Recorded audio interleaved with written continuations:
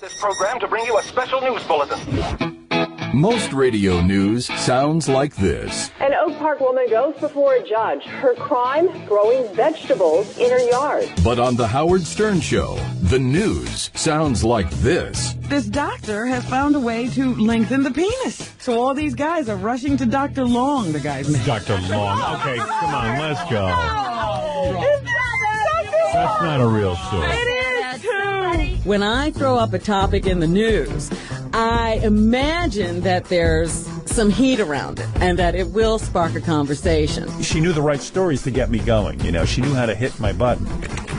This is a beauty. yeah, there's There's a multifaceted endless beauty. opportunities to goof.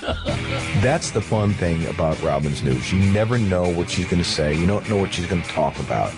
But that is also the fun part too, to where you can just be creative, off the cuff. It's just kind of like, wow, let's see what's going to happen today. This week, it's all the news that's fit to goof on. Look for my penis. It could be worth $80 million. That's $20 million an inch. It's a look back at the wildest, Somehow Sumi enjoys my old Jewish penis. weirdest, An estimated 200,000 Taiwanese are drinking their own urine daily to cure disease, improve health, and uh, achieve longevity. I occasionally have a uh, duty sandwich, but uh, never have I drunk my own urine. most outrageous news stories in Stern Show history. I repeat myself. We're going. And that's what's happening. A Stern Show news retrospective That sometimes is when I think the show is at its best. starts now on Howard 100, Howard 101, and SiriusXM.com. Red is joining us for the news. Red, how are you? Good to see you. Okay. You all right? You want to know something? Yeah. Everybody sucks. I know everyone sucks. I've said that a And times. I'll tell you why when I get a chance. All right. hey, how do you feel? I- I'm kind of curious. Red is an old friend of the show. How do you feel about the O.J. Simpson case? I've been asking everyone this. He's a poor bastard. You feel sorry for him? You bet your ass I do. Why? He's one sorry son of a bitch. You know, a lot of I feel people. damn bad for him. Well, how so? Here's a fella, colored fella, who come up from nothing. Right. Pulled himself up by his bootstraps. Yeah. And we all know how freaking hard that is for the coloreds.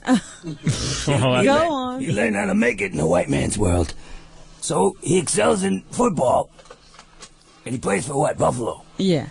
He makes a name for himself, gets a lot of TV deals and some movies and some money, and he beats the odds. And now look at him, it's all over. Why? Why? Because he married the wrong broad. Cherchez la femme! No, tell me, tell me, tell me what. Do you really feel? Because a lot of people You feel think bad it's for that O.J. woman's fault that OJ's in trouble? If you shut your festering pie hole, I'll Oh, tell you. you. Shut up for a minute and I'll tell you. All right, go Let the guy talk. I'm She ruined trying. his He life. doesn't relate well to women. Let me talk to uh, him. oh, Just, to I hell told her him to shut up and he she don't relates listen well. either. Now tell me why you don't like. He give her everything.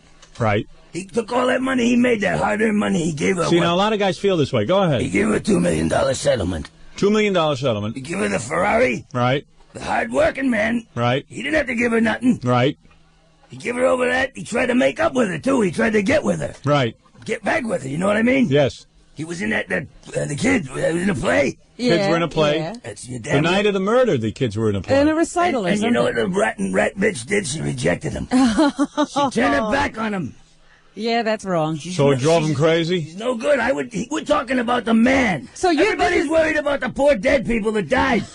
What about the guy who's What alive? about the man? Right. Wait a minute. This You, the man. Shut your. Shut I up. wanted to ask you a question. Do you I don't think get this into is- beating women myself. I never, Okay, I never all right. did. Battered women who I don't know what goes on in them houses. You never know.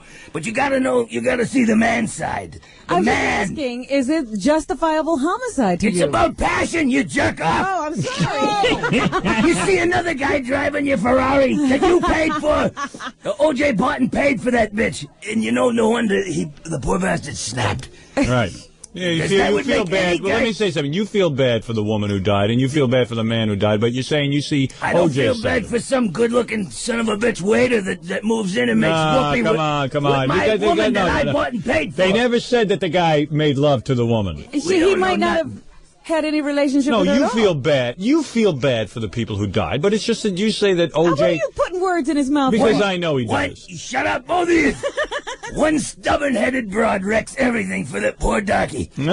And he tried so you something. damn hard. He didn't look at now. He's got Red's a little confused. he's got less Wait a than minute. zero. So what is your what did he get? Less than zero. Cherchez la femme. So should he be let go? Let him go. Oh, don't be ridiculous. He can be ridiculous. rehabilitated. He's much more what you call evolved than his constituency. You know, he he had uh, television and movies, so he proved that he, he's got half a brain. He can be he can be all right for himself. All right, a fan of the juice, and he feels that maybe juice can be rehabilitated. Everybody in this country sucks. They're gonna convict him and crucify him for being a man. being a man. You know, I this is the first supporter of OJ that A we lot of talked to. I, I saw Talk to Maury, me, I'll convince you. I saw Mar- Maury Povich the other day. Three people were on there saying they, they feel the same way. I'm Is telling you. right? Yeah, oh yeah, there's a big uh, groundswell for OJ. OJ paid for those phony implants, those breasts of hers, yeah. and she takes them and flaps them in another man's face. That was wrong. Wrong. a Ferrari. and She couldn't hop in a sag. Well, She this couldn't an hop in the interesting sag with him a few more times. Damn women. You know what she is? I'm gonna say it, and this No, will shock I you. don't say no, no, no, no, no, no, no, no. I'm gonna turn that. off. No, no, no. I'm gonna turn off your Oh, microphone. what was he going to say? Ah, come on. She's a vagina. Ah, oh no, no. You hate women. That's your problem. She's problem. a vagina. All right. I don't know what he's talking That's about. French. Vagina. No, you hate all I got women. a word, and I you you feel bad for anyone who's killed. I am sure. True. I do, yeah. Yes. Yeah. Even this woman. Of course. Yes. You're just saying you understand guys snapping. I understand guys snapping. All right. That's just what I want I to wouldn't kill nobody. So you I wouldn't kill had, it. Well, maybe I killed a couple guys at my bar, but that's because they got in my way. But rods, I wouldn't. I don't beat nobody. All right. Thank you. So you wouldn't have OJ spend any time in jail? no, at least give him a pillow. Give him a pillow. Right. See they that- won't give him the pillow in jail. You're that, against. that bitch with the gavel don't, she wants to be cruel to him because she thinks that, that he's uh she went uh, he get back trouble. Okay. That's what he needs a pillow for. All right, OJ wants a pillow. They won't give it to him. The They judge won't give it to him. That's that's cruel and inhuman. The sheriff. They're gonna treat him like an animal now. Right. All right. So you're an OJ supporter. That's right. You understand that he snapped because it's all his money and all this thing, and it maybe it, it maybe it caused him to go a little daffy. They're gonna take him down. And you feel he could be rehabilitated. I feel he could. So you do believe he committed the murders? It's not that you think he's been framed? I don't know what he did. Let him out. Let him out. He's a good ball player. He can go back and entertain us. So on Friday night, you were rooting for him to get away from the cops. It's your ass, I will. okay, Red. It's your ass. Red, right. red. He uh, puts right. a roof over her head. Yeah. He, he puts food in her mouth, and she closes her legs. Thanks. Thanks. Ah. Thanks. Like that. Thank you. That's what it sounds All like to Red. OJ. All right. Listen, Red is entitled to his opinion. It's America. As as as as horrible as his opinion is. Oh, who said it was horrible? OJ, I guess, deserves some support. He made Red happy. Well, Red, I'll tell you one thing. If OJ does get off, and it looks it looks like he won't, but if he gets off, I'm sure he's going to want to reward you for your support. I hope so. Yeah, I hope he's listening to this program. in prison. This program in prison. I don't think he has a radio. She won't give him a radio either. OJ is a normal man with normal feelings. He's got a sex drive and a few bucks. Big deal, he goes off a bit. Oh, well, Big deal. He You- should never have been arrested. She was blackmailing him with that booty. Oh, booty. You're an booty old timer. blackmail. That booty blackmail. That makes every man nuts. Booty and, and, I'm- juice. and you know it, and I know it. Well, that's true. Thank you, Red. Hi, we're here at the O.J. Simpson hearings. And look, there's O.J. and his lawyer. O.J., tell us, what do you remember about the day that Nicole was killed? And how old was she when you first saw her? Well, she was just 17. How do you feel about people calling you a cold-blooded murderer? Well, we have a witness who overheard you while you were outside of Nicole's condo. Sir, what did you hear O.J. say?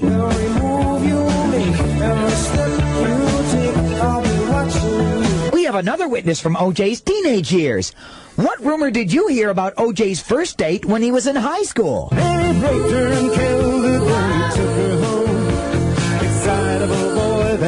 That certainly is a lie.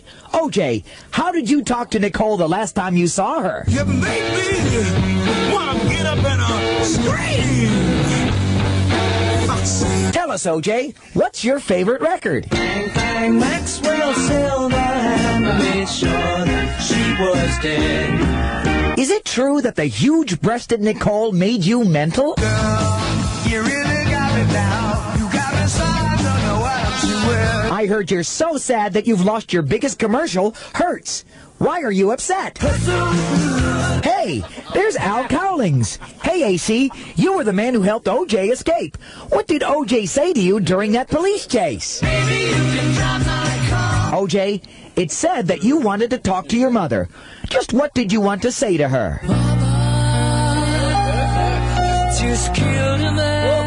Now, OJ, you must be confused because your lawyer says you're innocent. Let's talk to an LA policeman. Officer, what were you thinking while chasing OJ? There's a killer on the road. His brain is squirming like a toad. I see. OJ, what was the last thing your wife said to you? OJ, tell us, if you get a chance for freedom, what's the first thing that you're going to do? Bang upon the tell myself. Oh, well, you're always an up guy, OJ. Until next time, ta-ta. All right, ta-ta to you. That's uh, Dickie Goodman Jr. or something like that. Well, there you go. Hmm. A lot of OJ stuff there, Robin. I guess you have more in the news. Where's your? Oh, here's your mic. I didn't have your mic on. Oh, I'm talking to myself here? You're like OJ, demonstrating a point. Speaking of OJ Cell, did you see it yesterday? They had it all over the news. Hmm. It's a tiny little cot. I like the stainless steel sink. sink. I thought that was kind of nice. stainless steel sink and toilet. Yeah. And they're even, you know, they showed you a picture of the cell with the sheet on the bed. OJ's has no sheet. Right, so he won't hang sheet, himself. yes. Why? Why they're on a suicide? No sheet.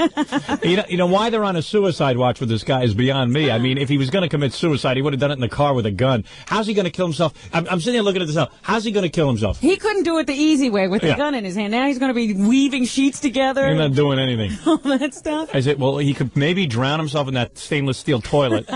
Do they put water in those toilets? I don't know. Or is it one of those like Porto oh, that would be horrible. drown himself in the blue water. Oh. Someone told me he tried to stab himself with his toenails, but that didn't work. he's growing them out to make them Yeah. weapons.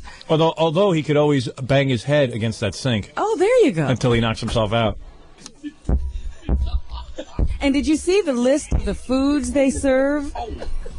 Yeah. You know, it's not. Uh, OJ had a chef full time at his house. It's got to be a big. He's got to be saying to himself, "What the hell did I do?" And the funniest thing is, he's going to end up with. Um, of course, he's going to end up with life in jail. I think, or They haven't said whether they're going for the death penalty or not, but yeah. I doubt it. But I mean, the guy's got to be sitting there going, "What was I doing?" I mean, I had all the women I wanted, all the money I wanted, all the fame I wanted, all the free time I wanted to play golf. One I- rash move. And even that cool stuff, like you know, every once in a while I get a movie. He's got, he has a movie uh, coming. He would have had a movie coming out on this Navy Yeah, SEALs. now they don't know what to do with it. Yeah, I know what to do with it. I'd show it. I think it'd be big. Now they've upped the total of people watching him on Friday night to 95 million. Everyone says that it would be in poor taste to show the Navy SEALs movie, and I'm like, well, why? He was acting. Yeah. But they do think that he probably learned how to kill his wife while Yeah. working on that movie. Maybe movies do lead to violence. Working on them, I mean, not watching them. Well, they always say just because I played a murderer in a film doesn't make me a murderer, does it? Might. but here's a guy who had all the women he wanted. He had all the money, all the free time. You could say this guy had it easier than Fred, Mhm. our own Fred Norris from Mars. Very few people do, but That's I think OJ did. OJ had it easier than Fred. Name one other guy who had it easier than Fred. He seemed to like to travel, and he got to travel a lot. Yeah. Navy SEAL. It's a great role.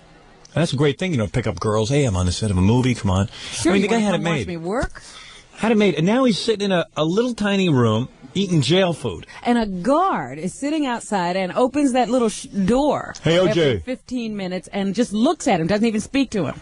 Goofing on him. Yeah, And then he had that judge sitting there judging him. And like, wouldn't give him a pillow. yeah, I'm not going to give O.J. Simpson a pillow. I will take the pillow under consideration. Yeah, that was great. I will take the pillow. We ought to take that soundbite and play it. Anytime you're thinking of doing something illegal, just listen to that tape. You know they have motivational tapes? This would be a great inspirational tape. I have to consider giving OJ the pillow, but I will not consider it at this time. I'll I'll, have to go back into my chambers and think about that one. yeah.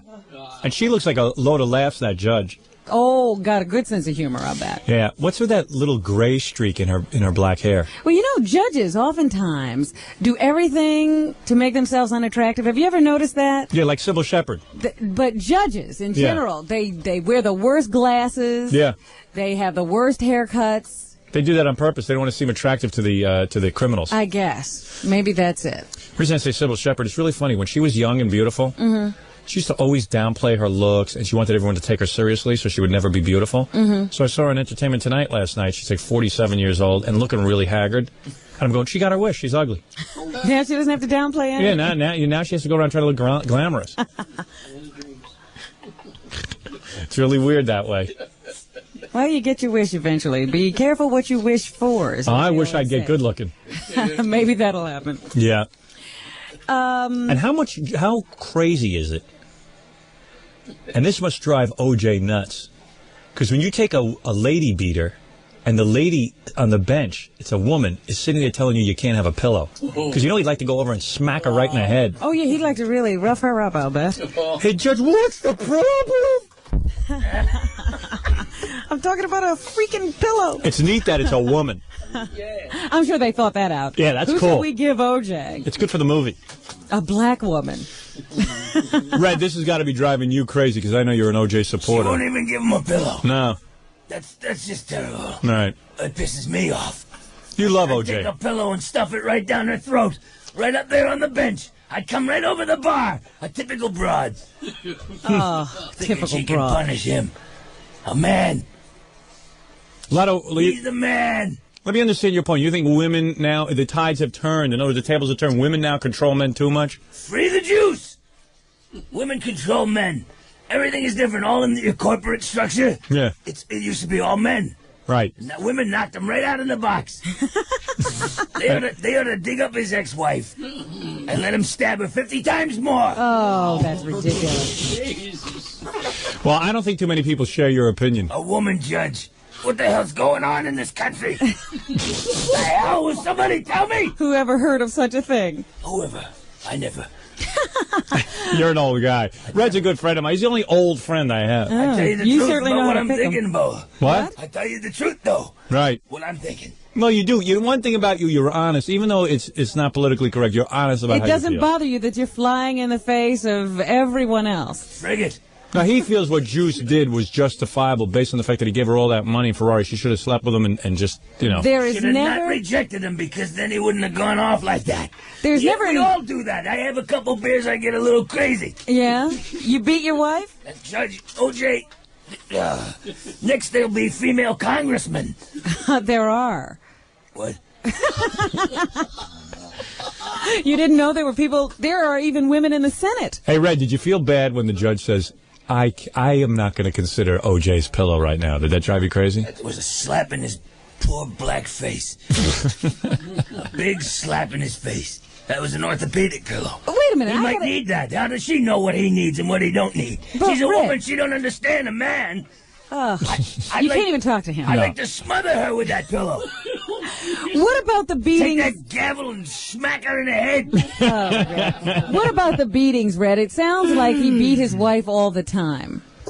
You know that they were ongoing. That the police. Well, you know what Red says. I know house. you're gonna laugh at this. What? Red says that. Maybe she didn't listen. Oh, stop it. I know you're gonna take. You're gonna laugh. No, Red has said to me off the air that he says, She should have got used to it by then. you know, you can. It's like a muscle in your face. You can develop it. Really? you- now he said to me Get that used to he, the smack. tell, Red, tell Robin what you really said. You said that you can't prove that OJ beat anybody. I bet he rested up between the beatings. All right. You know, don't listen Let to me Red. tell you You what's listen to me. Uh, I'm sorry. Let Robin give you the facts. Bitch, you. Oh, shut up. I got a word for you. I got a word. What? columnist in the. Vagant. Oh, jeez. Quiet down. I'm just trying to have a conversation with you. Andrea Peyser, columnist, or Pays her- Kaiser, he- whatever it He is. pays her in the beginning and then she turned on him. She's a columnist in the New York Post. Oh, another dumb broad. Oh, she said. I'm gonna beat you. so shut up. She apparently has talked to a bunch of OJ's neighbors Right. out there in Brentwood. and it turns out that they all knew. They all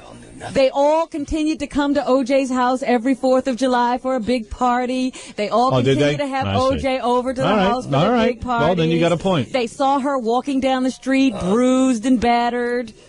What? Everybody knows everything. I'd like to line up all you broads and kick you right in your fat asses. That's what I'd like to do. So you're saying they're like Gotti's neighbors? They just kind of ignored. Yeah, ignored. they turned a blind eye to it and they just accepted OJ and They they, had sort of whispered about the beatings, but they never did anything about it. They didn't offer her any support. They went with OJ. Right. They were Hypocrites! OJ's friends. His neighbors were hypocrites. They eat his food and they drink his drink, and then they snitch on him. hey, let me tell you something. When that, when I was right about the jo- Mother fathers, you cocker spaniels, you sons of bitches, you can, you can suck. Oh, calm down. Ah, Red hates this story. Broads, just shut up and stay in your place, and there wouldn't have been all this brouhaha. What place this is that? fracas, What place is that? Right in the house, Now doing, this- doing what you're supposed to be doing. Doing what- Lying there, just taking them, taking them and making them happy. Let me tell you something. Massage them with a warm towel when you get a head. Shut up already, will you? I tell you something, Red and Robin. Let OJ out and put the neighbors in prison. Now there you All go. right, there's a solution. There's a solution for you. Let OJ out of jail and put the neighbors in prison. They're guilty. But what I said about ten the feet from a sink. what? You shouldn't be ten feet from a sink. All right, listen, whatever. Listen, what I'm saying is this: the judge. I know what you're saying. I know you know what I'm I know saying. exactly what you're going to say. I'm saying the judge is exactly what I said he was. But Red would say that the judge did the right thing. When when the judge let uh, the when the judge let OJ out, was that good? That was good. Yeah, the first time when they arrested him. You see, I Showed thought the judge. for the man and his body of work and the talent. His, not only was he a great football player, but he got he was on TV. He was a newscaster. You think that's easy to do that, a sportscaster? You don't No, know. that. I don't think that's easy. He got a great body. It was a family matter, and the man knew. The judge knew. No. Was to stay out of their business. That's the worst thing you can do is get between two people when they're having a row. All right, all right, Red. Listen, let me take a break, Rob. Let me collect my thoughts on the judge. Yeah, because Red can blow anybody's mind. I'm gonna smack Red in the head there in the uh, commercial. Now, Red, you just calm down over there, all Let right? somebody else get a word in. Yeah. I mean, you're you're you got an interesting point of view, and I'm willing to let you reflect it. But for God's sakes, let somebody else talk. right? so take a break so Red can get a, another Broad's win. place is in the laundry room. What? I said a Broad's place is in the laundry room. the kitchen and sprinting in between. Sprinting in between the kitchen and the laundry room. Back and forth. You know what I mean? Just keep busy and you don't have no trouble with your man. All right, let's uh, let's let's take a break. Well, there's some advice. Well, maybe he's right. Maybe things have to go back to a his simpler way. The, What? the, the bastard paid his taxes. He entertained people. And he ain't entitled to a little bitch slapping now and then. No, Why not?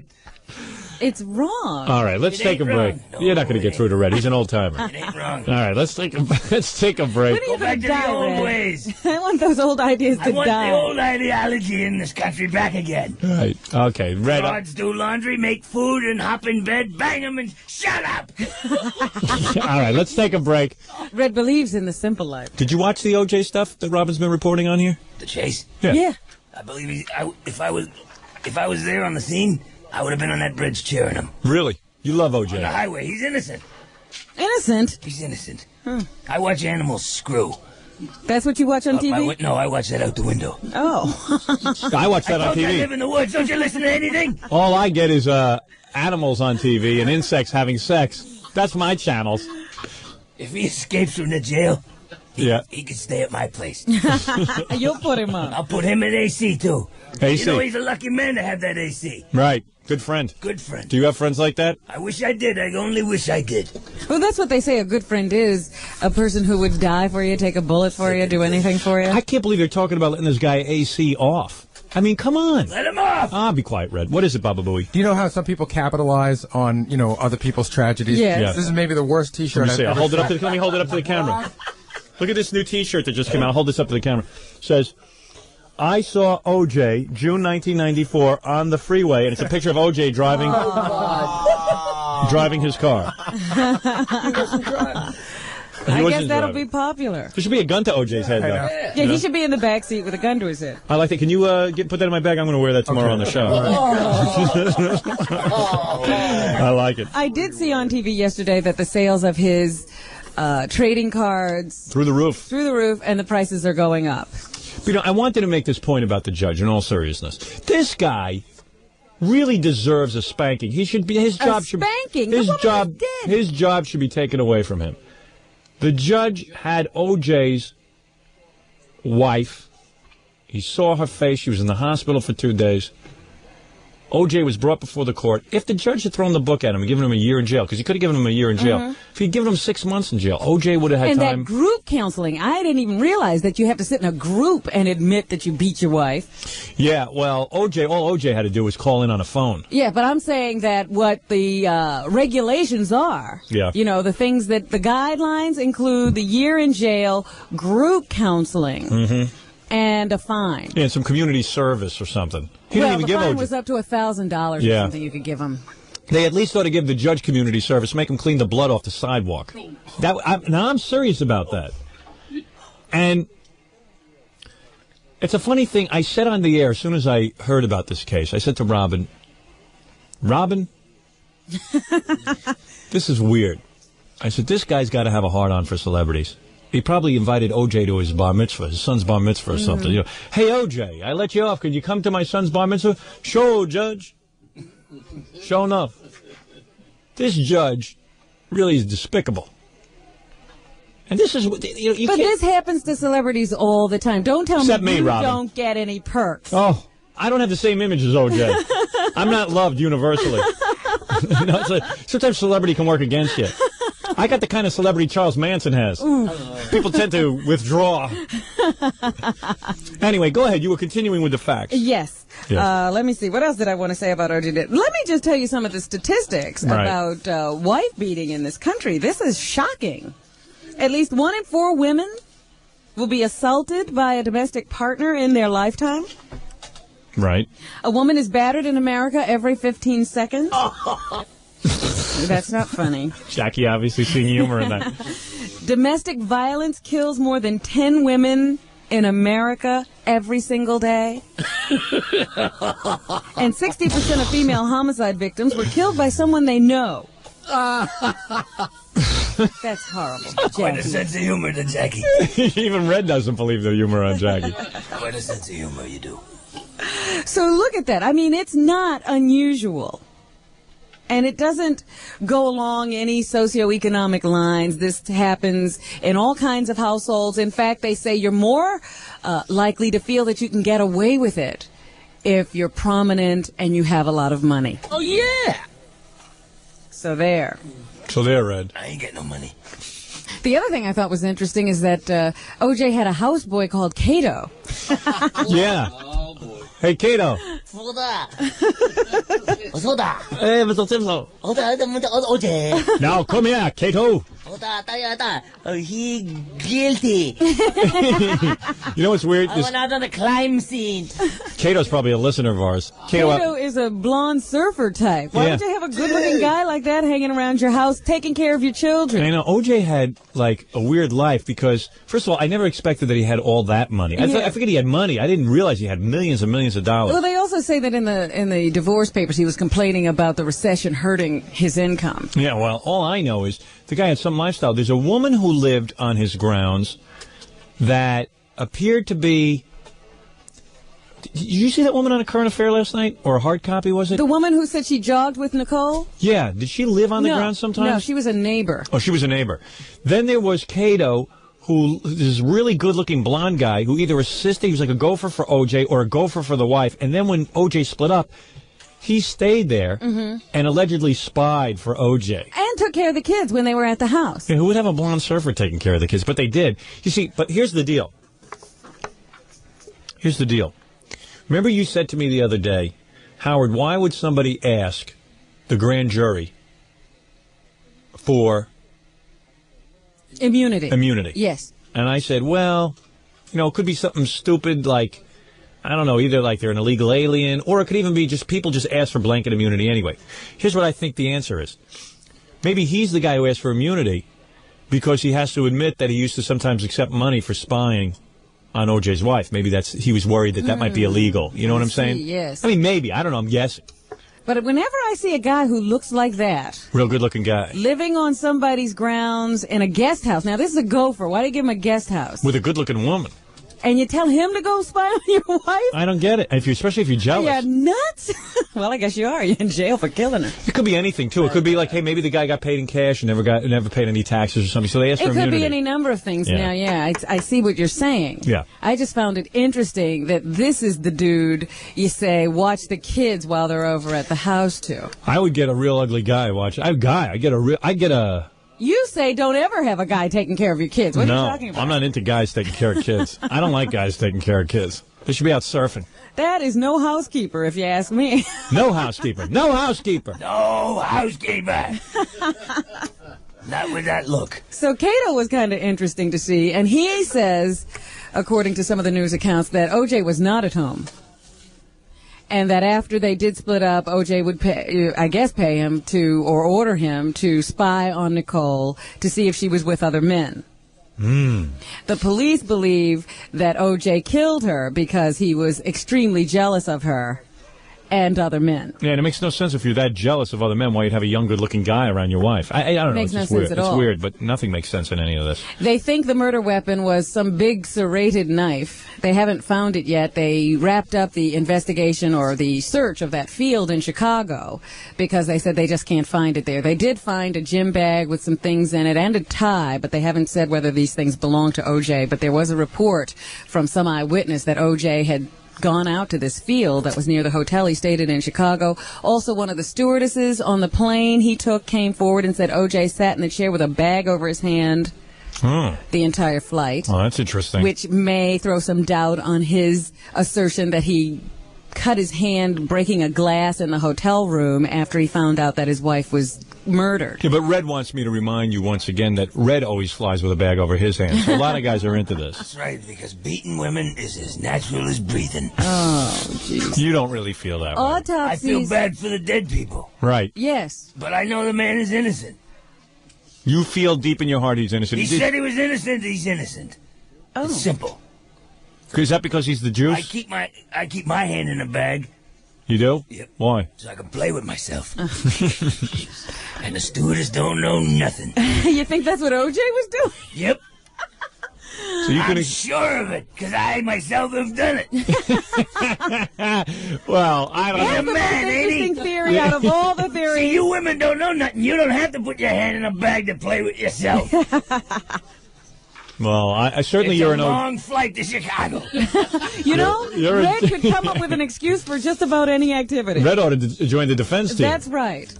That's why Red's my friend. At least he's honest. the way I date, here's how it goes down. Yeah. Dinner, little dancing, and then duking it up. So there's always a fight. Boom! Boom! Effing boom! Long, lonely flight. Well, anyway, that's what the stewardess said about OJ, and he she sort Lying of bitch. indicated that he looked a little strange to her Oh, sure. during the flight. This woman that you talk about came along to say that she believes that OJ has been caught in a lie. She can blow his alibi because she says she saw OJ driving the car the night he said he was sitting at home waiting for a limo to come and take him to the airport. And he looked very agitated, like a madman. He ran a red light. He was driving that white Bronco. And when he got to another stoplight, the only reason he had to stop his car was because there was another driver there sitting in front of him, and he started to scream at the driver and uh, seemed very agitated. In all fairness to OJ, you have to admit that on the plane he never hit the stewardess, not even once. No, right, it seems that he saved all of his punches for Nicole. Why wasn't she busy? Why was she watching him? Why wasn't she paying attention to her own stupid job with her dry roasted peanuts and her coffee and tea and all that other crap? You're saying the stewardess shouldn't be looking at OJ; she should be looking at a job. That makes a guy uncomfortable when you're doing what you're doing. Look at the bag over your hand. They, they learn that in stewardess school. Well, who Busy- knows? Busy potty idiot. Maybe Red's onto something. I don't She know. She probably wanted him and he rejected her. That's why she turned on him. Ah. See, I get it all figured out. well, you don't know Everybody's against OJ, Clickety, but you. clickety, click. They do say that OJ has received about 100 pieces of mail, and they've gotten so many calls about his incarceration at this point that they had to set up a special box for him Hmm. so that he could get his mail separately from everyone else. Don't you think he had enough special boxes? so got him into trouble. And there are people coming to the estate putting up signs of support. And yesterday he did get a visitor. He can have one visitor a day besides his lawyer. Me. And yesterday, that uh, Robert Kardashian, who was his personal lawyer, and his son Jason showed up at the jail. And this is a little bit of what Kardashian had to say about uh, OJ's condition. This guy Kardashian must be loving this. Yeah, he's a lawyer. He could use this publicity. No, you kidding? This is great. OJ is uh, still somewhat depressed and uh, had a tough time having to see his son uh, when he is uh, in the situation he is. He also says that uh, Jason and OJ talked about their love for each other. No. But that OJ is still very, very depressed, even according to his attorney. He's under medication and psychiatric treatment while in this little seven by nine foot cell. That's a strange love OJ offers to people. You know what I mean? I'd say keep it to yourself. Yeah. Stop with all the love. That kind of love belongs in a bag. On a plane ride to Chicago. So OJ may be in court today for a preliminary hearing where his lawyer will insist that they turn over all the evidence they have. Mhm. Oh, I was about to tell you about the autopsies. The autopsies show that Goldman, the young man, the 25 year old man, was attacked first. And because of the nature of the uh, stab wounds and the number, they think he put up a vicious struggle. And he was attacked initially from behind. He was still even clutching, clutching those sunglasses that he was bringing to Nicole Simpson. So he never even got to turn those over.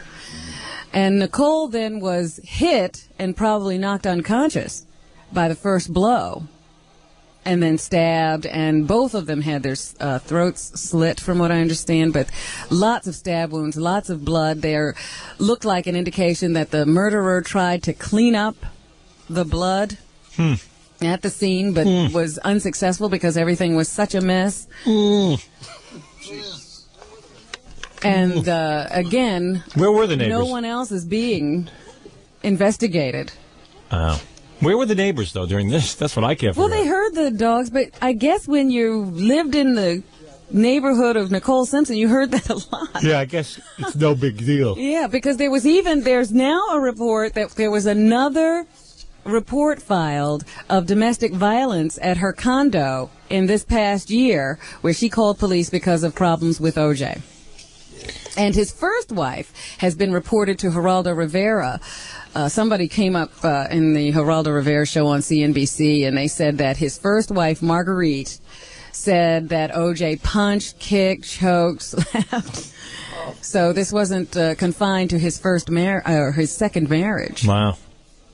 Hey, and I was going to ask you something. Do you ever watch the late night television shows? Because I mean, we're always in bed, but are Leno and Letterman like doing jokes about OJ, or are they just avoiding the topic? That's a good question. I don't know because I don't stay up to watch and I haven't seen or heard anything about it. Maybe someone who I, I just wonder, like, aren't there certain topics those guys don't deal with? They dealt with Michael Jackson. Oh, I they don't did? know whether they're keeping hands off OJ or not. I'm sure they have to be talking about it.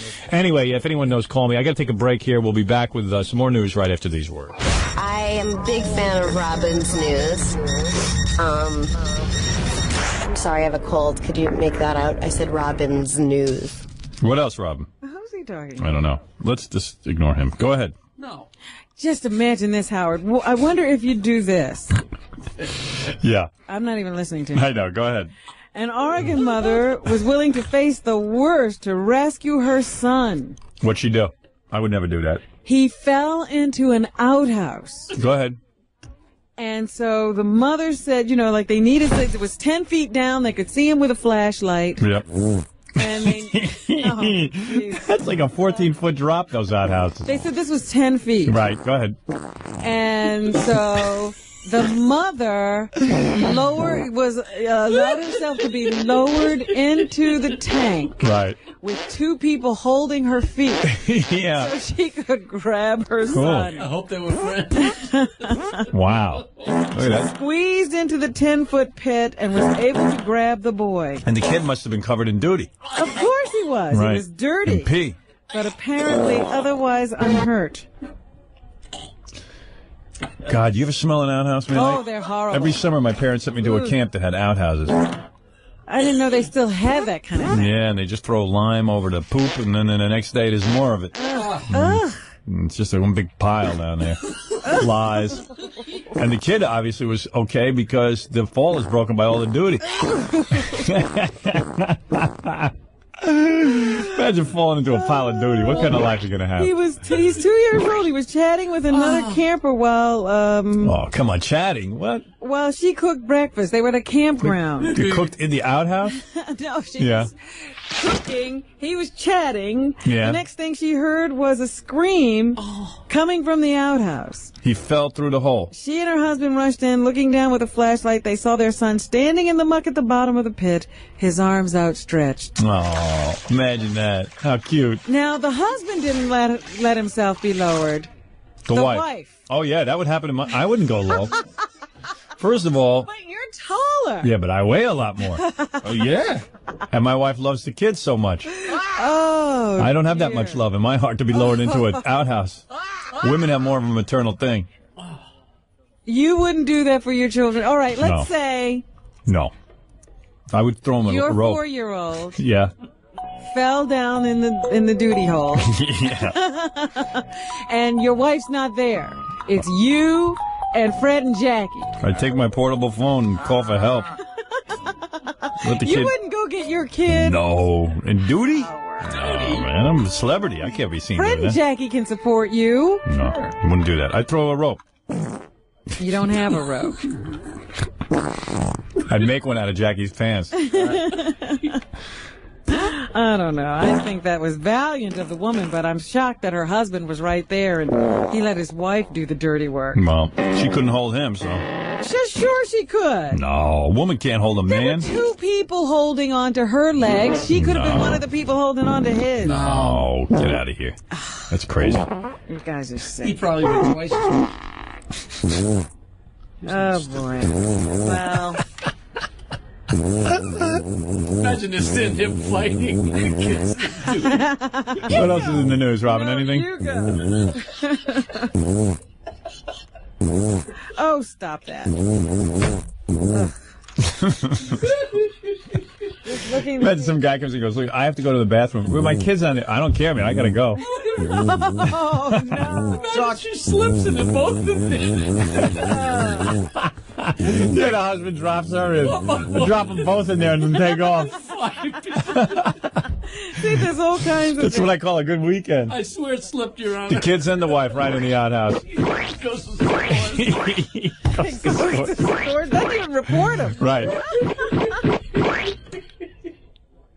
All right, that's what's happening. Thanks, Robin. Hooray, it's time for the news.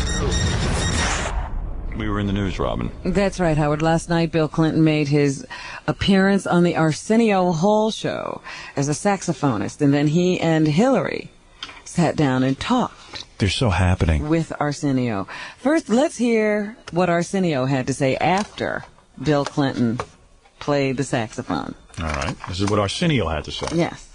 Card number four. It's good to see a Democrat blowing something other than the election. And uh, That wasn't very nice. And here's a little bit of what Bill Clinton. How many guys do you think it took to write that for him? Oh, they spent all afternoon on it. Yeah, right. Now he's going to finish the sax. What are you going to say? You know what you ought to say? Finally crafted that for Arsenio. And I'm sure uh, Arsenio had a hand in it. And you can tell when Arsenio Arsenio's reading it, you can just hear him reading. That was definitely a line prepared. Yeah. It's, diff- it's not was not delivered in a conversational way. What did he say in that interview? I don't think one joke has been told on this show that I didn't have a hand in. Yeah, he had a hand in it, all right. That's like five words. His hand dips into the pocket, gets the money, and pays the guy. All right, now what did Bill Clinton say, Robin? Yes, what did okay. he say? Let's find out together.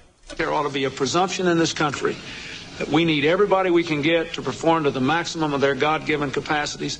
That's why I work so hard on a good economic program. That's why I believe so strongly in education. And so uh, I come from this in a different way. I want to include people. I don't want to exclude people. Right on. That's the right thing to say to Arsenio's crowd. I was going to say, you know who he's he thinks he's talking to. Yeah. he's obviously he's just looking out at a sea of black faces in that Arsenio audience, isn't he? And uh, Arsenio, not one to dodge the tough questions, asked him again about trying marijuana. Hey, man, did you smoke a doobie? Yeah, trying to, all right, and this is what Bill Clinton said? Yeah. This is an answer. I did my best. I mean, I and I tried, but I just couldn't inhale it. I mean, I wasn't trying to get a good conduct medal for saying I didn't inhale. I was just nervously pointing out that it was another one of those things I tried to do and failed at in life. wow. Great. Couldn't smoke dope. Can't do it. Ah, can smoke dope. Ah, I don't know which way the joint goes in my mouth. Ah, ah, what's marijuana? Ah. It's hard to trust someone with that accent, isn't it? That southern accent. It just makes you sound so stupid. it really well, does. and when you say I didn't know how to smoke a joint, Yeah. I did. I just didn't know how to there, Arsenio. I tried to. Yes. I just couldn't. Hell, we thought Burt Reynolds was a woman. Tied him up and tried to rape him in Deliverance. I plumb forget to light the joint because uh, we didn't have no match. Stupid hillbilly like Elvis, you know. Uh, Mr. President, I'm wondering if I could be on your special force to uh, for, to fight drugs. uh, right, okay. Officer Elvis. Yes, today you're Officer Elvis. You mean I can get one of those neat uh, badges that the uh, FBI has? It's DEA? Uh, yes. Okay, thank you, Mr. President. I have to leave now because I have the dry heaves from my medication. ah, thank you. Okay, Elvis. Pleasure to meet you. And go out and fight drugs. Ah, Right on. uh, okay. Two days later, Elvis pulling people over in his car. Got flashing that fake badge. Please pull over. This here's Officer Elvis. What, what did he do? He had a he had a bubble put on his car. Yeah. Elvis had And a used bubble. to go around stopping people. I mean, he actually did that. Please pull over. This, did he have the big megaphone thing? He probably did have one of those. They have a speaker, right? Please pull over. This here is Officer Elvis, a law enforcement official of the DEA. You you look like you might have some drugs in your car. Pull over. Sir, roll down your window. I'm I'm so high your nose looks like a banana. you doing drugs? this is Officer Elvis. Now step out of the car. Now you boys have some drugs? Are, are you want to buy some? Officer Elvis, put your hands up in the air. You you falling asleep at the wheel? Take a few of these. This is legal. You know, uh, Elvis hasn't. That's me. I haven't moved my bowels. You imagine you, you roll down your window and it's Elvis getting out in his karate suit with his Uh. with the with the with the cape, and he's busting you. And by the way, he had no ability to take anyone to jail. He used to do citizens arrests. Right. Where'd he take him though? I'll take him to the Cheetos factory. I'll I get something to eat, and then uh, uh, the police can come and apprehend them. you seem to be swerving on the road there. I had to, I had to pull you over. All right, everything seems to be in order. Goodbye. it's Officer Elvis. Drive safely. Drive safely. Good night, ladies and gentlemen. I only wish I could have been pulled over by Officer You Elvis. should have driven down there during that time. I'm going to have to confiscate these here lewds. I have to take them to test the purity. Hey, you're not a you're not a law enforcement official. You're Elvis. Well, I just met with Richard Milhous Nixon, young man, and I have a badge that says that I can pull you over. I'm an officer of the DEA. Is it time for the news, Robin? Yes! Pete Townshend is still in the news. We're trying to figure out exactly uh, what he's been up to. Oh, I think I have a pretty good figuring trial, out thing. yes. They have now published excerpts from a letter he had posted on his website for some time. It's now been taken off, by the way, that letter.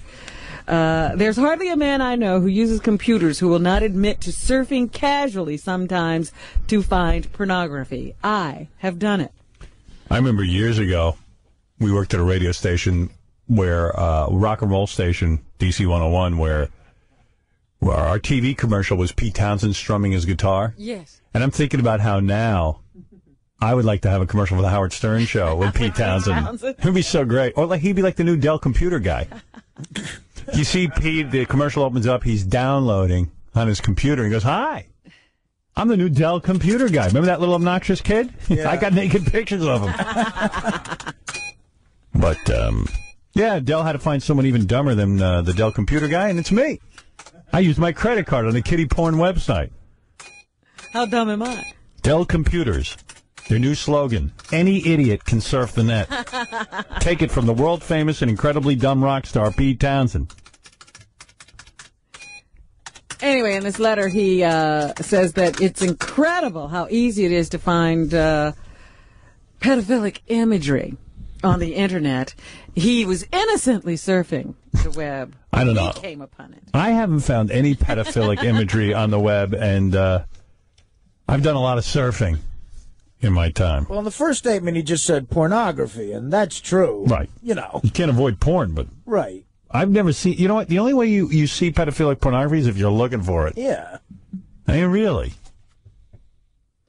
His story is that he checked out child porn sites maybe three or four times and only entered a porn site once using a credit card. But in Great Britain, I think that's against the law. So uh, he's got some problems ahead of him. I think he thinks that his career is uh, definitely damaged, Yes. maybe down for the count. Oh, I, I would say so. Meanwhile, he does have some people coming to his defense. Elton John said, I hope it's not as bad as it sounds. That's nice. Didn't Pee Wee come to his defense? It's the best thing Elton John could muster up, huh? But uh, uh, the one who was really vehemently behind him was Jerry Hall. She Yes. says she has known him for a long time, and he is absolutely the antithesis of a pedophile. I love Mick Jagger's ex-wives. One's over in Iraq with Saddam Hussein. The other one's defending uh, uh, pedophilia charges of Well, Pete I thought it was interesting because this is a woman who didn't know she wasn't really married to Mick Jagger. Yeah. You know, he took her off to Bali somewhere and told her, this guy's going to bless us and we really don't need a license. Hmm. And she bought that too. So, certainly I'm going to take her word on Pete. You're listening to And That's What's Happening, a Stern Show News retrospective. And those I always felt like were the more exciting parts of the show. You know, that freewheeling, news starting, coming up with stories, Howard saying shit off the cuff, another person would say something, somebody would write a joke, we'd put a sound effect in there, and then it would just kind of like morph into just like this fucking craziness, which was the news. Now playing on Howard 100, Howard 101, and SiriusXM.com. All right, Rob, what else is in the news? Another mob guy was found dead in Brooklyn yesterday. The reputed underboss of a New Jersey crime family who's closely linked to Godfather John Gotti was found uh, shot in his car with a bunch of fish in his lap. Why? yesterday. Oh, you know how the mob has these little secret messages they send to each other? why don't they let us in? I don't understand why the fish have to be there all the time. Bad enough you're dead, but you got a fish in your lap? How disgraceful. He must have uh, broken that mafia code where he was with uh, one of the guy's wives or something, so they put the fish in his lap. That's something I. Like, he did something that smelled like fish. Hmm. So what, why would you? Why do they mention why a guy gets Well, fish? I'm trying to think back to The Godfather, the movie, because they they wrapped a fish and did they send it? Oh, here's our mafia. expert. Oh, here comes Gary. Anybody with the name Dell'Abate must know. You know. Why is it that every Italian believes he understands the mob? No, but this all you had to do was watch a movie to figure this one out. I, I think I have this one figured out. This is in The Godfather. Yeah, when you when you do when like a lot of fish are found in a guy's life, doesn't that mean lesbian hitmen did it? Exactly, boss. yes. No, I love how Gary like comes in anytime there's an Italian question. Yes. No, but this is. I mean, all you had to do is watch a movie. This means that he sleeps with the fish. Oh boy, that's not all that. What's with these mob guys? Can't they be more creative? That's what it means, though. I mean, now you sleep with the fish, but we know he sleeps with the fish. Yeah, but it's a, it's kind of a code. It means now he's dead because he sleeps with the fish. Right. Yeah, but the point is that he sleeps with the. F- I mean, I mean, why not put dirt over him and say now he's six feet under? It's symbolic. It's it's a Sicilian symbolic type thing. No, okay. And what was the? um I don't know. I, I just I, you annoy me. and I've stayed out of here. You notice I've stayed out of your hair. I guess no one in the mob is a rocket scientist. I mean, why? Yeah, you know, the, keep the symbolism is not all of that. Well, it all goes that back a long way. Yeah, right. So you mean some guy actually took the risk after he shot this guy to actually sit there and pour fish in his lap? Yes. Exactly. That's you got to have some balls for that, man. I got to say, those mob guys got balls. They do. They really do. I mean, to sit there, I would be, I would, oh my God, I better get out of in here. your boots, yes. say, oh, I'll, I'll take some fish out, throw it in his lap, decorate the guy, Yeah. make sure everything looks good. What kind of thing is that to put fish on someone? Even that Uncle Simmons, at least he just threw everyone in a grave in Yeah, Arkansas. he wasn't decorating. No, oh, let me go get some fish for God's sake. It just it looks so bland. There's something missing. I mean, everyone knew the guy was dead. That's enough of a statement. You don't start putting fish in his lap. Yeah, I mean, you know, when you're shot 200 million, 50,000 times, they figure it's a mob hit. Plus, isn't it hard to recruit guys for the mob now? Every time you turn around, some guy's getting killed. I mean, you know, why can't they just have guys deposed? They, I mean, all they do is kill guys when they want. You know, what is this? I mean, it's it's the kind of thing. You know, who would work for a radio station where you get killed if you screw up in the Yeah, there's no natural attrition. You don't retire in the mob. What do you think the guy did? Did he? uh Anybody have a clue? no, they, Gary they, does. Oh, Gary does. Yeah. Excuse Oh, could have been. It could have been. He could have. Uh, yeah. He could have kept some money Mm-hmm. that what didn't belong to him. He could have ratted on somebody. You know, to the police. Right. was, it's a mob rub out. Right. It could have been any of a number of things. Well, let me just say that he was a very high crime figure, according to this uh, account in the paper, and they're surprised. You know, he was very well thought of, very powerful. He probably wanted to deal heroin, and the other guys don't want to. Yeah, that's always the question, isn't it? Yeah, the mob guys are always debating one another. It's like a big debate. They, went to Harvard debating school.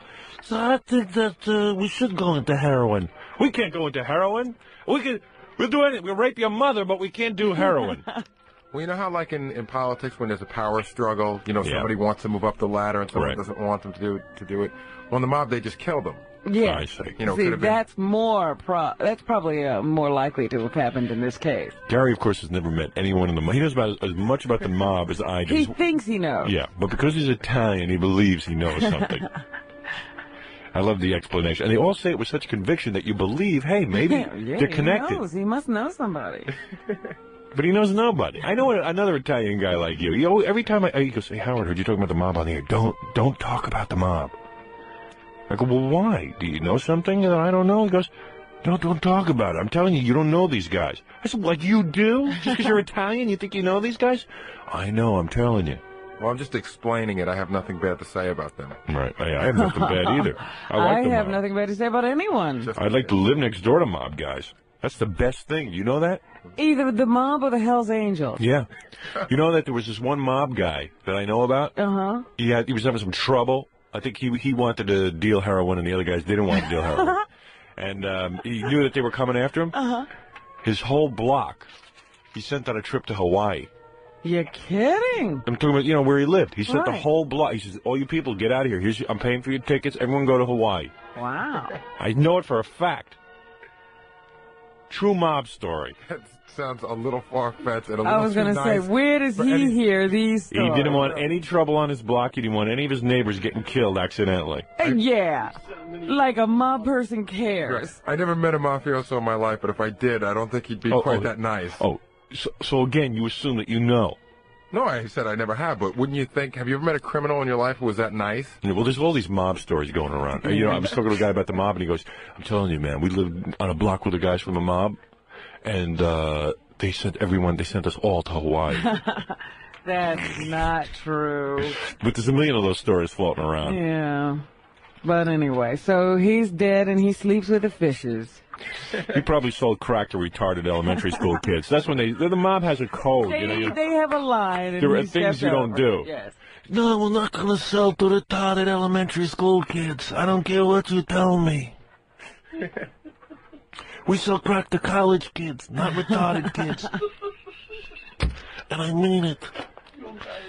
Yes. You'll embarrass you to have a family. But Gary with his Italian information. He always rushes in. Oh yeah. All I said is I know that it means he sleeps with the fish. That's it. That's good. That actually is a good explanation. Thank you, Gary. Mm. Meanwhile, remember that guy I was telling you about yesterday, the uh, latest mafia rub-out victim, Yeah. Jimmy Rotondo? Yeah. Well, now they're saying it was a jar of squid in his lap. Oh, so what does that mean? They say that was probably dinner. Oh, so you mean he, he wasn't going to be sleeping with the fishes? no, they were. It wasn't the Godfather sign. Oh, so you mean he was just out for dinner? He had some squid, He and went out to, you know, was, I guess on his way home or something, picked up some squid. I was going to ask Gary, what does it mean when a guy has squid in his lap? means that's what he had for dinner. Yeah, Oh Whoops. boy. all those wacky mafia guys. Everything looks like it's a. Uh, Maybe we've been watching too many movies. yeah, that's the problem. Everything looks like a sign. Jumps to conclusions. You know, mob guys aren't that creative. And just like you said yesterday, Howard, who would take the time to go back and put some fish in his lap? Exactly. What was this guy doing? Eating the squid in his car? No, maybe it was closed and he was taking it home for dinner, like it wasn't takeout. cooked or something. Oh, like Craig from the Window Factory, Mr. Takeout King. Yeah. Always has a, he always has food all. You, you know that guy has a Jaguar, a forty thousand dollar Jaguar, and he's got spaghetti stains all over the carpet of the oh, Jaguar because he's always at La Palma restaurant, and he goes and he goes in there and he like he spills bags of like um, Italian sauce and stuff all over his Jaguar. Yuck. I mean, the guy was eating uh, the guy was eating squid. What do they call squid? Cal, cal, Cal- calamari, yeah. calamari. Calamari. Okay. I feel a little stupid about yesterday's. uh What, sleeping with a fish? Yeah. That's what it certainly sounded like. I think that only happens in the movies. I don't think regular mob guys like you know take the time to send signals like uh, you're going to now sleep with the fish. Well, I could only comment on what was reported. Yeah, that's kind of cool. They found squid. Who the hell eats squid, man? That's the most disgusting fish. Oh, It's it like it's like octopus, right? Yeah. yeah, let me it's like you, rubber. Is right. one of the guys that works here, you know, is very Italian, and on Christmas Eve, it's a big Well, who's the guy? Guido. Yeah, It's just- yeah, he is very Italian Yes, with a I name like that. so. And uh, and he told me that you know his fa- he told me for a week before Christmas Eve. Yep, my father's got the octopus ready. And it was like very exciting. He's you mean he bought a whole octopus? Right. Like instead of a turkey, you buy an octopus. Jesus had that in mind. yeah, right. What do you, he had an, his father had the octopus. Yeah, The he cooked it up for is the whole ready. house. Have you ever seen like a dead octopus? No. There's no way you'd eat it. Well, you cut it up. It's not like a turkey. Its head looks like Lex Luthor. It's like Brainiac 5's head. Yeah, they are cartoon characters Yeah. like octopus. So what does he do? He- Like, I mean, he has like a an octopus for uh, Christmas, and what does he do? Like, like they just You cook it and cut it up. they don't stuff it though, right? No, no, no. All Italians have seafood on Christmas Eve. It's a big tradition. Right. I see. Who gets the leg? There's no problem getting the leg. Really, everybody Yeah, does. everybody gets the leg. It's who gets the head. Well, anyway. Ooh, they eat that? Do they eat the head part? I don't think so. I got a feeling they do, and you're just not saying I'm it. not. I'm not sure because I've never actually seen it prepared. I mean, they're really, really Italian. I've never actually seen a, uh, an octopus prepared. Because isn't that where that ink part is in the head? The head's the best part.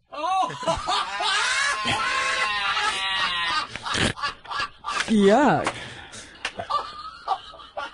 Oh man, he's disgusting. That Guido. Really?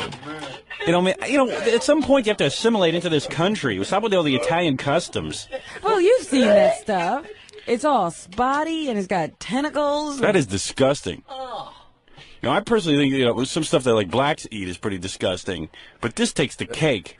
I don't know, man. I saw a jar of pig's knuckles one day. It was pretty gross. I mean, actual knuckles. You mean ham hocks? It said on the jar. It said pig's, Pig's knuckles.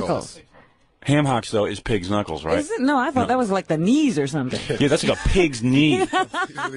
you got to understand something. When uh, blacks were on sl- uh, were slaves, they were forced to eat pig's knuckles. You're no longer forced to do that. But you acquire you acquire a taste. Same thing for the octopus. You mean so if if you eat enough crap, you acquire a taste for it, and you got to have it? Don't you at some point say, "I don't want to have this anymore"?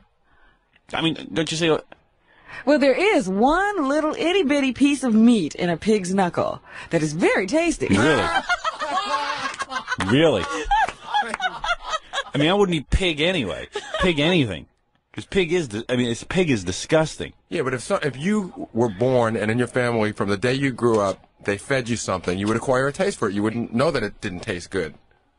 Yeah, but th- th- we're no longer living in a slave on a. You know what I'm saying? There's no reason to even bring anybody up eating that kind of crap. Oh, look at Jews. Look what they eat. they eat uh, uh, unleavened bread, which is like like eating a piece of cardboard, just because just because a bunch of Jews couldn't find their way in the desert.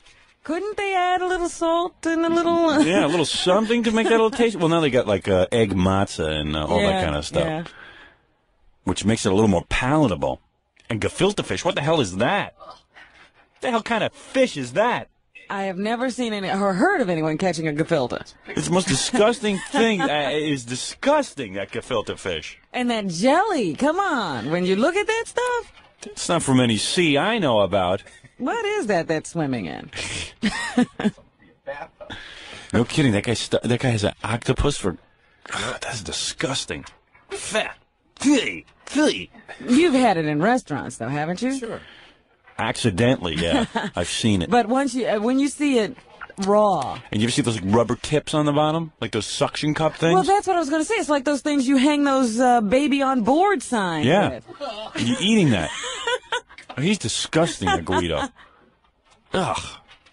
I hate him. Oh. Listen, we got to take a break. You know what he's been doing. Yeah, really.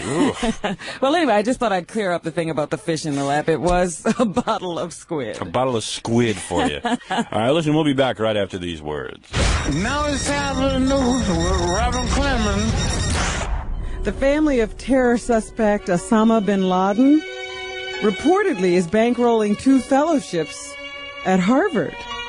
Osama bin Laden. Didn't he used to do sales here at the, our radio station? I don't think so. Oh, I was Ben, ben Sam Ruby or whatever. Yeah. Sam Ben Ruby. The Boston Globe says bin Laden's family has sponsored two fellowships at Harvard since 1992. Both are in Islamic studies and are named after the prominent Saudi Arabian family, which is worth about five billion I know. dollars. This guy must be so mental. I mean, he's got $5 billion and all he's worried about is blowing up the world. Yeah, bin Laden is suspected of uh, masterminding the uh, bombings of U.S. embassies in Africa. His family even has disowned him. I know, but where does he get his money? He got about $500 million from the family before they disowned him. Wow. And had he stayed with the family, he would have been, been richer. And you know what we ought to do as Americans? Find out what products his family makes and begin boycotting them. And the uh, CIA ought to begin working uh, silently. Well, if the family has disowned him, So what? Let's just destroy him, his family, his four wives. Let's destroy his children. Let's sneak him in the middle of the night and kill everyone he loves. I mean, this is what we should be doing. This guy has declared war on us. This is a war. CIA analyst says he's probably not in very close connection to his family. So what? But let let them. That's the only way to give this guy pain. You know, and Bob Guccione thinks his son's an a-hole. Imagine, imagine, uh, uh, imagine having this. Osama bin Laden. Yeah, Osama bin Laden, your family's worth billions of dollars, and this weirdo goes out and starts killing people with all the money you give him. Goes to war with the world. Yeah, that really, there's, a way to take this guy out. If this guy was out, I heard on the news the other day, if this guy was out, out of the picture, Uh-huh. uh, so much of world terrorism would not be able to be financed. To be uh, Yeah. Building his own little army. Yeah, you got to really hit these guys where it hurts, and the only where it hurts is, you know, anybody who's close to them. Even if he's not in touch with his family, the fact that he's causing them personal pain will get to him because everyone's, you know, everyone's tied in with their families in some way or another. I don't know. You're talking about a Yeah. crazy zealot, Howard. Hmm. Yeah. Well, anyway, there's ways to get to him, and and quite frankly, drag him out in the middle of the night and kill him. And How that's do you- what? And you know, and you and, and you need a, an elite team. I even said like you get a guy like Chuck Zito who knows how to handle himself so beautifully. You ask him as a favor to the United States to go in. I'm sure he knows his way around Afghanistan. You put Chuck on it with the Hell's Angels. Yeah. Like five of the elite Hell's Angels with Chuck. He would do this country a favor. These guys love this country. Americans. Americans. Yeah, a little unrealistic, but. Well, it's my plan. Nevertheless, I don't see a plan coming out of you. Robin, what else is in the news? We're doing the news, Robin. That's right, Howard. Joan Kennedy, guilty. Oh, oh no. Here we go. Wait a second. Let me take a slug of water. Yes, she was in court the other day on those drunk driving charges as a result of an accident she had earlier. And she decided that I think it's safe to say that um, there's sufficient evidence here to find me guilty. So I'm not going to contest this court trial. Era, what are you nuts? Era, uh, oh, it's you. Oh, why did you call me now? Now's not the time to call. I just pleaded guilty. Era, who is who is your attorney? Robin, who is her attorney? Era, Um, I don't know who her attorney was. Oh, Patrick Butler was her attorney. Era Patrick Butler. Who's that? What, the Kennedys always have to have the best attorney because you don't use that attorney? Uh, you still carry the Kennedy name. Yeah, uh, uh, everyone knows you as Joan Kennedy.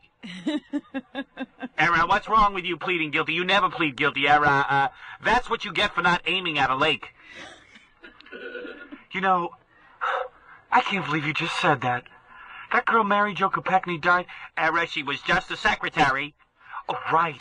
I'm expected to believe that, that you were not having a love affair with this girl. Era, uh, you saw the report. The report, it was a total cover-up. I'm not covering up anything, damn it. I just want to say I'm guilty and get the whole damn thing behind me. Era, Era, uh, uh, guilty? You pleaded guilty, Era. Oh. Oh. I bet you need a drink worse than Jack needed a football helmet. Oh my God, are you that callous that you can make fun of the holes in your brother's head? Uh, Era, if he'd been wearing, wearing a football helmet, uh, Era, that's why the Kennedys always played football. Oh my God, good Christ Almighty. Uh, Era, don't use the name of Jesus. Whose name should I use? The girl you slaughtered, Mary Jo Kopechne? Era, look, I just called to say that I thought that what you had done was wrong and that maybe I could talk to a judge up there for you. Are you gonna fix it? Are you gonna fix things for me like you did that whole cover up on that, that girl who died? Era, she was a secretary. Let me go through this again. Era, for the last time, this is what destroyed our marriage that you never believed me about the Kopechne gal. Never believed you? Who? The whole country doesn't believe you. I, I, you know, the whole country might not believe me, but I didn't plead guilty. Era, Era, you pleaded guilty? I guess there's more than one retarded Kennedy. Oh, gee. Oh, look, okay. Now, come on. I'm going to hang up this phone in a minute. Era, okay, don't hang up. I just want to make one point perfectly clear. Perfectly crystal clear. I want to say and go on record. Just go ahead. I don't care what you say. I want to go on record and just say one thing. Era, when I took that girl home, I was giving her a ride. She was not in the back seat making love. Era, I was giving her a ride to her home. Her home was in the completely opposite direction. That's not true. And you're not a Kennedy. Because a Kennedy would not have pleaded guilty. You know I'm gonna cry. Didn't you even try to take the fifth? Or did you drink that too? oh, God almighty, I'm trying to get that whole drinking thing together. Oh, you're doing a real great job. Did you, do you want to know what she has to uh, go through now? Sure, tell me and torture me. she has to pay a $677 fine, sort of. Era, how much? $677. Yes, that should be real tough for me. Yeah, with all that Kennedy money, $677. That should be a real deterrent to your next drunken driving binge. She's lost her license for 120 days. That should be a problem. Uh, chauffeur. How are you gonna take a drink if you're not behind the wheel, honey? You know, listen, I am sick of this. Don't you think $676 hurts me a little bit? Don't you think it's a little embarrassing? She's also on probation for a year. And she'll have to take the Massachusetts Alcohol Education Program. Era. Era, that's really gonna work. It will work. I'm going to take the program. I am going to be very determined and very serious. Era, why did you hit that fence? Era, why did you hit that fence? Ask not why you drive a car drunk, but why did you hit the fence? Oh, you're some poet. Why didn't you step on the brake? Era, are you missing a leg like Ted Jr.? Am I missing a leg like Ted Jr.? Yeah, your breaking leg? You know, you have just no sensitivity to this whole thing. I'm guilty. I'm going to. I pled guilty. Era, yes. But it's all over the papers. Don't you think my mother, don't you think my mother, if she still had her eyesight and could breathe, that she would be upset by all of this? I could give a damn about your mother, okay? You're such a damn mama's boy. Era, I am not. My mother is the matriarch of our family. She sired a president, a senator, two senators. Huh, some senator. Some senator you are. Era, please, leave me alone. Go pay your $676 fine. $676 fine.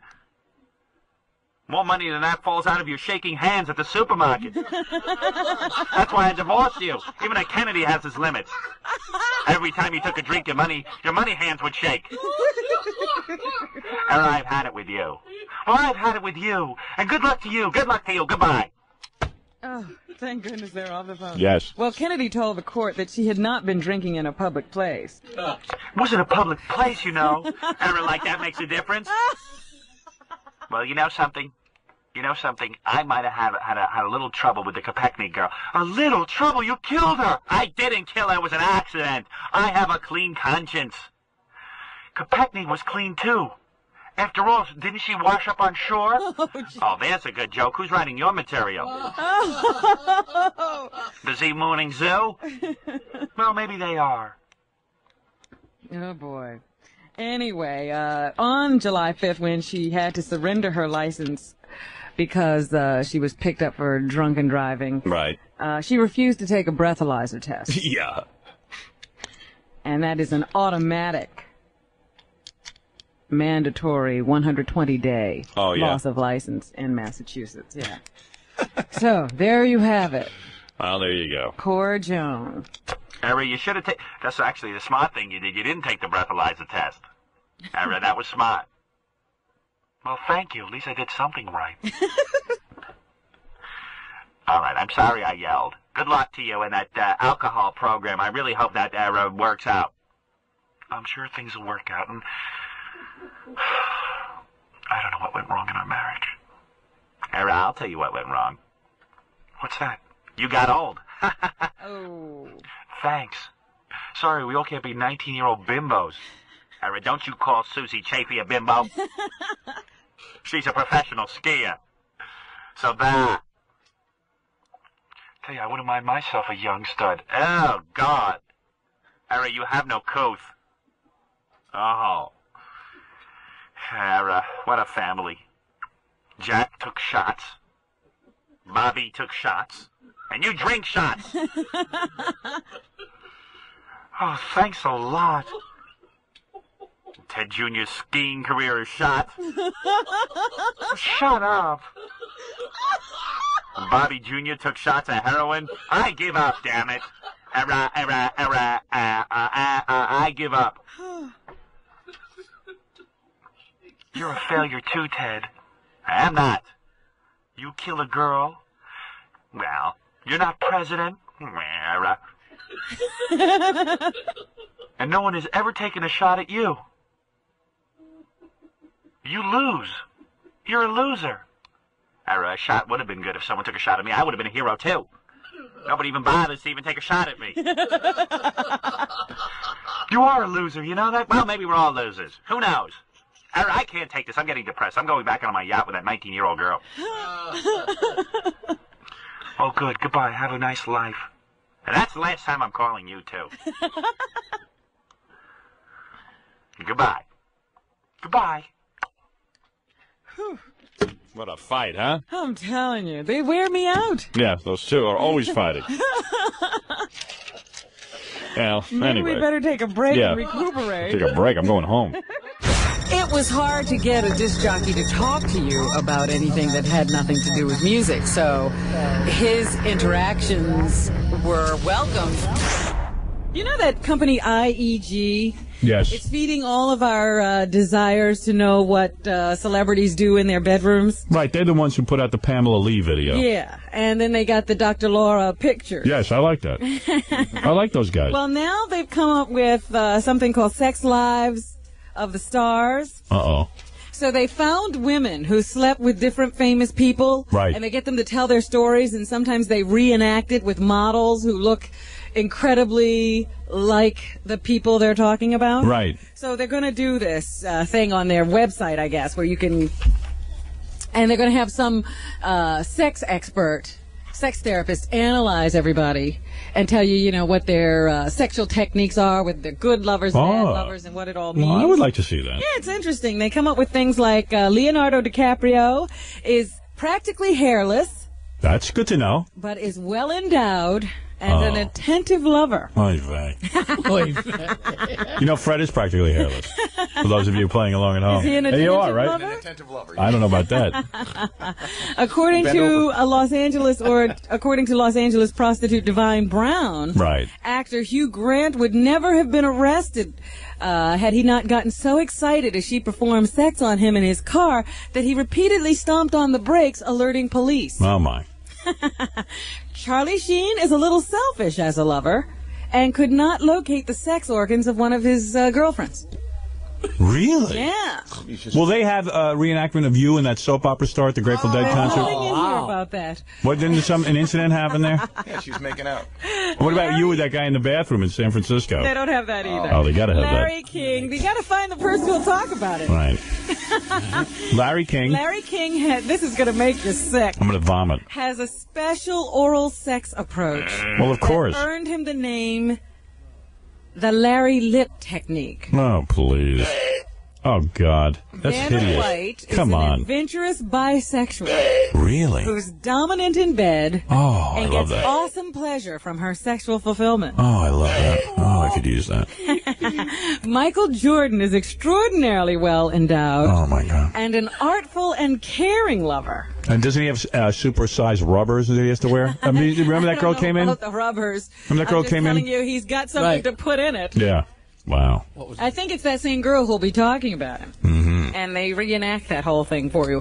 Which Michael Jordan? The guy from CBS Television? or, uh, the basketball. okay. What's up with that?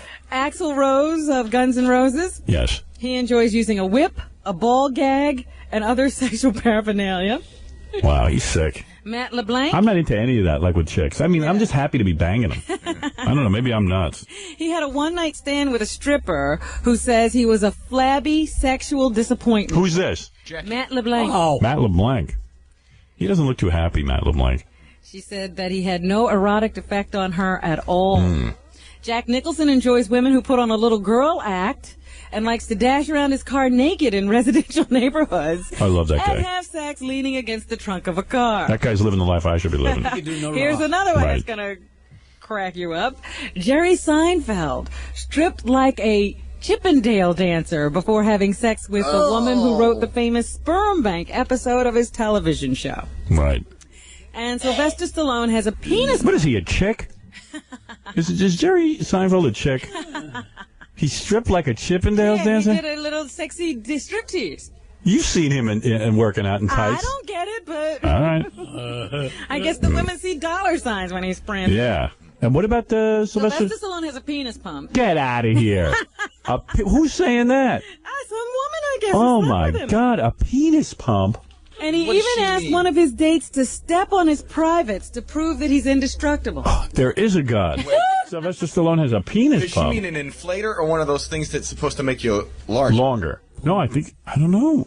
You, it could have been the Flip Wilson thing. I don't know.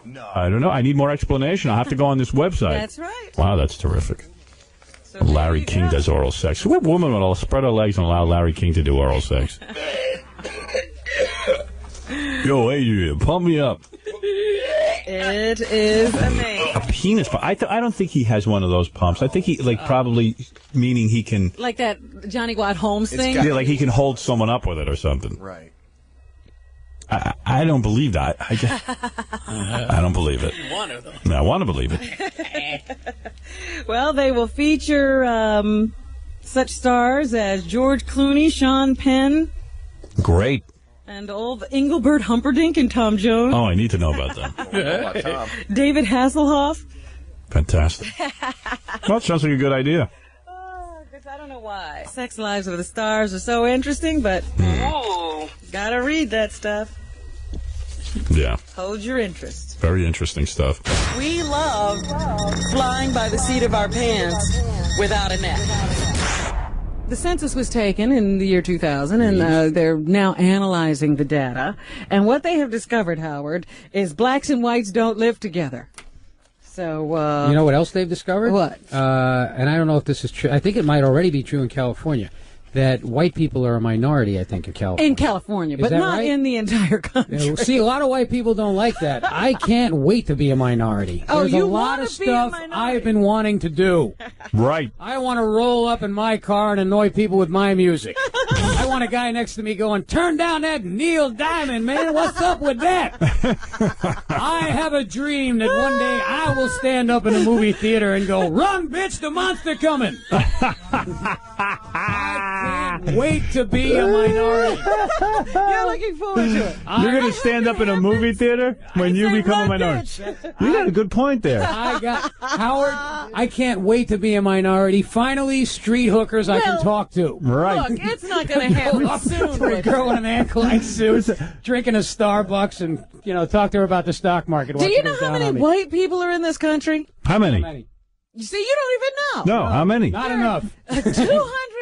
270 million white people. Oh, we're never going to get to be minorities in this And lifetime. do you know how many black people there are? How many? 36 million. Black So- people, but black people aren't the only minority, though. No, but still, they're 270 million of the only you. one I care about, Rich.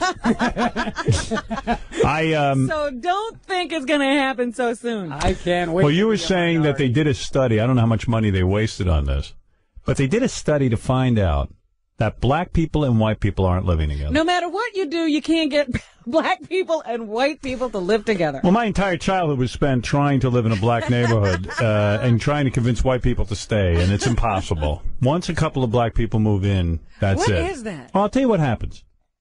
Because I saw it firsthand. It's a white community, and then all of a sudden, a black guy moves in on the block. Yeah, The why guy- does that cause a panic? The guy living, the, the two houses next door to the black family. Uh-huh. I sitting there going, wait a second. I gotta sell my house now, and I'll tell you why. I'm never going to be able to sell it because there's blacks there, and it's gonna. one black. No, no, no, it doesn't matter. It, the house right next door to the blacks. I'm telling you what happened. Okay, don't say it's right or wrong. All right, there's there's some faulty logic here. I know the logic's way faulty because if everybody stood ground, wouldn't be so- it would be an integrated community. But what happens is you go, okay, if I sell today, I got the black. It's still a white community, no problems. I'll sell. You go and you sell, and then they show another black family the house because they can't sell it to a white guy. White family won't go Won't move next won't door to move the next door to a black because they figure, well, you know what, the price is going to go down on the house and they'll be able to resell. And no, I'm telling you, that's the way it is. I don't care what community you move. You go to Roslyn, Long Island, one of the wealthiest white communities in the world. You see, uh, there are black families living there. No one will buy the house next to the black family because they're afraid it'll go down in value or never be able to sell it again. he just described my block to a T. Okay, now wait, now wait, because I lived through this. So then another black family moves in. Now, once you sell to the blacks, I'm talking about the second family now. They can't tell any of their white neighbors because the white neighbors will go berserk. Exactly. So they sneak out in the middle of the night. In the middle of the night, you wake up and there's black people living next door to you. Howard, please let me tell the story because I Yeah. came in to tell the story before you, before you even spoke. Yeah. Where I grew up, right, the houses were very close together. Had this little hurricane fence about three feet tall behind us. There was an old guy who lived there, um, probably about seventy years old or so. Nicest guy in the world. Nicest guy.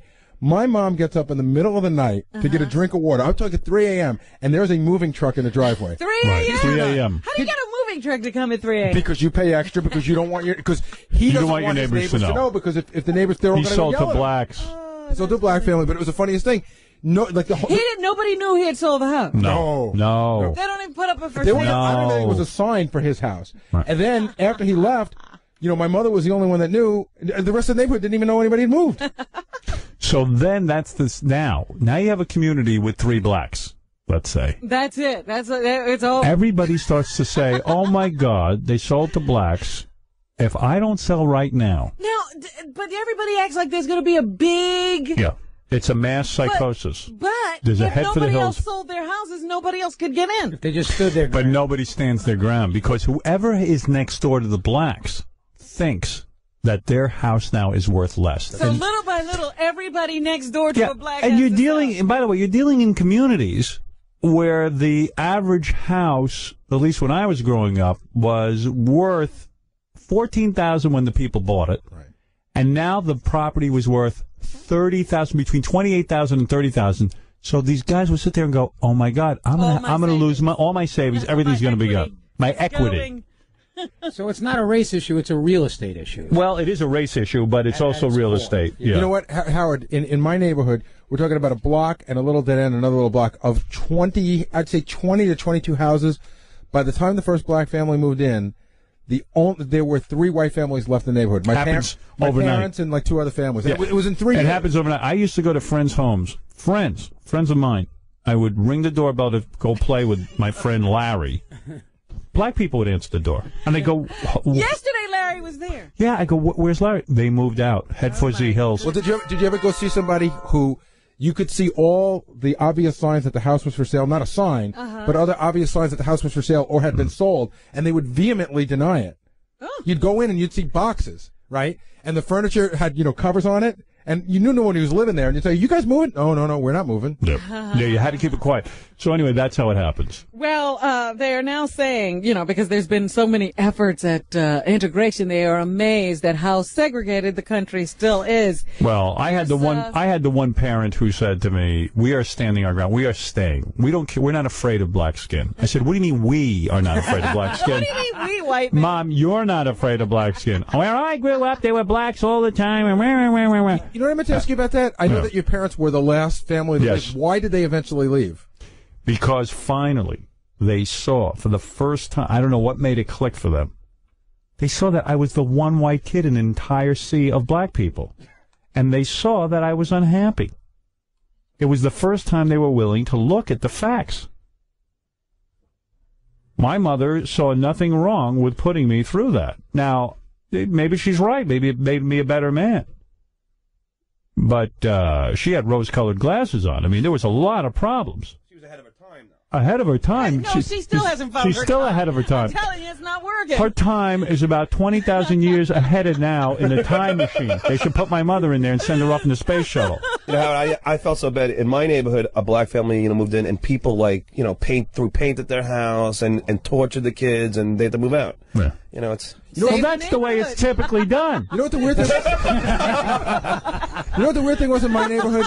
My neighborhood Yeah. was a very like middle class, blue collar neighborhood, and for the most part, when a family moved out close to a black family, for the most part, the black family that moved in made the house better. Do you know what I mean? My family finally moved out when they saw that I was literally one of three white people left, and that that I was not happy. But I would never complain about it. So you couldn't live with black people. I couldn't. And my mother even said, "I'm not moving. I would stay here. It's because of you." In other words, I was the failure. And my father was like, "Well, I'm." Uh, I'm going to get a lot less for my house, and I paid fourteen thousand dollars, and these new houses we're looking at are fifty thousand dollars, and I don't have that. Yeah, yeah, And I was just like, "Oh, gee, I feel great." That was, you know, that yeah, I didn't feel like too much of a schmuck. That was my dad's deal. My dad's deal was just, You know what? Just let's, you know, everybody stay calm. It's all going to work Wait out itself the out. storm. Wait out the storm. Yeah. Keep waiting. You know what? You ever see when, when like the, uh, Oh, the, my the wind dad, yeah, circled yeah, around right. my dad, my dad was so proud of the fact that all the other people who left got under fourteen thousand dollars because they, they had a fire sale. Uh, we were able to get, I think, twenty six thousand for the house because we held out. I just thought of a great plan for the black people, Robin. Yes. Based on what Howard's saying. A bunch of black people who want to move up into a different neighborhood mm-hmm. all chip in and buy one house. and then knock down the value of all the other houses, move in and take over a lot. Well, that's what happens. Blacks pe- didn't think of it. No, They were actually- speculators who thought of it. Yeah, there were the the, the people Really? they blamed in Roosevelt were the realtors because they would target communities to and do then this. they would only show houses to blacks. That's right. Because they knew there'd be tremendous turnover if they could turn a community they- black. they ideas are taken. There's Yeah. nothing to sell in that community see, anymore. You're not that original. That's the good thing about you know raising kids in, in, in Manhattan because they go because you know my kid goes to school with blacks and uh, Puerto Ricans. Well, I don't know what school that is. Her father's Puerto Rican. What? Her father's Puerto Rican. I know, Rican. but that's good. I, I I think that's a good thing. There's thing. diversity in her own home. Exactly. You don't think that's good? Uh, wh- what diversity? Yeah, I'm, I'm not a big fan of it. Come. I've been I've been involved in diversity. It's not Wait, good. Didn't you go to college with with, with you know all different? Uh, No, no. Boston, they don't let blacks in that college. No, no, no, no. Get out of here. Diversity worked for me, John. It didn't work for me. For Robin, it works. Because I went to. NYU, there was every race. and I believe everybody should just calm down. That's all. Everybody should get along just with themselves. By themselves. Everybody should have their own community. So you're for segregation? No, I'm not for segregation, but I, I believe that uh, the against- races don't get along. But are you? You're not for segregation, but are you against forced integration? No, I'm against that. It's not. It never works. I'm against all these parades. What's going Thank on you. with the parade? I am too. Everybody's against everything. I'm Yesterday, against was- parades. Was, it the Puerto Rican parade yesterday? No, no, What you was missed that one. You'll know. There You'll was a know what parade. happened. Puerto Rican parade. No, it was the That's Puerto. a- no. There was some parade going on here. You'd always know when the Puerto Rican Day Parade. These parades, they close down the whole city. It's, Puerto- it's- all parades should be banned from Manhattan. I live in West Hollywood. They have a gay parade. Yes. They got that here. Do they have it Oh, here yeah. too? Yeah, sure. Halloween. It's in Halloween. I just feel so left out. There's like you know, I don't. There's no parade for my sexual preference. Why don't they have a masturbators parade? Right. I could be up there waving with one hand. You'd be the head guy. You got it. What kind of, Big what kind of Vaseline costumes float. do you wear for that? You know those parades start in uh, those parades on Fifth Avenue start like I think the first week of June. It is the Ukrainian parade, Mm-hmm. the Israeli parade, the Irish parade. I mean, it just goes. It's There are groups I never knew existed. They have parades. Ugandan parade. Yeah. It's like Right. stuff you never even heard of. All right, let's listen. We got. well, we got. I was trying to make a point here when you just jumped off with your discussions about how a neighborhood is run. Trying to teach you. anyway, let me just hear, have this guy speak. His name is Carl Haub. He actually studied the numbers, Oh. and this is what he has to say. Who paid for this? The- he is actually a part of the Private Population Reference Bureau. What's the guy's name? Carl Haub, and it's uh, number 10. Okay, I got it. Because he has something important to say. Oh, this is so funny. In many, many cases, we have simply left our cities behind. There's been some gentrification, but when you think about it, the U.S. is really one of the very few countries of the world that builds great cities and then basically walks away from them. It's not true. That's exactly true. And he says Oh. one of the best examples of that is, you know, Detroit. Oh, that's true there. Detroit is a black city. Every suburb around it is white. Yeah, somebody, somebody told me that Detroit is like a big donut. Yeah. Uh, The outside of it is all white. Yeah, I, I lived there. not. I mean, it's it's pretty frightening. I I worked in downtown Detroit, and it's uh, it's a scary neighborhood. But was that ever a great city? yeah, at one point, yeah. But you know what's Right, yeah, weird? all the motor guys were there for it. Detroit, you dr- it's one main road like you go through, and there's all these burnt out buildings and everything. And I had my radio station was there in a house. You go a couple of blocks outside of Detroit. Literally, there's a line, and then it's called Grosse Pointe, and it's lily white and one of the wealthiest communities you'll ever see. Wasn't that sort of like um? Isn't Washington D.C. pretty similar? Yeah, you could go like Georgetown, all white, everything, but you but go down Washington downtown. has two centers. Yeah. It's like the very center of the city. You know, like it turns, it's like the Wizard of Oz. You know, like you cross a certain line, it's like, oh, everything color. turns white and beautiful. Yeah. And then you have to run to the far outskirts in Maryland and Virginia. Yeah, you head for the hills. All right, what else does this guy say? Anything? Uh, I'm just saying that he said Detroit was a, a Oh, perfect example of that, where it has a majority population of black people now, and all of the suburbs. It's almost a completely black city, and all of the suburbs are white. So he left out the part of why they abandoned him. They don't just no, get no, up no, one no, day no, and go, no. let's all leave. Eh, you can't you can't leave and then expect everything to stay fine. Yeah. He's All right. saying white people build cities and then run from them. That's all. So we got to stop doing that. We're Okay. abandoning our cities and building cities in the suburbs. I'll have a white people meeting. Please, please call the white people together. When she would do the news, she knew the right stories to get me going. You know, she knew how to hit my button. What else is in the news, Robin? Whew. I know, I'm pretty exhausted. Oh boy. And I've got to go to the bathroom like you wouldn't believe. you mean you've let out everything that was ahead of it? Yeah, I, I've been holding it in since Cyndi Lauper. Anyway, what else is in the news? Well, people have been um, requesting that I do this story. You mean you don't want to do it and they're making I, you do it? I it? have been trying to avoid doing this story. Well, then don't do it. Keep uh, asking me to do this story. It is an interesting story. All right. This was. Um, now I'm not going to remember what state this hap- happened in. Make up a state. Let's do it like Mad Libs. Uh, Wyoming. I think this might have been in Texas. Texas, fine. Go After ahead. breaking into a Fremont nursing home on uh, this particular morning, because this has been a while ago now, a man stripped, smeared his body with human feces, and then raped and sodomized the corpse of an 83 year old woman. A corpse. Yes. Okay. Police arrested Archie Whitehurst, who is 28, after they discovered him at about 1 a.m. in the woman's room at the Mission Boulevard Convalescent Home. Why did he smear feces all over himself, do you think? That's a wonderful question. Has anybody interviewed this guy yet? And no one has interviewed him to find out why the smearing of the feces. I can understand stripping. I can understand the 83 year old corpse. Even. I mean, as weird as that sounds, I mean, not that I would make love to an 83 year old corpse. But the feces, I don't understand. Her family was greatly troubled by the whole thing because they had, you know, had this wonderful experience of standing around the woman's bedside that evening while she drifted into Yeah. death. And she got away with you know, living and a long a very life. spiritual moment for Right, them. right, and, right. And because the nursing home couldn't uh, make funeral arrangements uh, to get the body out of the hospital, the convalescent home that night, Right. they simply covered the body Right. and closed the room. Apparently, somebody had left a window open. However. Yeah, that's what you. But who you'd figure who would have to worry? Yeah, you know, they just said, you know, hey, let's leave a window open, cover the body. You know, they completely covered her, including her head. She's probably like up in heaven going, I can't believe I got through a really nice life. Nobody ever bothered me. I've never had any, I was never molested or raped. As a woman in our society, it's very difficult to get through life. And I got through the whole thing. I even died peacefully. Uh-huh. My whole family was around when I died. I, it wasn't very painful. It was just, it was easy. I died of old age like everyone wants it in their sleep. And now this. Look Now, at what's happening. Here's a guy smear himself with feces, making love to my corpse. it's just not right. Well, um, As Sam Kinison said, Robin, Yes. it never ends. oh, it never ends. That's right. He. That's what he said. well, what was interesting to me was the nurses discovered this whole thing when uh, the call light in the woman's room. The woman was alone. The call light came on.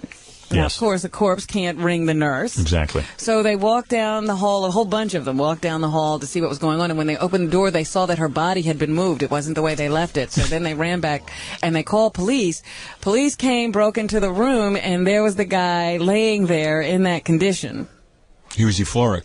Had he actually made love? I mean, had he finished? He was done. He was sleeping. Was like a baby.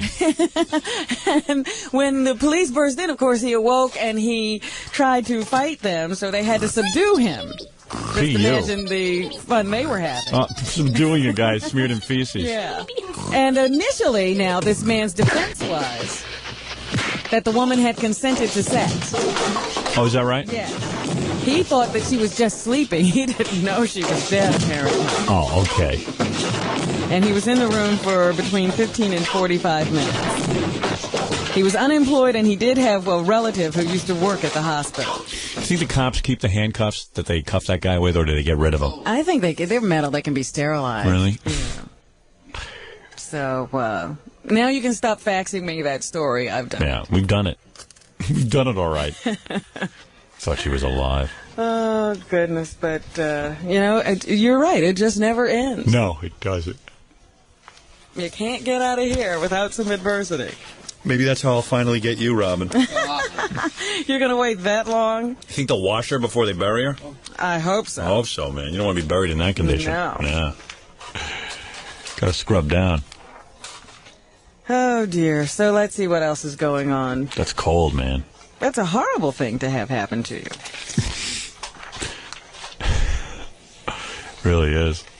You're listening to And That's What's Happening, a Stern Show News retrospective. I didn't want to plan anything. I knew what I had to do. I just relied on the other people to know what they needed to do, and Robin knew what to do. Uh, and that's why, to me, Robin was always with the show and key. Now playing on Howard 100, Howard 101, and SiriusXM.com. By the way, uh, sitting here is a mystery guest, Robin, who's come in from far away, come off a rock tour. Really? Mm-hmm. That's right. And wants to say hello to you and offer you a gift. And mystery uh, I voice. didn't say anything about offering a gift. Oh, she should buy a gift. But I was going to come down and give her something for free. Well, now you gave you now you gave yourself away. It's Gene Simmons of oh, Kiss. Boy. Hi, Robin. How are Hi you? there, Gene. How are Looking you? Looking sexy as ever. Well, thank you. Unbelievable. 23,740 women that I slept with. Never once with Robin. Why is that? She could have been 23,741. I don't know. She never gave me the chance. I don't know I why. I never like that number. I've never. Are you waiting to be 25? Are you waiting to be special? 25,000? Well, it's good to see you. And also here is Craig Gass of uh, of uh, comedy legend. Since when did the two of them start palling around? Gene Simmons in the and- room together. Yeah. They're attached at the hip, those two. and somehow Craig got himself on Sex in the City this Sunday night. What are you doing? I'm dating. I'm dating one of the girls on the show. Which one do you date? Whoa. Uh, Miranda, and that's as much as I. Is can that the redhead? Yeah. And that's like the. Uh, it's a. The ugly one. I wanted to tell you what, what happens on the episode. She's cute, man. Yeah. I spent a lot of time with her. She's but she's cute. pregnant, and you do a pregnant chick. Uh, she just had a kid on the show. I mean, yeah, she just had a kid, and you do her. just had a kid on the show, and uh, No kidding. So that's a big break for you. oh, it's it's. Are big- you the fat guy she's into? You saw the episode, the uh, preview from last I saw the preview. Yeah, That's you? we made it a Weight Watchers meeting. Wait a minute. How Oh, are that's you getting fat guy roles? I, you know what? Every guy that auditioned for this thing was a huge guy. and then the, I came in and, and read for it, and then I started putting on some weight, and then they took a break because Sarah Jessica Parker was pregnant. Oh, and I put oh. on another 20 pounds during the break. Good move. So you're you're Hollywood fat because you're fat enough that you look fat on TV. Right. Thick. Yeah, and it's not disturbingly fat where we wouldn't believe it. I'm, I'm New Jersey fat. You know, Artie, you might be too fat now to get the To fat get guy the fat role. guy role. You're too. Dis- you're like Dom DeLuise fat. you know what I mean? They have to build a whole vehicle around you. God damn it. A couple other quick phone calls too. Um, uh, okay, this is for Robin. Go ahead. Who is this? This is the ghost of Robin's father. The ghost of Robin's father. Robin, Wow. Yes, Dad. I never forget the day I changed your diaper. I can still smell you on my fingers, girl. Oh, Dad, that's so sweet. Happy birthday to the Robins. it's that booty I be knocking. Oh. You're like fresh watermelon without them seeds. And I Oh. crack your black ass until it bleeds. Oh, yeah. Oh my so, God! You are disgusting. Horrible. Sounds like Sal to me. You're a racist. Now, very sweet. Robin's first. Her dad calling oh, in. That's a, a lie. Well, that's true. He didn't go that far with you, Oh my God. but He only got the third. he only base. got to third base, Sometimes this show is a little too edgy. Even for you. Artie's appalled. Robin's, Robin's first. Just because you don't get the fat guy roles anymore, don't take it out on us. Yeah, sorry, I'm a little irritable. And what's this? You run around the station to saying you turned down a development deal for hundreds of thousands of dollars? I didn't run around. I just told John. Well, that's like running around. It's like, no, yeah, I'm finding out. What do you mean? that. Why would you turn down a development deal for hundreds of thousands of dollars? It wasn't hundreds of thousands of dollars, but it, uh, it because I got it would have meant that I couldn't work with any other network. HBO wants to do a couple movies, Wait, And- whoa, whoa, whoa. Suddenly you're the hottest guy in show business? No, I, just no. There's just I, no. There's just I've been I've been offered to. There's other things that are in development, and Look this would have been I would have had to go with this one network, and and there's other stuff I want to do. Turning stuff down. Look at Craig him, Gass. other stuff he wants to do. Isn't that weird? And you know, it's funny. It's hard to believe when a guy who's working at Uncle Funny's is going to uh, turn down a hundred I grand. know. I, I lived with a guy in New York, uh, Mitch Hedberg, who turned who you really had- want to admit to that? well, he's a great he's a great comedian, but he, Right. he got offered like five times what I was offered for for his holding deal, and I know that it's not a lot of money. You know, Is that a holding deal? he had a holding deal. Or a uh, development deal? It was that was a development deal. Mine was a holding deal. Look at these guys talking showbiz. I don't even know what a holding deal, development When I came deal. in here a year and a half ago, I'd never made more than ten thousand dollars in a year Look at you. ever. Now you're on fire. I didn't even I didn't even know I was broke. I didn't even realize that was that was poverty. Well, you're turning stuff down, and that's good. Uh, Robin, what's in the news? Okay. And there's more callers for you, but I have to weave a beautiful web. Ah, this is a song for you.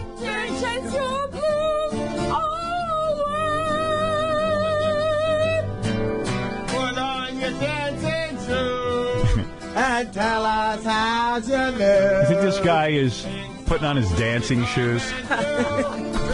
his dancing shoes. I love you i think he's pouring a bowl of cereal over his head.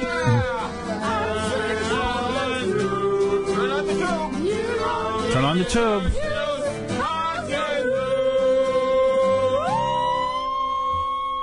These guys turned down a development deal with the same network that Craig Gass turned down. Well, they had other things they wanted to do. They have other things they want to do. They want to go to Uncle Funny's. All I get is all I get is calls from Gay Ramon. Oh, Not even regular Ramon. It's an exciting day. Dave Chappelle is That here. was another holding deal. Wasn't Isaac on the hate boat and Gay Ramon. That's my.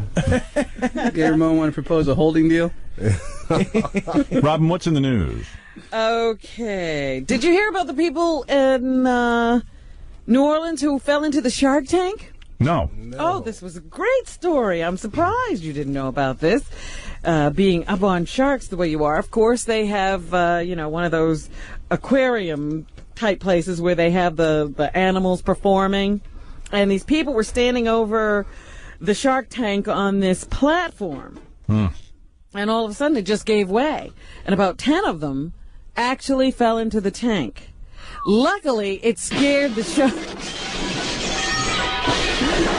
And the sharks, you know, swam over to the other side of the pool, and these people were rescued. There were some injuries, uh, none of them serious. So uh, the people did get out alive. But sitting there, you know, watching your loved ones paddling around in a pool of sharks, I'm sure it's not the most fun. I never get to see anything cool like that when I go to these Yeah, animal SeaWorld shows. never gave you that. I went to watch dolphins. Nothing happened. Well, nothing's going to happen with dolphins. I know I go to see sharks, and all I see is sharks. The thing I love about to- uh, dolphins is everybody talks about how smart they are. They're not, by the way. I, I did that thing where you swim with the dolphins. First of all, I was freezing my ass off. I had the only cold day. And it, it really, they didn't seem that smart to me. Well, they'd be really dumb if they were humans.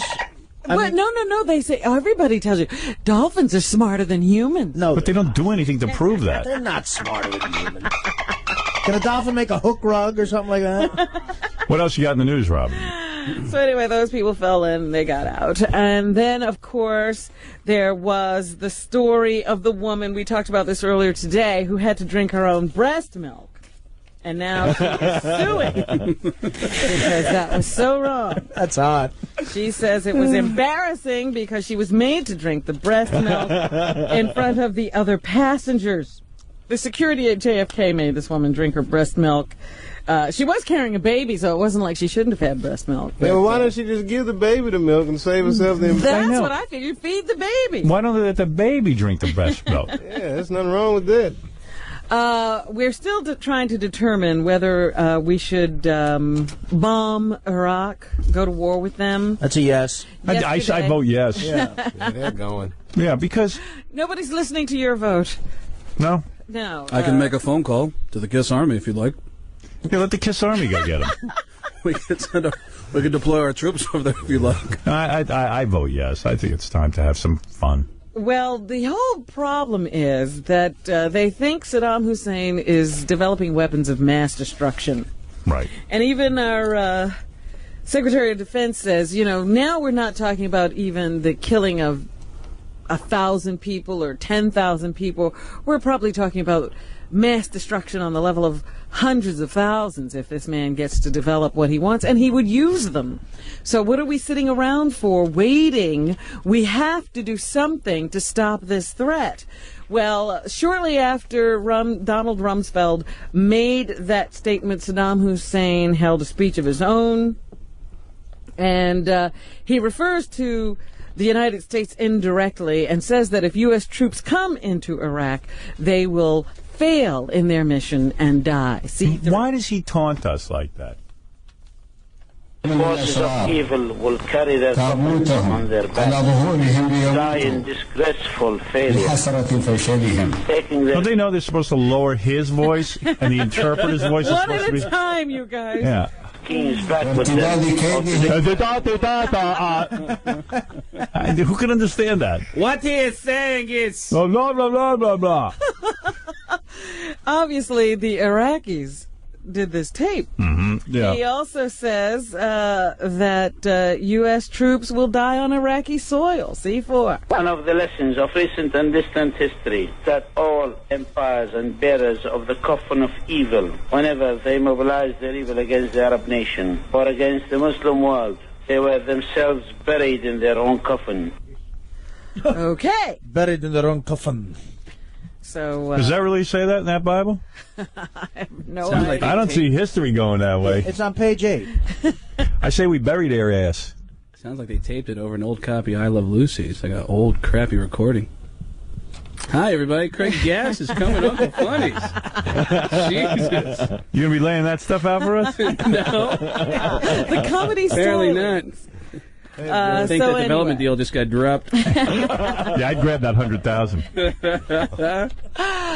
Uh, Israel has uh, continued to uh, bear the brunt of uh, most terrorist activity. Yesterday, a young Israeli woman who survived last week's bombings at the Hebrew University that killed seven people, including five Americans, came forward to make a passionate plea on American TV. D1. Yeah, the whole world is being quiet about all this. Very disturbing. About all it. But that whole Israel thing. You know, no one's really rallying to their cause, or you know, United States is. Well, let this woman make a plea. Why should we do that? She's not Pam Anderson. In this show, that's all we want to hear Yeah, from. is this chick hot? She topless. If I had come back alive from this hell, it is because By the way, I saw her picture. She's hot, this chick. See, she is hot. She can make a statement on this show. Yeah. The picture they originally had of her in the paper, she had she'd just been through an explosion. Her face was a little messed up. Yeah, she had been bombed. But they dialed her up for this picture, boy. She looked good. I want to tell the world we have to fight against terrorism. And I have not come here to ask for pity. And uh, here she talks about living in Israel and how it can be extremely difficult at times. D2. What's her cup size? Can we fart on You're her? afraid of going on buses to go to eat, to go to the supermarket, to do shopping. 34C? Things would mean to resign. And I, I don't know how anyone can live in Israel with what's going on. They're not allowed to fight back. If they fight back, the whole world condemns them. I don't even know how the hell you do it. That's got to be crazy. Robin on the phone. Happy birthday from mystery caller. Go ahead. Yeah, this is Daniel Carver, the KKK Oh, get guy. out of here. I, I was calling to wish Robin a happy birthday. Oh, stop Now, it. that's nice. What do you mean, stop it? He must have something else to say. I know the N word's going to slip in there somewhere. no, Very no, he, no, How- Howard told me the reason he pushed me on so much is because Robin likes me so much. I just wish her a happy birthday. Daniel, I, you know what? I Well, see. you know, uh, if you're just Oh, saying sweet. happy birthday, I'm going to accept that. Well, let me say something, Daniel. And this is the What's first that? time I think in our history of having you on the show. I feel like you like Robin. I guess, well, uh, Oh, you try, you trying to make me say the N word. Come on. No, wait a trying to second. make me say it, ain't Now, Daniel. Come on, Dan. Come on, Dan. Please. you? Ah, she ain't never done nothing to me. What? she ain't never done nothing to me, and they, they say she's one who wants me on there all the time. Well, here's the dilemma. If you're a Ku Klux Klan guy. I know. He- He's torn. If you're like, here's a dilemma. One dilemma that I can see. Here's the quandary. You're a guy. You're one of the top guys in the Ku Klux Klan. Top guy. You're a top guy. You've met with a lot of success. You've certainly uh, been uh, responsible for many recruitments and everything. You're a top fundraiser. Here you find yourself liking Robin, and if you're going to throw all the black, he ain't, he ain't the only black. I like, hey, I like uh, George Jefferson. You do. You know, we've had him on our time. I like him. Yeah. You know that's Eddie Murphy. Eddie Murphy, you like? Yeah, people you know earn their own living. Even though Robin's riding on your back, she's probably all right for a black girl. Daniel, Daniel, you know people are going to start calling you names if you keep this up. I don't. Hey, I ain't never cared what people call me. Are you afraid that uh, the KKK themselves will come down on you, I ain't, condemn you? I ain't afraid of nothing. I'm old enough. I ain't got to be afraid no more. But aren't you afraid that if the Ku Klux Klan finds out you like Eddie Murphy and Robin, Oh, they like them too. Daniel, it's and George Jefferson. Daniel, it's come to our attention that you saw Pluto Nash over the weekend. well, could you lose your robe if they in fact found out that you are wishing Robin happy birthday? No, no, I can't lose nothing. So you really feel this You way? will not be stripped of your hood. No, I, I can't lose nothing for, for for being honest. That's what everybody ought to do is be honest. I mean, if I want to wish her happy birthday, that's my business. All right. Now, would you let? Now, let's say tomorrow, getting rid of all the black people in this country meant Robin would have to be gone. Yeah, she'd have to go on with them. Her and Eddie Murphy, and George Jefferson, all of them have to go on. They'd be better off over in Africa. Daniel, you know George Jefferson isn't a real person. yeah, he is. I met him. Yeah. oh, you met him. I'm sorry. But Daniel, I think what you're saying is if Robin had to go back to Africa, you would write to her. No, I wouldn't write to her. You would not. I'd, I'd, I'd hope she's doing well over there with her own kind, but I wouldn't write with her. Right. She'll be better off than we would too. you know what? I'm going to call this progress. Now you say Robin would do Thank you. better in Africa, but Yeah, well, how she'd be with her own kind, you but know. yes, but how would I'm she? over su- here with my own kind. Well, she, she wouldn't be better off financially because you're keeping her up, but But how would she survive in Africa? She doesn't know how to kill a lion. Kill a lion. I mean, come on. well, they're, they they always returning back to their their natural ways, and then she'd learn fast. What if one? You turn a lion back loose in the jungle, he learns real quick. Jesus. So you're saying uh, correct? she's domesticated, but once she goes back in the jungle, I so return to the. Wait a minute. Remember that lion, Elsa? She had trouble readjusting. but she did. But it's come right back to you, huh? Yeah. Now, what if a person is only one eighth black? Would they Uh, have to go? If you've got one drop of black blood in you, you need to go on back because you're considered a black. I Well, let me ask you something else, Daniel. What's that? There's a lot of famine over in Africa. There's a lot of uh, disease. You might could help them over there. You might, you you being educated and everything, you might could learn them to plant the seeds instead of eating them. you could learn them that. Yeah, now, Daniel, what do you mean your fantasy is to see Robin and Wheezy get it on? I ain't, uh, I don't know what you're talking about. So Daniel, I'm impressed at the progress that you, as a as a key member of the Ku Klux Klan, one of the driving forces behind the organization, would call up and wish a black woman happy birthday. That's truly progress in our country, is it not? That's progress, ain't it? It sure Well, is. I have to ask Daniel. I never another- thought I'd live to see the day. Happy birthday, Nick. Oh, I'm sorry. if I can't say it, you will, huh? Yeah. Happy birthday, you Nick. you, you, you Nick. You, you, you, you black. What's the He better, he better not say it. He'll be out of a job. By the way, Robin, in your honor, this is the first appearance where Daniel Carver so far has, not used has the. N word. Yeah, I'm shocked. So uh, you know, For your this is birthday, I got you a one-way ticket to Africa. yeah. Enjoy your trip. And take two Jews with you.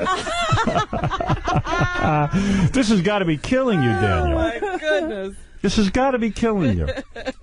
I mean, this is. Are you biting your tongue? No, no. Around here, we got such a big problem with Mexicans. We we got the blacks on the back burner right now. Oh, we heard that the other day. The nigger replacements are really Hey, she said it. She knows. Even if I don't say it, she still knows, huh? I have a new show, Having Fun with the Klan. the colored said nigger. You know what? We got a new TV show. Welcome to Half Hour White Power. with Yeah. Mr. He's gonna get a development deal. and turn it down. Well, WB. Daniel, I am impressed with your phone call. I'm impressed with you today, And and I'm going to accept your good wishes. isn't that nice? And uh, here is a black, a black woman, A blick and a white. and a white, a black and a white talking on the phone and doing it civilly. All right. Fifty years old is Robin. Daniel, what do you make of that? She's 50. Well, I'm 52. I'm older than her. So. What can she expect as a fifty-year-old woman? Is this? well, is this I don't know. The life expectancy of, of blacks, you can't expect to live much longer. and he laughs when he says that. part. yes. So, so. Uh, wonder he's so happy about my. Hey, did you know I met Fred Sanford once too? Well, Daniel, you're 52. You're going strong. Robin's 50. She's going strong. And a lot of people said they never thought they'd live to see the day where you would call up and wish Robin a happy birthday, and it's happened. Yeah, well, Daniel, you've done this show many, many years, and you've never wished me a happy birthday. Never have. All right, then. Maybe I'll get another one of them Emmys for that or something. I guess so. One this Emmys. is groundbreaking what you're doing. It truly is. Well, Daniel, thank you. And uh, I'd like to say good luck to you, but I don't know what you're up to. Yeah. would he be getting? these you good wish me luck- good luck off there. I You wish don't- you, I wish you, You don't have to push yourself on the spot. You, you you wish me all the luck you want to in person. Daniel, I never thought I'd see the day where you wish Robin happy birthday. I'm almost thinking you're calling from the Martin Luther King Center. No, no, I'm over here on top of a house trying to make a living. Listen, Daniel, good luck getting rid of the Mexicans. yeah, like how do you? Yeah, good them luck with Mexicans, that. them Mexicans are going to destroy this country. So you they already outnumber the blacks around here. All and, right, let's not get them going. Right, 'cause, Jesus, uh, it was so you know, nice. it's ridiculous. You're ignoring the black population, and we're hurt. Yeah, I mean, you know, while you're busy with the Mexicans, the blacks are getting away with murder. Well, they've always got away with it, like OJ. All right. Well, we're planning our comeback, buddy. while, while you're busy with them rascally Mexicans, They ain't coming back. Once the, Mex- once the Mexicans and blacks start fighting each other over a little bit of welfare, we stand back and watch. Nah, we're teaming up. We're coming out with you, ain't, you can't team up. You ain't, there ain't enough welfare for both of you. Oh yeah. Uh, well, listen, uh, Daniel. Daniel, you're breaking up. Daniel, let's leave it as happy birthday, Robin. Yeah, let's not get okay. All right, Daniel, thank you, and go back to having fun. All right. All right, Daniel. All right. Bye. Daniel uh, Carver, I got to say, Robin, Wow. he did not say the N word once. Now, there's a surprise. Yeah. Now that you know, come on. I know you. You know, we're looking for progress here. I think we just saw something Let's happen. look for it. Baby Let's steps. Baby step, glimmer of hope. grab at every I have to tell you though that once I think Daniel was so happy with the performance of the show, and Yeah. when the cameras went off, we were doing the Channel Nine show. He almost jumped up and hugged me, See, that would have been immediate excommunication from the Klan. and I said, "Daniel, don't forget your." Yeah, that's like the uh, you know. Oh, oh, happy birthday! No, no, Happy birthday, Ni- I mean Robin. Uh, there's a Klan. That is the first time he's actually referred to me by name or anything. Oh, that's Sir, you are in the Klan. Hello. Go ahead. Yeah. What's up? Yeah, what the hell is wrong with Daniel Carver?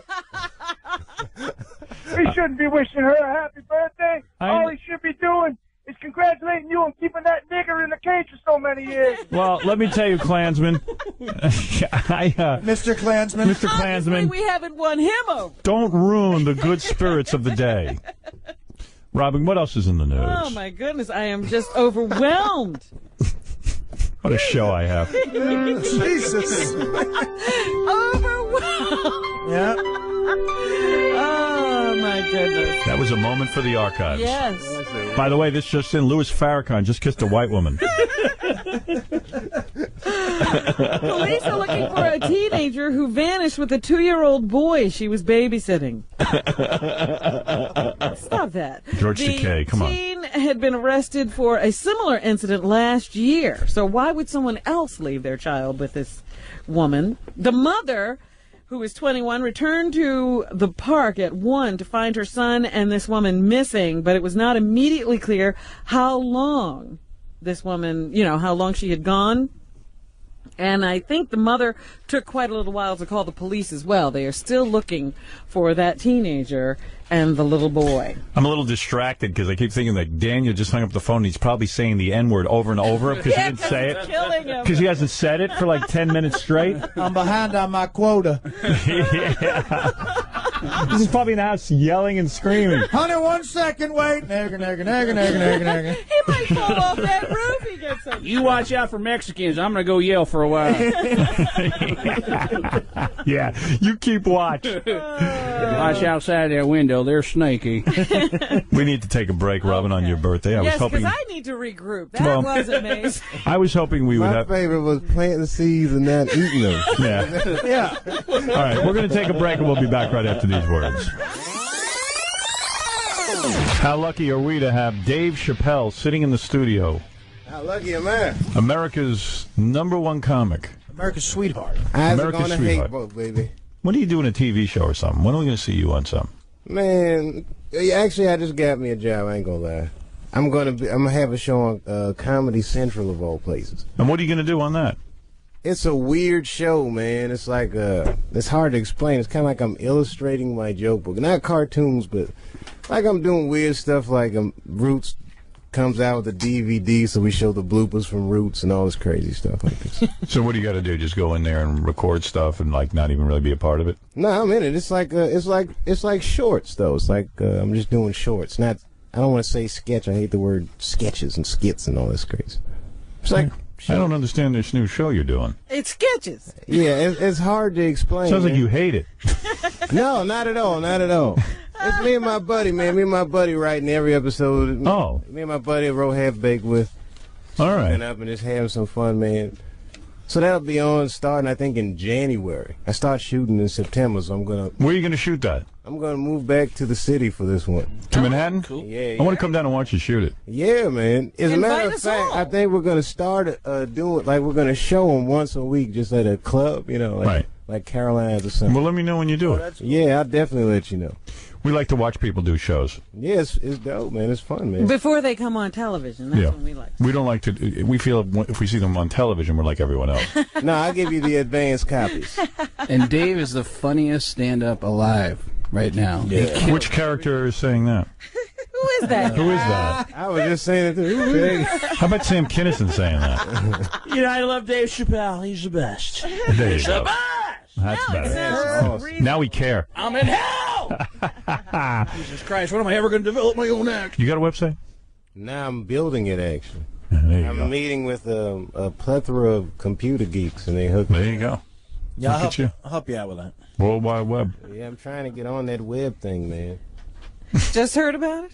Yeah, that, that web thing is really making moves. Well, it's hard for Dave when he's home. He has to tend to the crops. you know, Mel, there's a guy. You were talking yesterday about eventually retiring to a farm. Yeah. He's got a farm, right? I keep eating the seeds.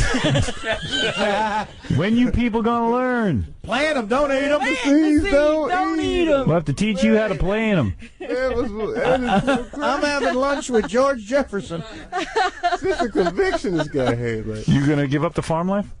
nah, I'm keeping my farm. Like, I mean, it's only 12 episodes a year. I think I have the rest of the year kicking on the farm.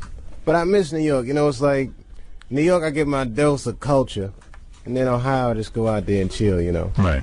But he's like the black version of Green Acres. Yeah. I really am. So I ain't got no pig. And I see. I think you ought to do a reality show. The Black Mr. Haney. Now you think I'd be? It'd be a pretty boring show. You can watch me play PlayStation. You don't grow any crops. Nah, man. But you've been out in Ohio so long. I got to figure you're scared of all the black people in New York. It's gonna be hard for you to assimilate. Nah, man. These brothers left. As Daniel said, you get right back into it. That's right. You'll revert. I fall right. You'll fall right back in. Yeah, you'll revert. Once I get back around my own kind, man, you'll start acting that way. I'll be riding lines in That's no time. That's right. You know, but he is the most stable comedian I know too. That's right. He has a home life. He's got a home life. He's Who's not like talking? most Can, comedians. you, can Sam Kinison say it? Please. Or Al Pacino. Have Al Pacino Please, say it. Al Pacino's Yeah, that baby. That's Pacino was a Yeah, I gotta tell you, I, I didn't know when you guys were gonna get around to me because uh, I wanted to wish Kelly Ripa a, a happy 50th birthday. There you go. Kelly Ripa. Hey, you're not Kelly Ripa? I thought that uh, I'm sorry. Well, you got a nice rack, whoever you are. I can have breakfast, lunch, and dinner right there, baby. How's things uh, going you know for what you? I'm thinking of? No. Al Pacino's baby. Who? How things going for you? It's going great. I get laid all the time. You get laid all the time. Yeah, I gotta ask you though. Do you uh, really know what that is? Uh, I know that there's uh, something happens. All right, you caught me. I don't know. What it is. But tell me what's going on with you. Tell me what's going on with Robert De Niro. What do you Tell me mean? that. What's his deal? What's with him and the black girls? He loves black women. Has he ever dated a broad who wasn't black and all his kids?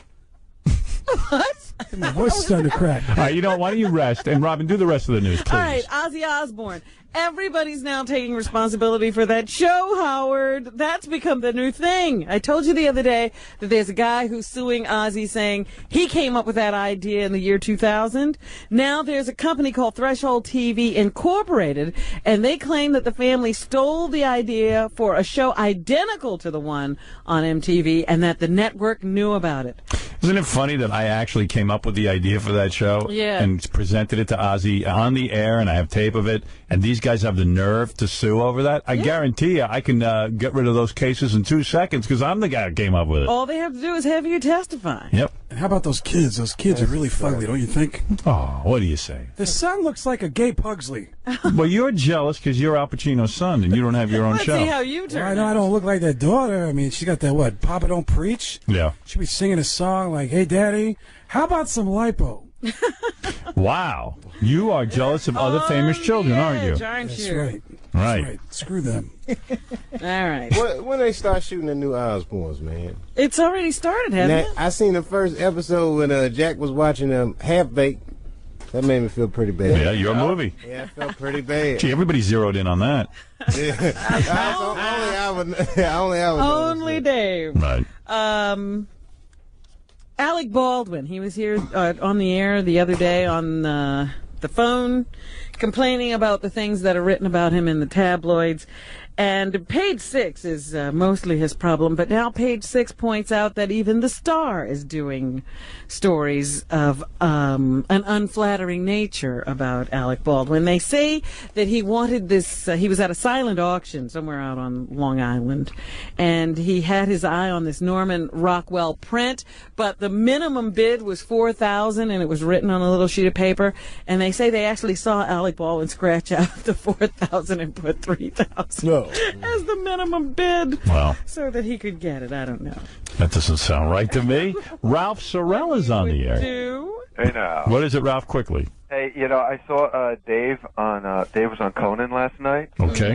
He was hilarious there. It, you know, he he had done his bit, and then he's on the other side of the couch, and uh, Isaac Mizrahi, the designer, is on, who's who's Oh, clearly yeah. who's clearly gay. You know, he's talking with an act, you know, affected and all this stuff.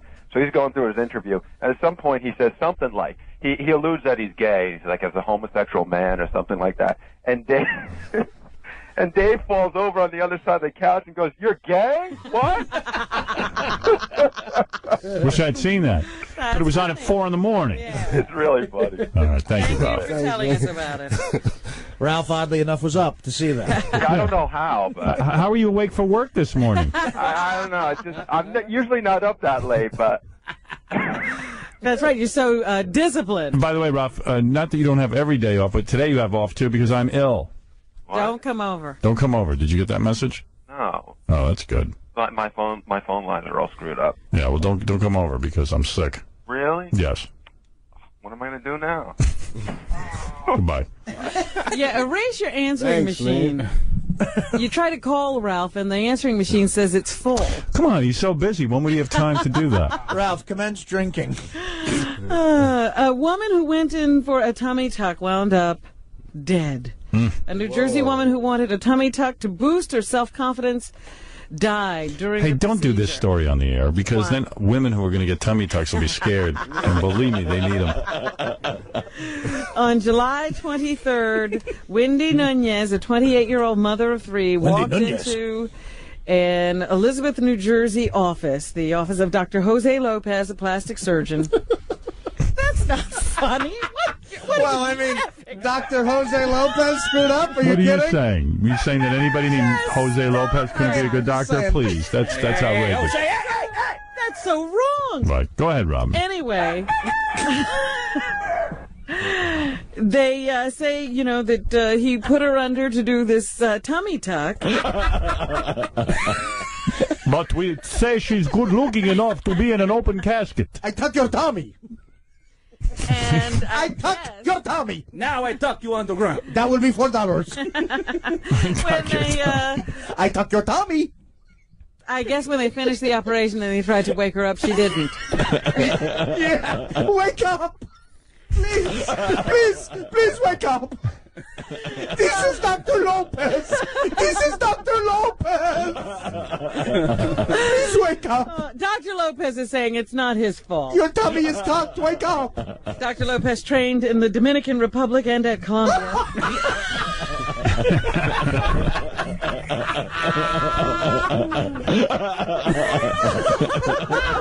oh, that's the best. uh, called her death a tragedy, but said uh, she had the heart attack before he started to operate. So I took out her heart. well, not every, you know, listen. I'm sure, uh, who knows? Maybe he's an Hey, excellent doctor. it We don't know. happens. It happens. People do die in That's surgery. right. Not his fault. A Florida family is overjoyed, but uh, more than a little amazed to see their lost dog again because he went missing six years ago. Wow, and they found the dog. Wow. Uh, according to the Miami Does he need a tummy tuck? I tuck tu- dog Tommy. Uh, the Miami Herald says that Pooh Bear disappeared from the home of this Panama City, Florida family in 1996. Oh my effing god! its were heartbroken, but even they stopped hoping for the pooch's return after it was gone for more than three years. Then a woman in Cincinnati took pity on this matted, dirty, and tired-looking stray she saw recently and took the 13-year-old Pomeranian to her vet. That's where the vet found a small microchip implanted under Pooh Bear's skin that listed its owner's name and address 620 miles away. Oh my god! Pooh Bear reportedly howled with joy when That reunited. when reunited with its family once again. So there you go. You know, I'm, I'm fascinated. I'm fascinated with these stories about animals. I find animals very fascinating. you know, they say that man evolved from the monkey. They say that. That man evolved from the monkey. But if that's true, then what the hell is Baba Booey still doing on Earth? Oh! Also in page six today, they say Jennifer Rubin, who is an actress who's been in some, you know, decent sized movies, and she was a model, is now the hostess of the Tribeca Grill. Oh, my God. Those are sad stories. Yeah, yeah. And sometimes she has to usher former colleagues to their seats. They say this happened recently when Peter Weller and Joey uh, Pantoliano came into the restaurant. They had both worked with her in films, and there she was showing them to a table. oh, that's not That's not fun. sad. I've, got, I've got sad stories. Oh, but it'd be like, you know, I, I, I'm not showing you to a table. Um, I'm just acting. I'm researching a part. I'm researching a waitress. yeah. You want to hear something sad? I'll tell you a sad story. Okay. I had to get famous before I could get laid. Back in the day, I don't. I don't like to admit this, but I was actually so desperate once. I actually made love to an inflatable doll, and her inflatable husband came in and kicked my ass. Wow. That's a true story. You'll see that in the new E documentary, All right. reenacted, of course, with some fat guy. Diesel has a new movie out. It's called Triple X. Opens, I guess, tomorrow. I can't wait. And he was asked if he's ready for all the fame that will come when this movie hits the screen. A1. He's all prepared. I have no idea. I hope I'm ready. My life will be a roller coaster.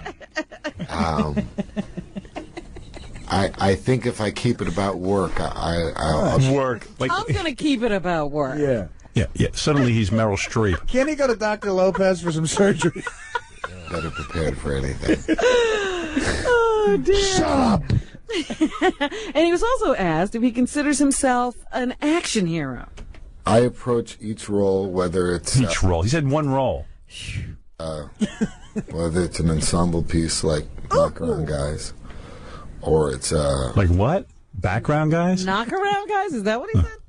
huge action piece like Triple X with the same conviction. You're still gonna go through the same. She's done enough stuff to be this serious. A piece. The last movie was comical. I mean, what was it called? Fast and Fast Furious. Fast and the Furious. Well, he did Private Ryan.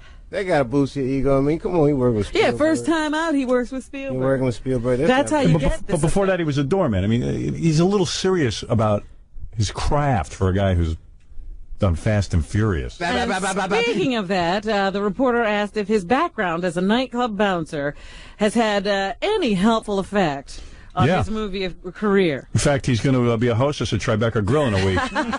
it helps so much.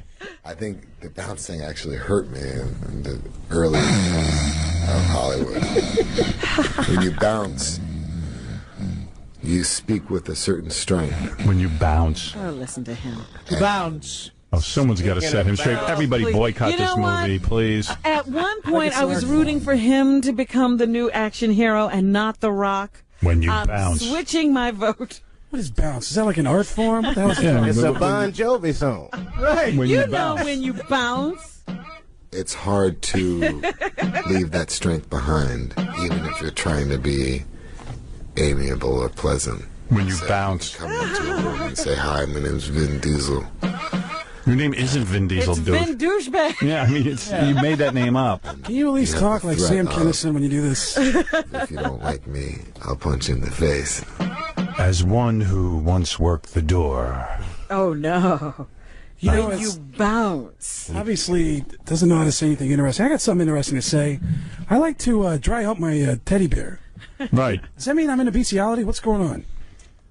I don't know. Something wrong with me? What to say there? Bloodwork is Thanks, a new Clint Eastwood movie. Yes. and will also be in theaters on Friday. In this cut, Clint Eastwood was asked if it's easy to if it was easy to adapt this novel.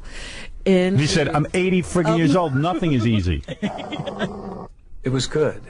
Uh, we we changed the the screenplay takes a little bit different direction uh, t- towards the end than the book does, but um, the basic uh, character. Okay, who else is in the news? Rob? righty then. Jeez. Arnold Schwarzenegger is doing Terminator 3.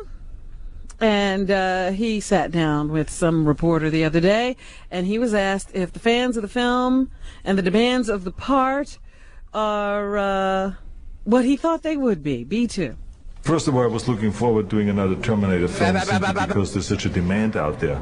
I mean, everywhere I go, every country that I go and promote my movies, it doesn't matter what movie it is. The first question that I always get is, "Hey, when are you going to come out with another Terminator? We're looking forward to Terminator 3 and stuff." I wonder if that's how people really walk up to him and go, "Hey, we're looking forward to another Terminator. When are you? When are you going to have another Terminator?" We're looking for Terminator 3 and stuff. Yeah, yeah. I think the demand, you have to always look at that in, the, in that direction. And it's all right.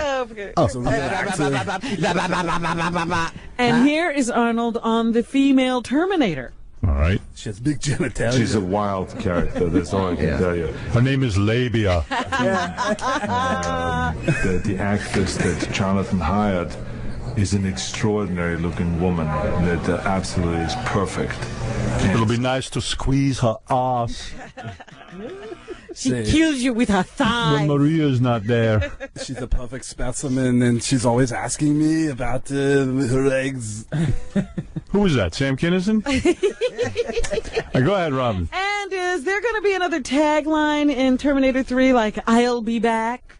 We don't really plan on saying, this is the line, that let's make this the line, the Hasta la Vista baby line. Let the audience decide that. There will be plenty of lines in there, there's plenty of dialogue, and there's interesting things that I say, and funny things that I say, and intense. Oh, boy. You can never predict uh, true genius.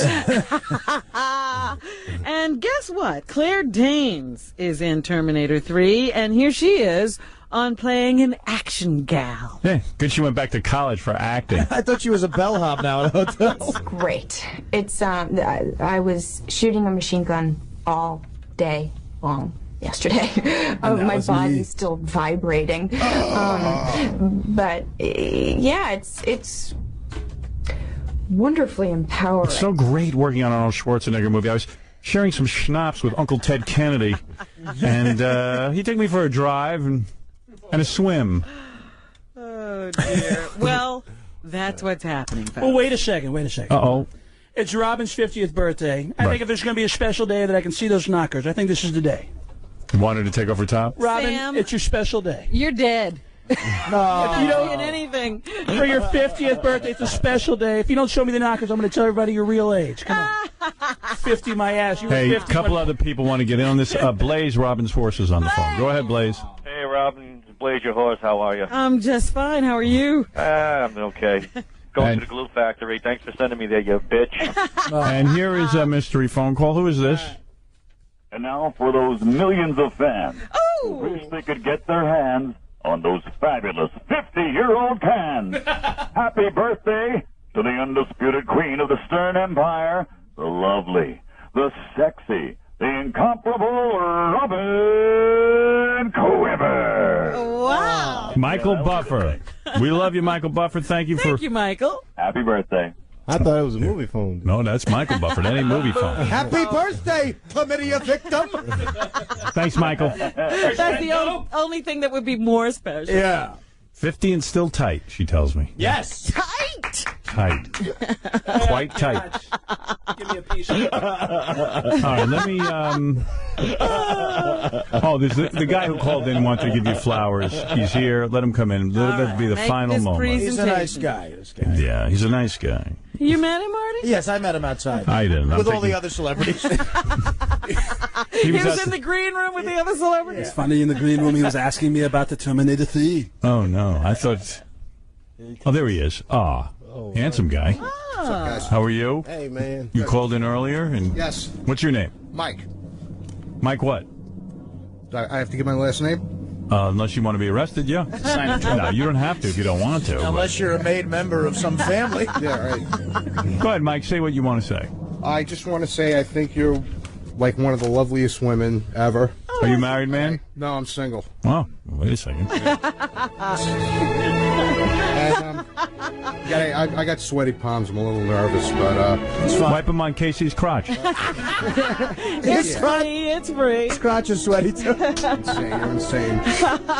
Go ahead. But um, Get close to that microphone, please. okay, sorry. We don't want to miss a word. No, okay. Well, I just wanted you to know that I just appreciate this show, and throughout the years, it's it's what keeps me going. This radio show, and it's no joke. And um, you know, for your birth, I was at Howard's '98 birthday show, and I'm wearing. I was going to say, I thought you were a wealthy guy because you're dressing in free radio station T-shirts. It's the first time I'm wearing this. Thank I Thank saved you. it for four years to come onto the show. Thank you. All right, so you have flowers for Robin, and Yes. that's nice of you, and I want to thank you for doing that on behalf of welcome. all listeners, I think, right? Thank you. Yes. Thank you for Thank doing that. Thank you. I appreciate you welcome. that. And Fat Tony Just wants to ask see you. the- oh, Fat Tony? Fat Tony, go ahead. Hey, Robin, happy birthday. I just want to know is uh, Mr. X going to give you a little anal tonight for your birthday? What about some anal You know, tonight? he hasn't revealed the, the complete plan. Will you make love to Mr. X tonight? I love Mr. X, and I'm sure we will make room for love tonight. Will he take you? Oh, okay, well, that's With a shoehorn? What are you going to move the chair? because you're very tight. Well, everyone uh, wishes you a happy birthday, Robin. Uh, I want to thank, do. first of all, Dave Chappelle for coming in here. Man, always Dave, a you made my birthday special. Man, wouldn't miss it for the world. Happy birthday, Robin. I am a big fan of Robin's news. Um, I'm sorry, I have a cold. Could you make that out? I said Robin's news. Also in the news, in uh, Great Britain, they have created a frog embryo without a head. I told you. It's all kind of things going on out there. This is one that was created, Howard, not something that came out of the sea. Why did they make a frog You without a head? You know why they're doing this? Because they want to consider the concept of human cloning. You know, everybody's Right. against that. So they say, well, what if we create a human clone without a head? Right, Then we could use it for spare parts. right. Why can't they make me a girlfriend like that? Chick with no head. Uh, well, how, I just, what does that do? What does what do? A body without a head. Ask Tom. He'll tell you. I never considered that. We have an expert right Yeah, here. right. You don't know you can be in radio. can run a radio station. Well, now I got my As long as you got a good sales department and talented air people, really doesn't need to do anything. Don't need a head. No.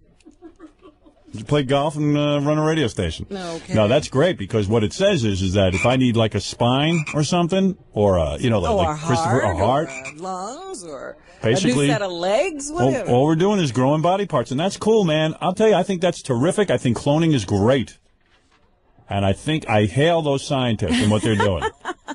if you're laying in a hospital and you got no heart, and you need a heart transplant, and they can clone you one, yeah, I'm- why wait for somebody to die? yeah, I don't want no monkey valve or pig heart. Waiting for someone's eyes bowl, eyeballs, or you know, penis. Well, if they grow them without a head, though, you won't have any eyeballs. Well, you can grow the eyes on their ass. I don't care what you do. grow a head too. I need a transplant on that. I, you ever see my face? There's a Polish guy in Jersey waiting for a frog's leg. They're gonna sew it on. It's fantastic. I love cloning, and I'm behind it, and I support it. Uh, and God bless cloning. Oh my goodness! It will lead to the evolution of man, a, a, a, a, revolution in, in evolution. What do you think of that? Thank you. Make up your mind. Whatever. Make up your mind. I'm going to shag you rotten. yeah, baby. I'm going to clone Tommy Lee's penis and put it on my body. Oh. You're listening to And That's What's Happening, a Stern Show News retrospective. And those I always felt like were the more exciting parts of the show. You know, that freewheeling, news starting, coming up with stories, Howard saying shit off the cuff, another person would say something, somebody would write a joke, we'd put a sound effect in there, and then it would just kind of like morph into just like this fucking craziness, which was the news. Now playing on Howard 100, Howard 101, and SiriusXM.com. Well, of course, the big news is just let's recap that Woody Allen is Yes. now being accused of being in love with Mia's 24 year, 21 year old Korean adopted daughter, Soon-Yi. Oh, hello. hello. Woody da- Daddy song. You got yellow fever? you got yellow fever? Oh, Woody song. Imagine how low that guy is. I knew that there was something seriously wrong with that guy when I watched his movies. I knew it. I used to say to I always thought maybe he had worked all that stuff out and that was just, you know, he No. still knew that stuff, but he was a cool, happening guy who No. everything was all right. He's it's cool and happening do not belong in the same sentence with Woody Allen. So I, I was always very sort of turned off to Woody Allen movies because they, they depressed me. I always saw him as a very depressed and sad. well, over the last couple of years, I've really gotten sick of him. yeah, You know, I mean, that whole thing with the, the Goyish girl and my mother and oh my God, just give it up. You don't like Jewish girls. yeah, You- you're going for the Viet Cong. You like everything but. Yeah, and I'm sure Jewish girls didn't like Woody growing up. Boy, what a mishkite, huh? Oh, ladies and gentlemen, Woody Allen, biggest mishkite on the planet.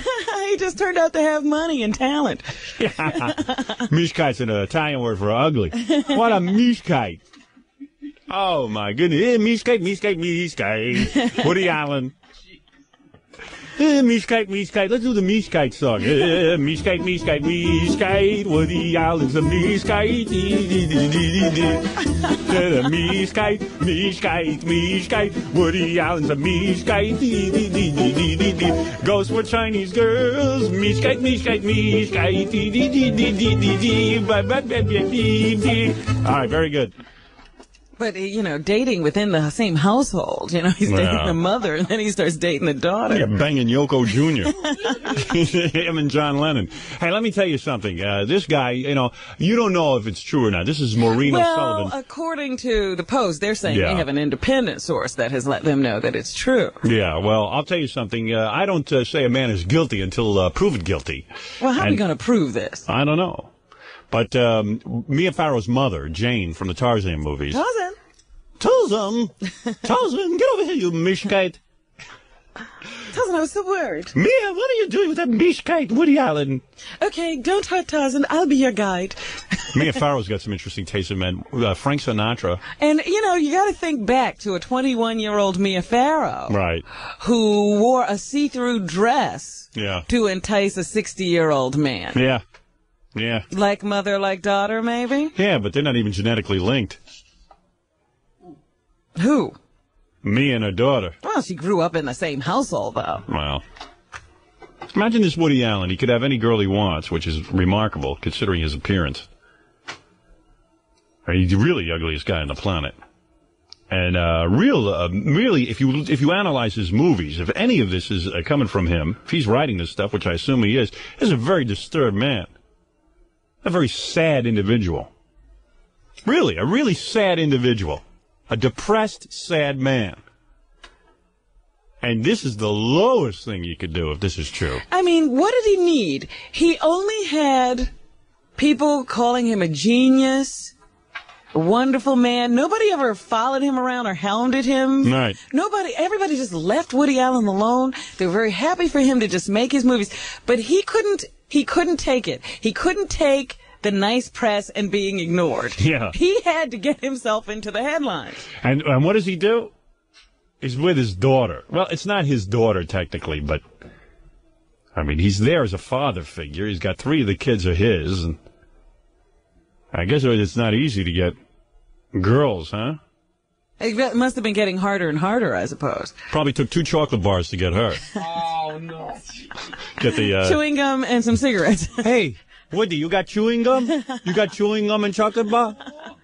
And plus, you know, it's not good for a 21 year old girl to have her name in the paper linked to Woody Allen. Unless she wants to be some kind of actress or something. Yeah. I mean, this certainly, you know. And the whole point is he continues to want to work with Mia. Let's go tonight to Michael's Pub, see him play clarinet, see if there's any Oriental chick sitting Really? next to him. And, uh, you know, But could you imagine the, the psychological torture of him continuing to hire her mother yeah, oh. to work in movies? And what about the fact that, um, you know, well, I mean, what is he doing to the Mia Farrow? I mean, he- you know, here the woman, years she gives. 12 years, and then she starts dating one of those Vietnamese girls that he, that she Well, adopted. ta- you know, Jane does have a, a point Mia's only ever wanted to be a mother. Well, yeah, in spades. She's and really now a she's, mother. ru- he's ruined that whole thing, and he, she Maureen says she still is devoted to her daughter, and, and Yeah. just blames Woody as an evil man who has misled her. One of Woody Allen's friends said, you know, you can't control who you fall in love with, but I, I distree with that. I think you can. I think you can sort of stay if away. If I saw myself beginning to have feelings Very special feeling. for the child All right. of the woman I allegedly love, Yeah. I think I would take myself out of the situation. I situation. told you stepfathers are no good. Oh, Daddy-san, you play crown. That's so very good. I spread legs quickly now. Oh, Who even knows if he slept with her? I don't know. I Who don't even know. knows? Who even knows if this is true? Everybody's comparing it to that whole uh, that thing in Manhattan where he was Right. with uh, Mariel Hemingway Yes. as his girlfriend. And I rem- never mind. I I don't know for certain, but I remember reading interviews, or I think I remember reading interviews where Mariel had a lot of trouble with Woody on the set at the time, Yeah. and she was a kid. Well, this reminds me of Jackie Moore. Uh, Jackie dated his niece while sleeping with his aunt. Talk about keeping it close to home. That's right. No, Jackie, you never actually did that, did you? You were just pulling my leg. I really don't remember.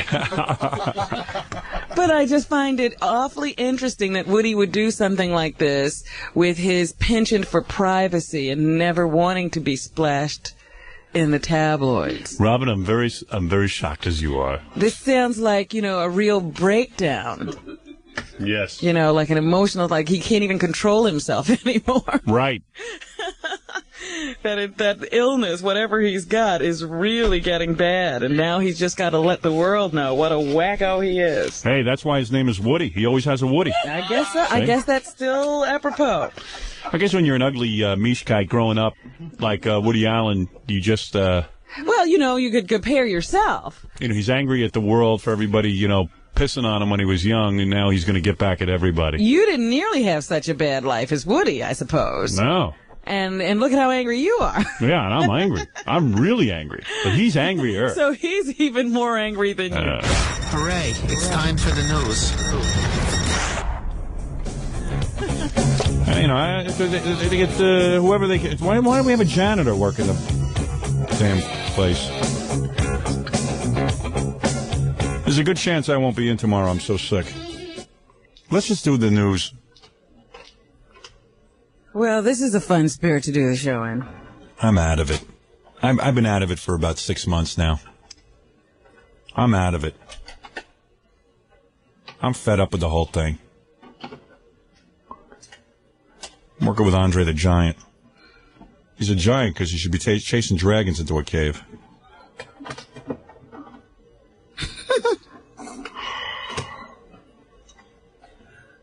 I'm back there laughing. I don't know what I'm doing. That's good. That's what I want to hear. You don't It know was- what you're doing. It was a pretty red button. Yeah. I thought I, was hit it. hypnotized. A new guy comes into the company two months and he's and he's, he's in charge of me. Have no idea if he knows anything's funny. No. Oh, Freaking situation. I don't even know his name. Andre. Sick of it. Sick of working here. I've ha- I've been here long enough. How long have I been here, Robin? Uh, let me see. Came here in '85. How long would that be? It's enough with the radio. I'm off the air. They win. Years. Everyone wins. The FCC wins. The government wins.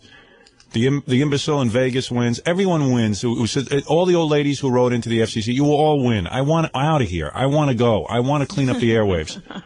I want out of here. I want to leave. I've had enough. How do I make that clear? I've had enough.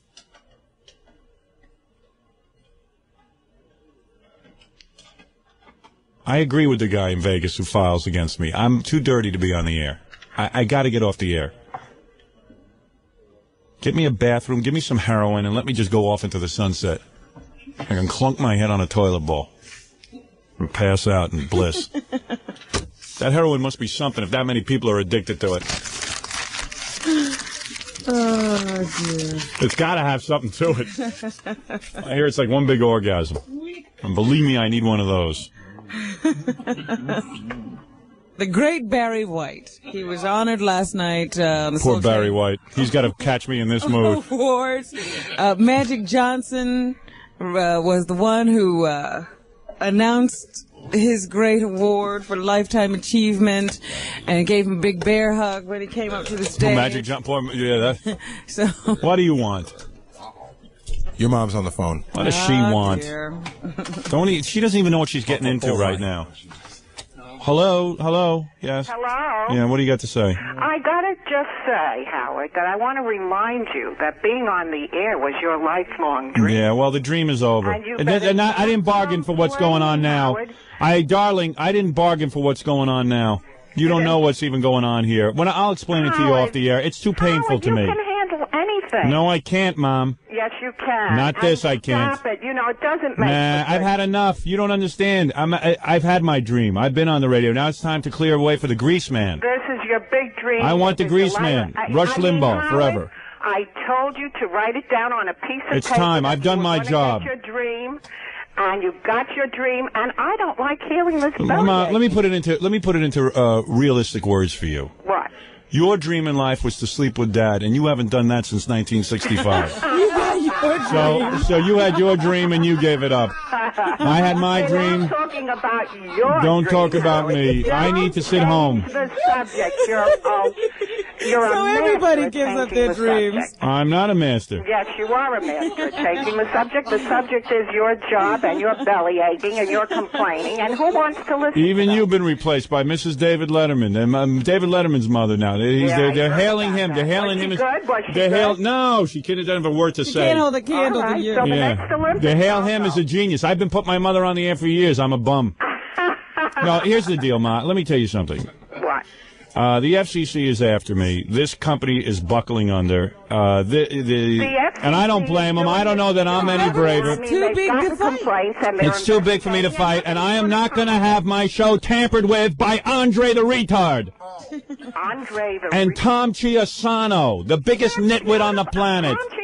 Tom Chiusano's a wonderful Yeah, man. Tom Chiusano is as empty-headed as as a teddy bear. Why, he's out of town? You could talk about him? No, I'll talk, I tell him to his face he's a nitwit. Oh, Howard, that's And not... so are his lackeys. And I'm tired of it. I'm tired of being subjected to it. I got to get out of here. It's enough already with the radio show. I've done the ra- I've done 100 million shows. Count up the hours I've done. Howard, It's enough already with this Howard, garbage. you better come to visit me. You need a trip I don't need to visit psychiatrist. you. A psychiatrist? Yes. How me. dare you? Me. Yeah. I'll straighten you out. I'll remind you of Dr. how Ray. upset you were when you didn't have a job Yeah. and you wanted to be I on the have a job. I job. You I did it. job. It's enough Do with the the job. job. I Do did the the job. job, Yeah, I'll do the job when everyone leaves it alone.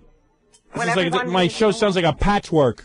You you just do the job. You're capable of that. And Well, good for you. Thank you. All right. I just wanted to remind You're an you so inspiration. simmer down. When have you ever done a job? You haven't had a job since you were Uh, 17 job years old. To raise you. Yeah, and you did and some did great job. job. Yeah, great. Look at me. I'm some man. Oh, you're so satisfied with yourself. It's wonderful. Yeah, I'm, I'm some. I'm. Some, believe me, the human race couldn't live without me. It's true. That's what a lot of people tell me. You raised some son who can't even function. People tell me they adore you. I go out. minutes ago you were Really? lauding her as And a great parent. now. She was a good parent. I don't know where she went wrong. She did good with my sister. With me, she I screwed did up. good with both of you. Everybody likes My you sister both. seems to be a functioning human being. That's right. And I'm so not. Are you, and you show that side of yourself. You know, it was like I'm watching Jeffrey Dahmer's father on TV the other night, and he says, "You know, I don't know what I did wrong." Whatever it was, it was well, a I can doozy. tell you, I watched you every step of the way, Howard. well, And I see the good results. You tried, you and tried. know the good side of yourself and the positive side. how you like my beard? You seen Howard, that hair on his I face? think your daughter told you, right? My, to- my daughter told me I look like a rat. I think you have too much free time. That's the problem. I need more free time. well, free time is good, but not to grow beards. I want to be like Don Johnson. I want to be an Aspen Covering chasing Melanie up. Griffith. What are you hiding from? I'm not hiding from anything. I thought There the beard. because Maybe I'm hiding from you. You hide your whole face. Nobody can see what you look like. Yeah, well, maybe I'm not exactly attracted to my own face. Maybe my genetics weren't all that strong. Well, people say when you uh, when you show your face, you look good. Yeah, who are those people? Helen Keller? People I know. Sickos. the old timers. Yeah, the, the, the ones with cataracts. All right, go ahead. Go, All right, Howard. go have fun. Listen, do your job. Right. Okay. I hear you. bye bye. My mother hasn't worked since she's 18 years old. Bye-bye, Do job. Howard. All right, thank you. I don't even know the pressures of a job. She don't know from anything. My poor father. He gets lectured like that at least 500 times a day. 500 times a day. That's what he hears?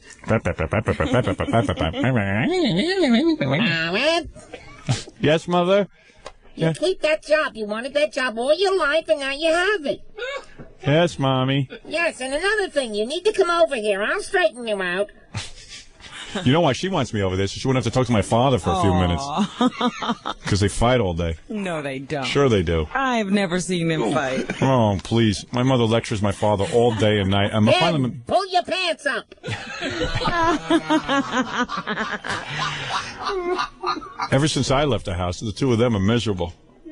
they don't have you to be the No, I used to be the the, the scapegoat, the buffer. Yeah, like little my whipping boy. my mother used to go. You know, like my father would yell at me, then you'd hear my mother go, "What's wrong with you?" You know, she'd jump in too because as long as they were yelling at me, they weren't yelling at each other. Who are they kidding? Uh, my mother prays for the day I come home. They love you. Round and round. Round and round it goes. They have your bedroom as a shrine waiting for you to return. When are they going to get Alzheimer's where they don't remember me? Howard who? Howard who? Who are you again? Hello, who is this? My, you called me. Who did I call? Howard. Howard who? Ben, go rake the lawn. oh dear. Ignore the snow. Put on something warm. Polish the garage. Count the silverware.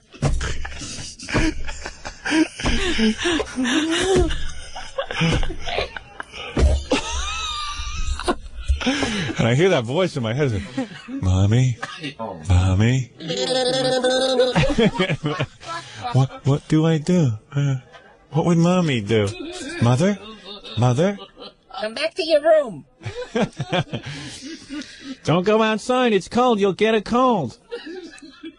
Wear a hat. You have too much free time with that beard. Matching socks. I told you, matching socks. Mother, should I grow a beard? Mother, You look like a rat. And what's with all those Hiding your face. Who are you hiding from? oh boy. And you don't need a tattoo. You don't need that. And why are you hurting me with that tattoo? Don't you know what that does to me? And another thing. I'm still your mother. Stop it. I gotta stop the voice. Mother, stop the voice. Stop. Howard. Oh, Mother, that's better. Now you're quiet. Mother, here, sit in this chair. I'll dress you. now I don't hear the voice. Mother, sit up. It's impolite to our guests.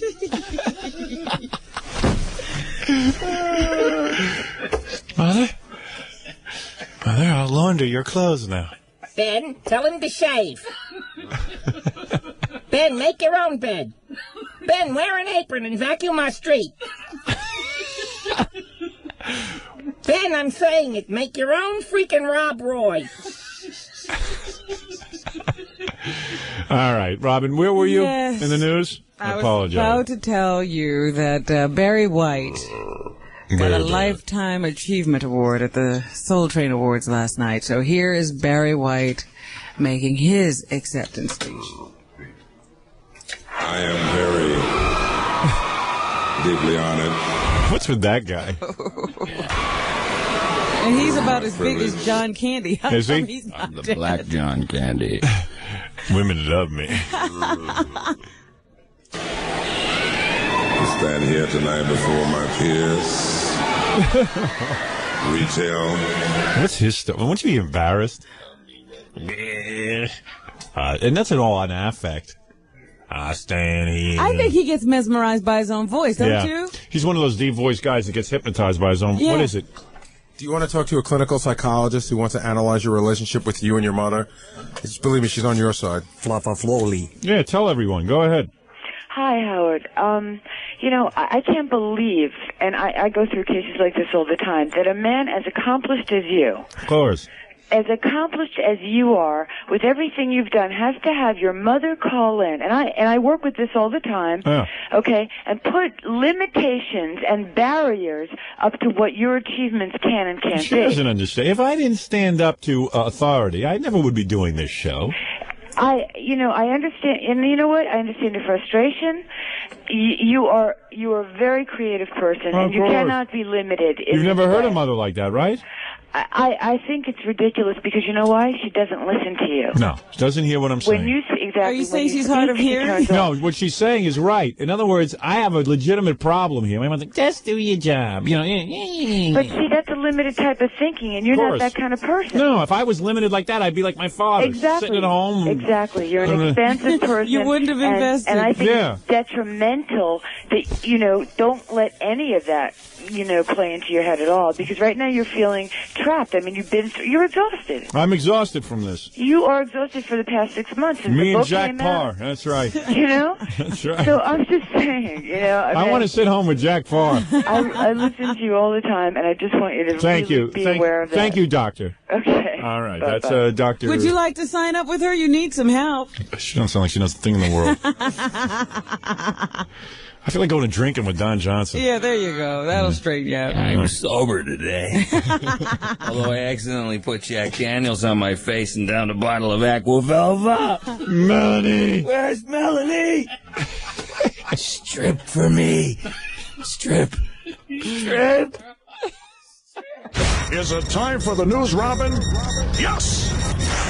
There was a another gun battle here on the streets of Manhattan involving rappers or rapper entourages the other day. Uh, Little Kim and her posse Right. was leaving Hot 97 and uh, the posse of Noreaga and Capone, or Capone and Noreaga, was also either coming in or going out, who knows. But they uh, encountered each other on the streets of Manhattan. The posses clashed. Guns were drawn I done no wrong. and uh, shots rang out. Now here are these people. They're finally making some money. They're you know getting paid. Why would you want to stand in the middle of the street and shoot at each other? Yeah. Just don't understand it. Not when you're making money. They now have identified one of the gunmen. They say through a videotape. That's, Oh. Uh, I guess outside of the radio studios. And uh, they have witnesses, eyewitnesses, looking at these videotapes, trying to identify others. They have invest. Uh, they questioned Little Kim. I wonder what she wore. For the questioning.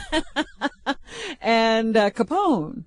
The police have questioned both of them, and they said they uh, found out nothing. So neither one of them is coming up with any information. And so they're asking people to call that tips hotline if they witnessed this to try to help police figure out what was going on and who had their guns drawn that day. Even though little Kim is tiny, I heard she has a big posse. Oh. And uh, her posse got licked when Did they lose? I think her posse got licked. And uh, evidently, when the posse, we, the story on her posse is that, uh, I mean, I've never seen her posse. I just want to make that clear. Even though she wears very revealing outfits. no. Now you understand what I mean. I wonder if her posse shaves. There's a shaved posse, A well groomed posse. a well-groomed posse. But I understand her posse smells good. No!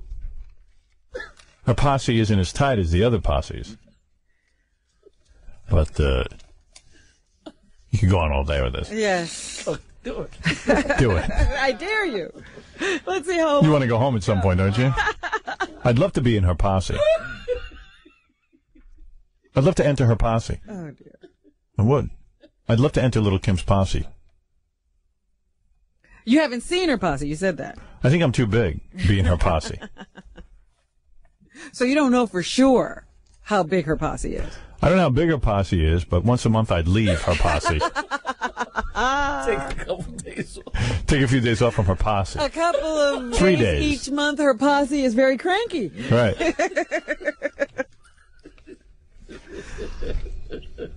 there was an earthquake. When the police were investigating, did anyone finger her posse? No one was fingered during the questioning. Her posse was not fingered.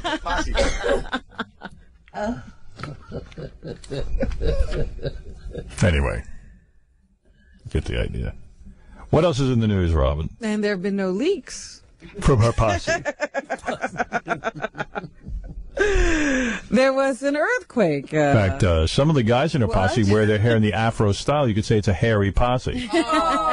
ah. How's your posse? Robin's the only one in the room with a posse. Uh, Nice one. you haven't seen my posse. I've heard about your posse. We all think about it. Go ahead. Thank you. There was an earthquake and uh, Mr. X sees your posse. He's in it. Isn't Mr. X in your posse? Almost This has changed my mood. Having Mr. X in your posse changed your mood, didn't it? Oh, yes, different world. Who else is in your posse? It's like I stepped into Oz. there have been different people in my posse at different Over the times. years. Oh, Did your father want to be in your posse? Oh, it's true. But I don't think that's right if a father is in your No, posse. you can't have your father in your posse. Doesn't work. It's just not right. No. Well, you had to fight your father not to be in your posse. That's right. I had to uh, tell him, no, No. you can't be in my And he said, but I'm your father. I should be in your posse. No, he agreed once he heard the no. He Right. took a no, but he then said, you know, you're probably right. Didn't you and your posse once get in the shower and someone filmed your posse? It's dripping. Once my posse was filmed without my knowledge. Your dad's hands were too big for their posse. You- Evidently, for your posse, you have to have small hands. Well, my posse was smaller at that time. Yeah, I'll say. All right, go ahead, Robin, please. yes, enough of this ridiculous. Posse talk. And uh, let's move on. Now it's time for the news with Robin Clemens. Nassau County Community College has lost its anti-pornography case. You know they have that they have that sex course out there that all the children have been taking with no complaint for 17 years. And then all of a sudden this anti-pornography activist comes along and gets upset Yeah. because the kids, you know, do field trips in this sex course where they have to go and meet prostitutes or go to a gay bar or they're instructed to go home and look at themselves in a mirror or or You gotta pee in a mirror. Yeah, Who right. instructs you to do that? The people in this course. These Go are home and pee in a mirror. They- they- hey, John took this course. Did he actually pee on a mirror? I don't know which one he decided to do. I think you get a choice. I guess it's so you can watch. You get a choice. I want to do everything. No, you have to take. It's nothing like the smell of burnt Did you ever pee in the morning. Did you? Did they tell you to pee in a mirror? No, no, no, no. You you got to sit. Uh, you know, have a mirror underneath you, and then you and then, and then, and then you draw a picture of, of your. Uh, Wait, wait, wait, wait, wait. a second. What are you saying? Like the girls would would sit on a mirror and draw a picture of their genitalia. Ooh. And and the, um, and the, How do you, do you, do you do that? see, he's always a comedian. Every That's not easy thing you do, you do, you do. Constantly. Look, let me tell you, you, something. The last time you uh, introduced me to your lead you singer, Josie uh, you sang, you told me, me that this guy was forever. Then you told me the other, the other day you got a new lead singer. No, it's the same thing. Same All right, wait. Let's stick on one topic. Let's stick on one I topic. want to, Now you're saying in Nassau Community College. First of all, let me commend this guy because there should be no college teaching people how to pee in a mirror. I've never heard you play. No, Leslie, please, please. Leslie, stick with me here. I didn't get excited Listen, I'm not playing. because I really got to get out of here. So do Uh, and I have to get to a Flo and Eddie point. take Yeah, and you have to get to the point of the story. When you were at Nassau Community College, Yes. you had a There's a certain amount of things that you had to do. Oh, really? Uh, and and one of them was you had to draw a picture of your genitalia, right, and you know, and and give it into the teacher. But, you know, certain things to do. You have to, you have to interview prostitutes. You have to interview certain people.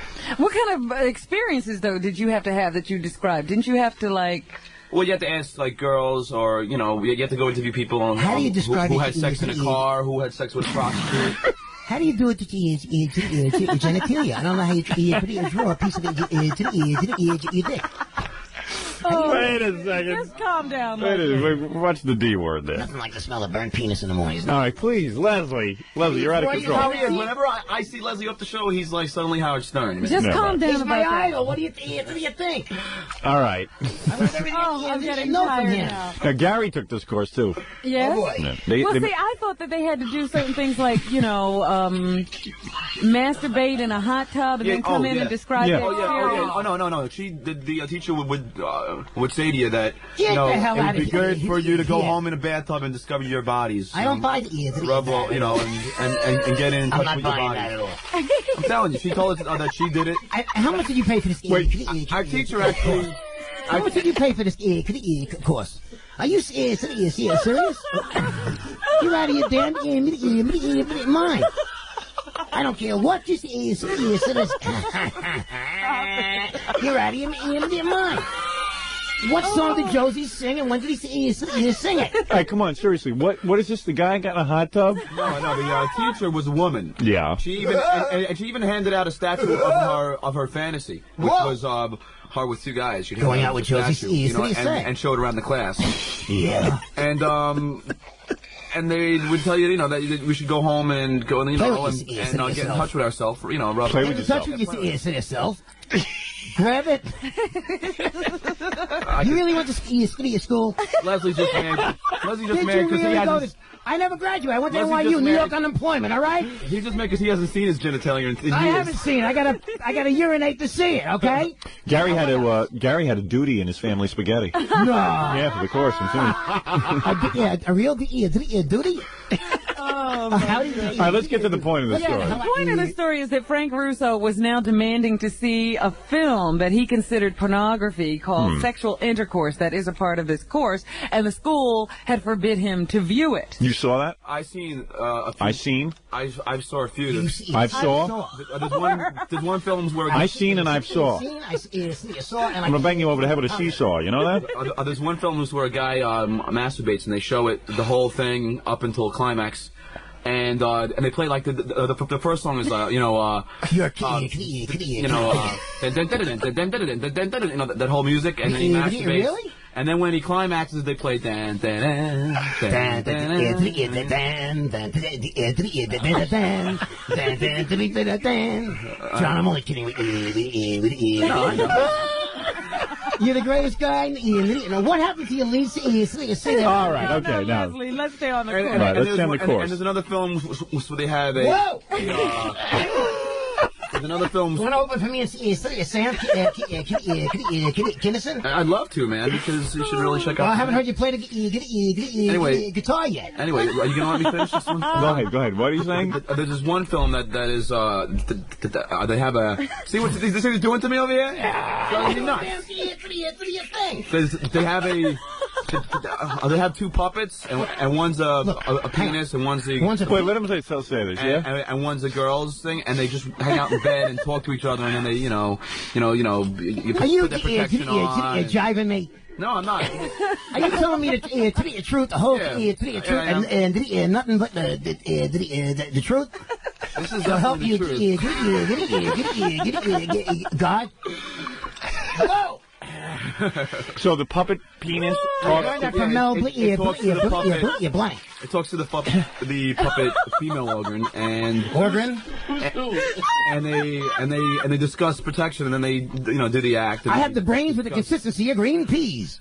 And Spit they, it out. and they discuss, you know, premature ejaculation. And Oh, there it different is. I've been things. waiting for the. It's, all, it's really funny, you know, but, but that's the, uh, there's some that are more sexual than others, you know. Well, you didn't see this particular film, though. It's called I- Sexual Intercourse. Yeah, we've 17 minutes. It's Swedish.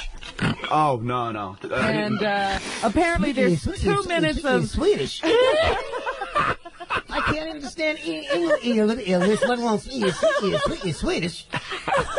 Swedish, Swedish. There's two minutes of sort of educational sure it's not material. really- really Oh, wait a second, Leslie. And then Yeah. the rest of it, supposed, according to Frank Russo, supposedly just Who the hell is Frank pornography. Russo? He's the guy who took him to court Oh. because he wanted to view this. So- but now the school says it will appeal Jesus Christ. Because they don't think they that he has a right to to. Oh, now they've got me doing it to screen their material. Meanwhile, they had to get rid of because of this Frank Russo. They had to get rid of 80 slides they used to show of the male genitalia. yeah, they they, they, they, they show slides and stuff too. What kind of You know, they included yeah, yeah, blank, yeah, yeah, graphic slides they included that famous picture, genitalia and hot dog rolls.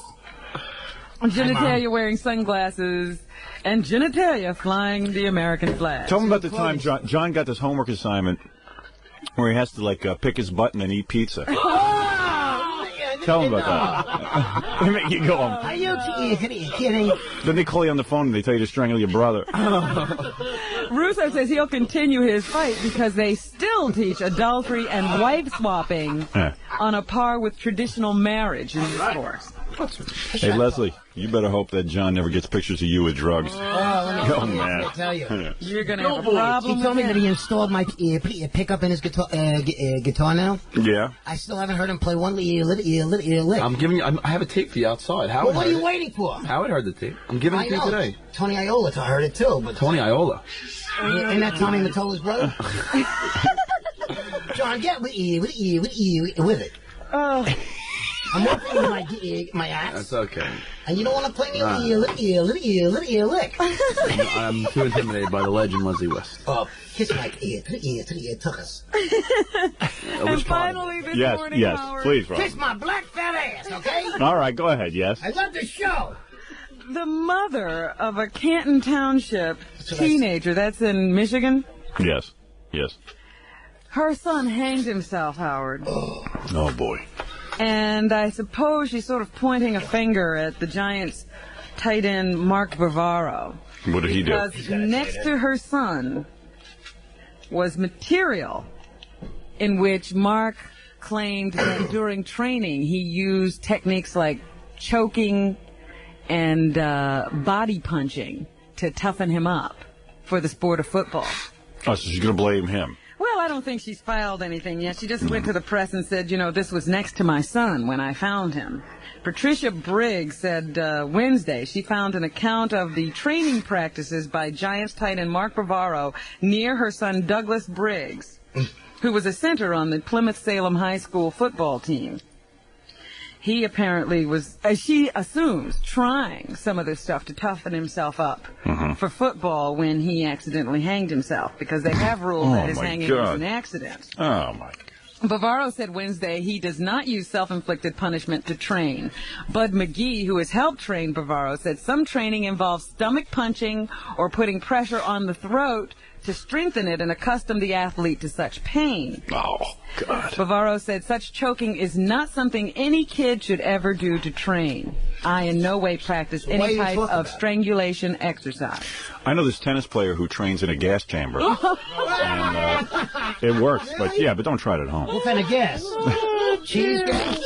Oh, no. you gotta be uh, kidding. But can you imagine this? A kid reads. I, I would you know assume. I mean, Don't ass- assume. you know what happens when you make an ear, ass of you, you, you, you, and, and, uh, All right, yeah. well, you know, it's just that when you explain something like this in a Excuse me, book. are you in, in, in national yet?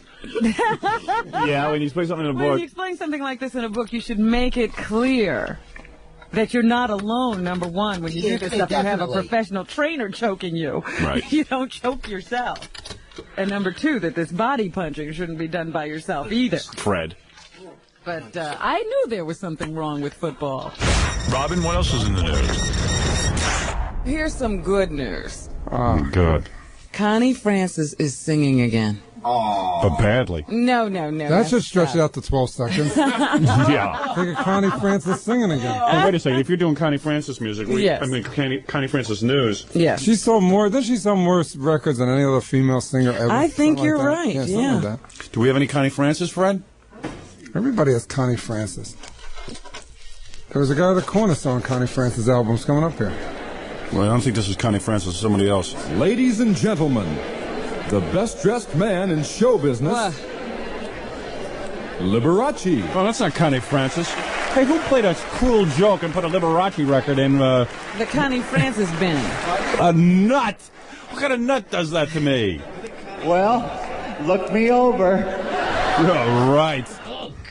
Did you imagine what's going on bedside over there? Oh, The relatives all piling into Liberace's house trying to get on his good side before he passes out.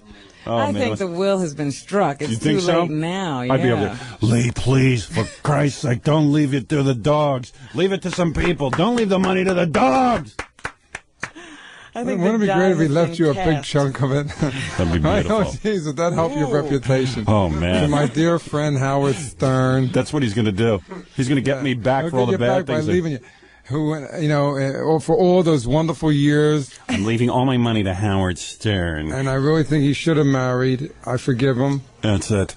That would be interesting. It would be great for your career. How can I do a Connie Francis story if I don't have Connie Francis music, Robin? I don't know, Howard. We don't have I any? just sit here. I do the news. Play some uh, piano music. Some piano music. We don't have any Connie Francis. Oh, I got the Connie Francis medley, I think. Oh, that's David, I have to great. Yeah. apologize No, no, play it. I, I played it this morning before I came over. That's what gets you up in the morning. Yeah, play it. Now, Howard, come on. Ah, here it is. Oh, there it is. Thank That's you so all you much. can These see. things That's should be at your be- your fingertips. Yeah. Oh, we got another one. This is Kenny Francis. I think so. Oh, There it is. Well, that's when she was in the mental uh, home. Her father committed her to. what is that? All right, a second. Give me a chance, will you? All right, Connie Oh. Some dish. There it is. Hey, okay, so I'm a little nervous.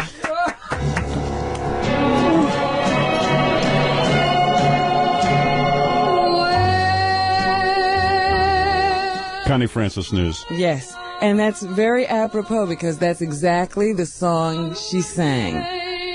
She, uh, of course, has had her bout with uh, mental illness over the last couple of months. now, through uh, lithium treatments, Lithium crystals, Robin. she's much better and she's out and about. She was down in Florida visiting with someone, and she took uh, it was a a Bobby Darin impersonator, as a matter of fact. She No. was, she was running around with. No. Yes, Well, she wanted to marry Bar- Bobby Darin, but her father wouldn't let her, that's right. and it made her crazy. Yes. Well, she took Ron Langell, a Bobby Darin impersonator, to some kind of a cabaret show down there, and uh, they were so oops Oh. boy oh boy howard they invited you know this show director invited uh, langell up on stage and he performed so well he invited him back the next night to become a member of the troupe Yeah. and uh, as a special surprise, they had Connie come up and introduce the guy. and when Connie came up on stage, Yeah. They asked her to sing, of course. And this was impromptu. And she broke into Where the Boys Are. Yeah. And apparently she's back and better than ever. Does that mean I have to go see her? Well, I think if she comes to this area, we ought to. You think it's a good idea for Connie Francis to be hanging around a guy who thinks he's Bobby Darin? I mean, quite frankly. David, what do you think? I can't imagine why this guy. Uh, I mean, there's so many people it could have been. I know. Why would you want to be I wanna Bobby know- Darin? Yeah, Bobby Darin's fine, but what motivated? Like he's sitting there one day and saying, "You know, no, see, I could be, uh, Could be Ronald Elvis. Reagan, right? I could be Elvis. you know, I could be Sting. You know what, Bobby Darin? you know, I mean, it's like a weird decision. Yes. career decision. It's a strange commitment. yeah, it is. It really is weird. I Like, bet you his agent's pulling his hair out of his head. Schmuck, it could have been Elvis. Yeah. I could have booked you. Big. But Yeah. this is the thing. She's running around with a Bobby Darin impersonator. So, uh, Why what doesn't can she I go? say? With, why doesn't she go with like an Elvis impersonator? I mean, don't you, don't you think Connie would uh, be better off with an Elvis impersonator? too many of them. Yeah, that's right. I mean, who- she couldn't choose, I guess. Yeah, I mean, how many many. Bobby Darin impersonators do you That's think right. there are? That's true. There's, Yeah. there's only one of a kind. That's Yeah. the guy. Maybe that's how he made his decision. Like, what do- isn't does not exist? But how much money what I could you mean? make lip syncing to Splish Splash Or Mac the Knife. or Mac the Knife? It's not too much right. demand, is it? You ought to book that guy on your show. really, you ought to find this guy. With the blue suit and the open white shirt. yeah, I think it'd be pretty good. Yeah, I mean, people have been demanding this. Maybe he'll bring Connie with him, though. That's right. David. That's something to think about. Hi, David. I'm a I'm a Bobby Darin impersonator. I'm pleased to be on your show.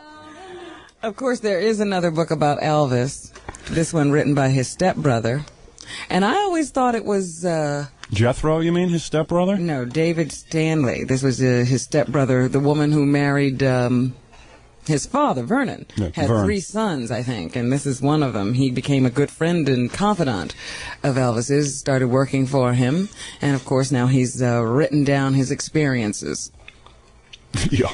And I always thought you were joking when you said Elvis had this uh, fixation on police and, and running around performing patrols and so forth. No, Elvis was He a real actually- nut. He tried. He he got in touch with uh, J. Edgar Hoover. Got in touch and with asked to be on the uh, drug uh, squad. You know, to be. Yeah. and uh, they gave him a badge. Yeah. Nixon gave him a badge. Yeah, they came. He Or brought him to the Nixon White gave- House. yeah, and gave him a badge. Nixon gave him a gun and a badge, and Elvis Elvis would be Elvis would drive around Memphis.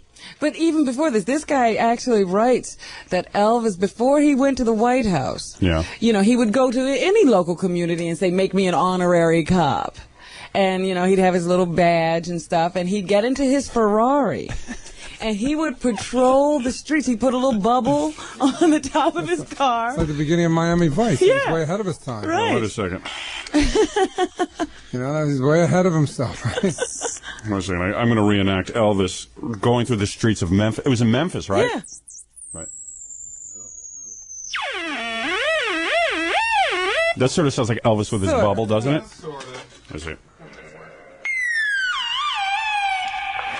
Sir, ladies and gentlemen, pull over. This is Elvis. This is Officer Elvis, ladies and gentlemen. Please pull over to the side of the road. Why, look, it's Elvis. look, it's Officer Elvis. Imagine that getting pulled up by Officer Elvis. But he would. That's right, ladies and gentlemen. Get out of the car with your hands up over your head. Thank you. Good night, ladies and gentlemen.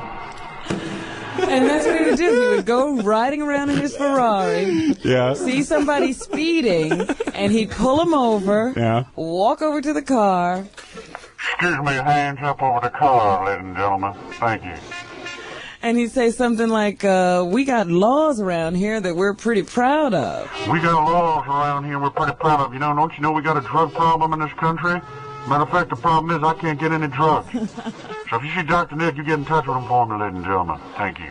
And he would just come up to her and say, you know, we, we really uh, like our speeding laws around here, and we'd like you to stop breaking them. And then he would uh, walk away. I mean, before the people even had a chance to react, he'd You get back like a- in the car and drive off and find somebody else. Like a big fat Elvis in his karate uniform with the eagle cape. Getting out of his car with a badge and a gun. Why, yes, Elvis, we'll abide by the law. Those dumb hillbillies pulling over the side of the road for Elvis. Yeah. What a kook. But he would he would do this, and then after he got that uh, thing from Nixon, Yeah. he he started carrying a gun all the time because he really took this seriously. He thought he was a drug enforcement officer, and he had all of the Memphis Mafia carry guns too. You boys better carry some guns. You got to push some people over. But I think the frustrating thing for Elvis was he couldn't like he couldn't lock people up and he couldn't Right? He couldn't actually arrest them. yeah, or give them a ticket. Yeah. He could just walk over to the car, and, and Elvis Presley walks over to the side of your car in his karate uniform and just sort of pulls you over Yeah, but a one lecture. time, one time, this guy, this uh, David Stanley, Elvis told him to go take care of Lisa Marie. Lisa. Marie was with him in Las Vegas or something, and all the other guys were going to go out, and he just told him, "You, you go play with Lisa Marie." And the guy had his gun with him, Yeah. and so he figured, well, I got to entertain this kid. I'll show her the gun. Yeah. So he takes out the gun and he tells Lisa Marie that uh, the gun is empty and he could point this gun at her and shoot her and nothing would happen. Yeah. So Lisa Marie, of course, she's a little kid. She says, "Do it." Yeah. And the guy says, "No, you never point a loaded a gun at anyone, even though it's not loaded." Yeah. And he says, "See here, I'll show you." And he pointed the gun at the ceiling, Mhm. and he fired it, and the gun went off. Oh, that's great. And just then Elvis was coming out of the elevator, of course, so everybody burst into the room with their guns drawn. This is Hamburger James. I mean, this is Elvis. You know, That's pretty cool, man. Law enforcement Elvis. I like this that. poor child must have been so traumatized by this point. Yeah. It's incredible. pull over the side of the road. This is Officer Elvis, ladies and gentlemen. Please, pull over the side of the road. Don't you know you were doing 55 in a 50 mile zone? Thank you, ladies and gentlemen. Thank you so much. But the guy says even after he got that little uh, drug thing from uh, President Nixon, that Elvis didn't realize that he was a drug addict himself. You know, he had all these prescription drugs from doctors, and he had no idea that he was really addicted. You mean when he pinned that badge on his cheek and walked out of the White House? He had He had no no idea. idea. No idea. Hey, David, you must have known Elvis. Uh, no, I just no. You Just, never uh, did? no, I got a note from him one time. Yeah, You got a very- note from Elvis? Very nice note. Yeah. Yeah, a complimentary note. Yeah. That's nice. I was What do you I say? never met him. You know, he's a fan and all that kind of thing. You got? Did you save it? Huh? Yeah, I got it somewhere. Yeah. Huh? That's great. You got Next us a little scrapbook That's my somewhere. Bobby Darin letter. You're listening to And That's What's Happening, a Stern Show News retrospective. I didn't want to plan anything. I knew what I had to do. I just relied on the other people to know what they needed to do, and Robin knew what to do. Uh, and that's why, to me, Robin was always with the show and key. Now playing on Howard 100, Howard 101, and SiriusXM.com.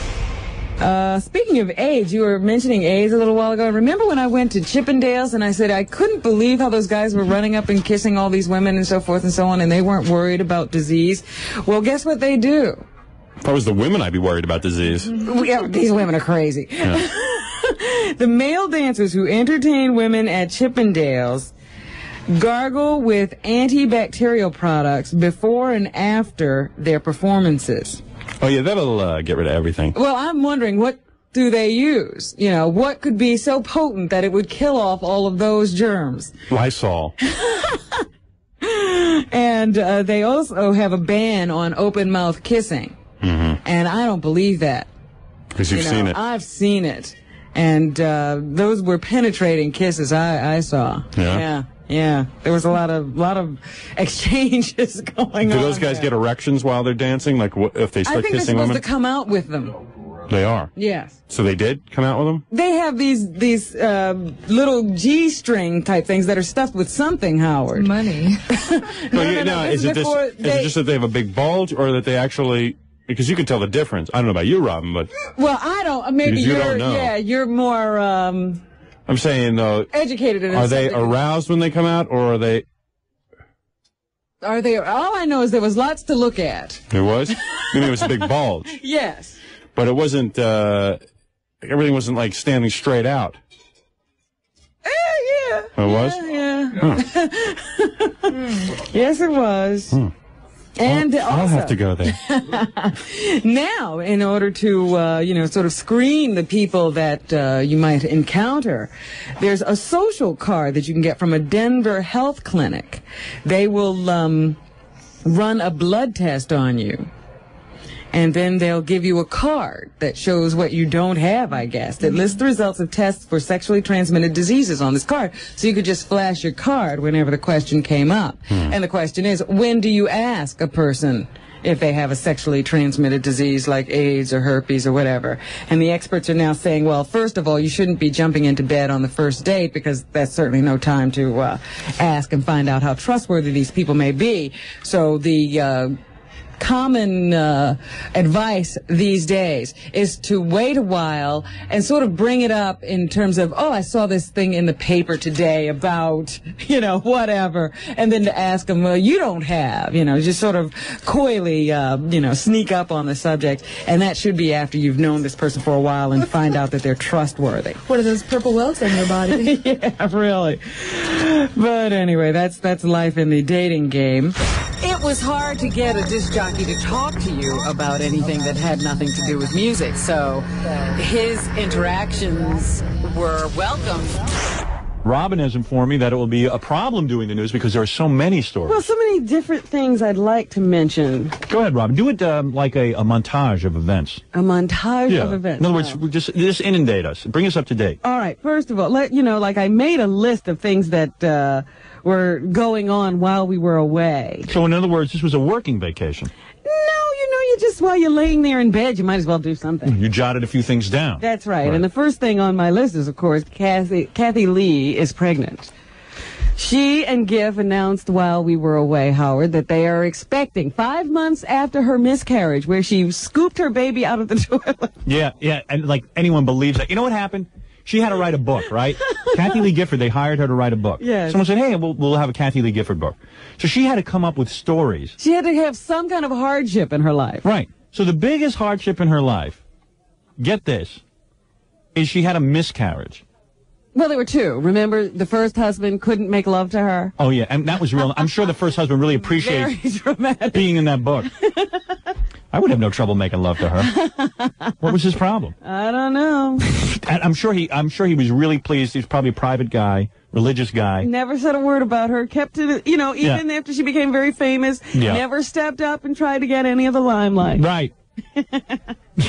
so she has to write a book. So she she writes. The guy couldn't. So she's trying to protect him. She says he could never really make love to me. and what does that mean? All right. So you have two ideas, right? Right. Either he was impotent, Yeah. or he was a homosexual. Right.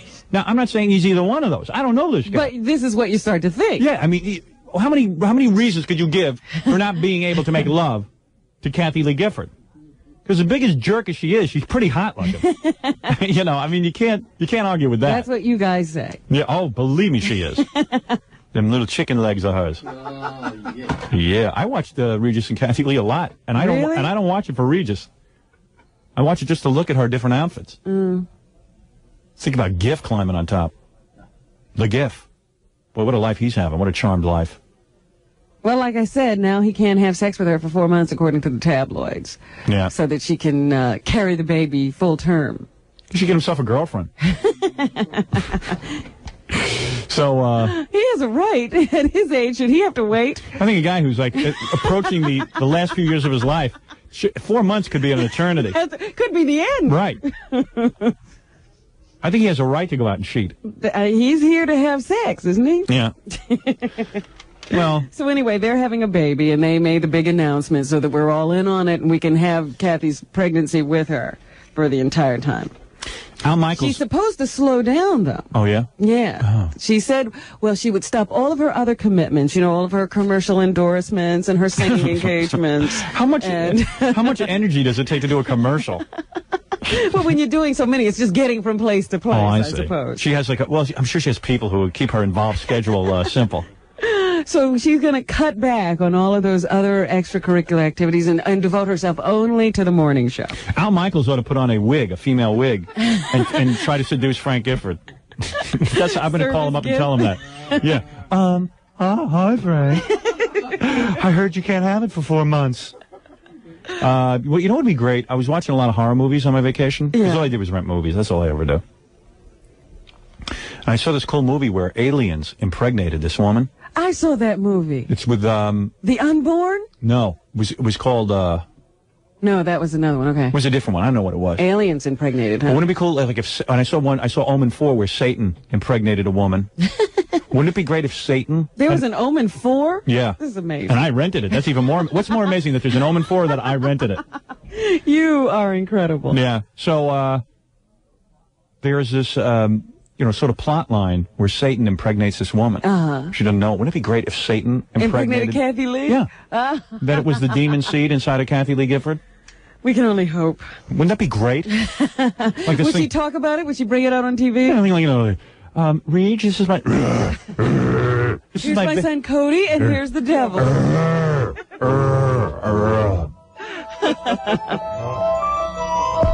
Mother. Thing's not working any better than it used to. it's uh, you're right back at the same old place. you can say that again. It's funny because uh, I know that Kathie Lee said she and, and her love for Giff has helped her refine her way to her religion. Is that right? What religion is that? Jewish, isn't it? no. Isn't her religion Jewish? Well, don't you didn't read the book? No, Her no. father, I think, was a non-practicing Jew. Oh. And the mother got into, you know, started watching those TV evangelists and got real religious. Yeah. So then she converted the whole family. So the father became a minister. A Jew became a minister. Yeah. And so now they're all Christians. Yeah, because the way she's going around trying to prove that she's Christian, you wouldn't know there was any Jewish background there. I mean, she's she's out Christianing everyone. That's right. So she uh, was very religious and married a religious guy the first time around, and then she became a wild woman after he couldn't satisfy her. Is that right? Is that in the book? story of the, that's her story. So who did she uh, get it on with? She uh, got it on with many people. I forget all the names. You know, some of them were famous and some Right. of them weren't, but all of them were wrong. Jackie Martling on that list? That's too wrong. Two-legged with two. That's the real long wrong list. She'd get that wild. Oh, then you could verifiably say she was a wild woman. But Kathie she didn't do Lee, you can go around with all the Christmas trees and all the Christian crap and all that stuff. But you know what? You're a Jew. A Jew, a Jew, Kathie Jew. And you know what? Her name is no longer Kathie Lee Gifford. It's Kathie Lee Jew. And that's and that is what you call her when you see her. When you see Anyone her on the street. when people see her in the street, you say Kathie Jew. Oh, it's Kathie Jew. Oh, Kathie Jew. I saw you on TV. Kathie Jew. Kathie Jew. Jewess. Kathie Jewess. Kathie Lee Jewess. I'm doing all this good material, and the Spanish guy in L.A. is getting my Getting rating. the credit. Kathie Lee Jew. Should she be Kathie Lee Jew or Kathie Jew? Kathie Jew Gifford? There you go. All like that one. Kathie Okay. Jew Gifford. Kathie Jew That's the way she gets to keep the three names. It's Kathie Jew Gifford for Carnival Cruises. Slips one day. Yeah, and like even it'll get back to Regis and he'll go, well, uh, Kathie Jew, I Kathie Lee. Kathie Jew. Kathie Jew Gifford because she's so embarrassed by her Jewish identity, as most Jews are. Uh, she is now Kathie Jew Gifford, so she won't forget it. All right. And everyone should refer to her as Kathie Jew Gifford. Especially you people in New York who get to see her and say, hey, Kathie Jew, enjoy the show. yell that at her, you know, from across the street. Kathie Jew. You're a Jew. Just when you thought she couldn't hate us more. Right. Kathie Jew We're Gifford. back. Kathie Jew Gifford with you. and Cody, that's like the most non-Jewish name you could think of. Right, Cody. Cody Jew Gifford. no, not the child. right, yeah, leave him alone. he can't help it. Yeah, he can't help it that his mom is Kathie Lee Gifford. I mean, Kathie Jew Gifford. That's right. Get her name right. Right. We love flying by the seat of our pants without a net. Is Woody Allen out there? Yes. Say that again, please. Yes, and he's got a um, he has to come on now because he's got an appointment at nine o'clock. Oh, my. And he said, please, he's having a little trouble breathing today, so please be gentle. Why with does he him. have? I'm really surprised. Well, obviously he's under a lot of stress. Why don't you bring in Woody You Allen? know what that's like, Howard. Uh, Robin, uh, briefly tell us Woody Allen. Woody Allen was in court yesterday. They had another hearing for some reason or other. He's in a continuing custody battle with Mia Farrow over three of their children, uh, one natural child and two adopted children. And uh, Mia weighed in yesterday with more allegations of wrongdoing by Woody. One of which was that Dylan and Moses I think, or Dylan and Satchel, one of the, those combinations, had seen Woody and Soon-Yi Yes. making love. In fact, Dylan said that she saw Daddy putting his penis in Soon-Yi Whoa. while she and Satchel Wow. were visiting at Allen's Manhattan apartment. Wow. Uh, Dylan also accused him of abuse. She claims that he tried to push her face into a hot bowl of spaghetti. I love that. And he also allegedly threatened to break Satchel's legs. Oh, come on. I can't believe any of this, Woody. Is this true? Tell me about uh, your relationship with the Chinese woman Soon-Yi. Tell me, tell us once and for all. Give us the definitive statement, Woody, and tell us uh, what you think about all of this. Go ahead, Woody Allen. Uh, by the way, good to have you here. I give I give Soon-Yi an allowance that would make other gooks drop their fortune cookies. Well, Woody, uh, let me just say how unfortunate it is what you're going through, and uh, I, how are you feeling? Are you are you feeling any better? And the last time we spoke to you, you were real upset. I feel great. I have been humping Soon-Yi quite regularly. I see. well, that always makes a guy uh, feel good. Oh dear. Now, um, It seems to be easier for Woody to talk to the press now. You know, he used to be so shy. now I notice, uh, Woody. Yeah, now he's opening up a little. Yeah. Woody, I noticed that today you're not wearing your trademark uh, Woody Allen glasses. Now, now, why is that? With my glasses off, I can pretend that Dylan is even younger. With your glasses off, you can pretend that Dylan is younger. I see. Tell me uh, about uh, some of the things that you've learned from this experience, if you would, Mr. Allen. I, I would appreciate to know what you've learned. I'm amazed at the sexual favors I can get in trade for a Hershey bar. You know, he's so soft-spoken, oh, isn't it? goodness. Oh. Tell me some of the things that, uh, now that you're not working on a movie presently, tell me some of the things that you are uh, doing during your day. What does Woody Allen do during the day? I like to go to Dylan's brownie meetings with no underwear on. You go to brownie meetings with no underwear on? Uh, let me ask you something. Let's turn to another uh, topic. New Year's Eve, you obviously uh, must have spent a quiet evening alone. Is that true? Yes, I see. And uh, what did you make a New Year's resolution? That's something I would like to know. Aren't you curious, Robin, if you made a New Yeah, what is his New Year's What is your New resolution? Year's resolution? My new my New Year's resolution is to photograph a topless eight-year-old in a calico skirt. Oh. And um, I guess he's done everything else. be honest. What do you seriously, Woody? What do you do all day? What what like what is like what did you do around Christmas time? well, yeah, the kids weren't there. Right.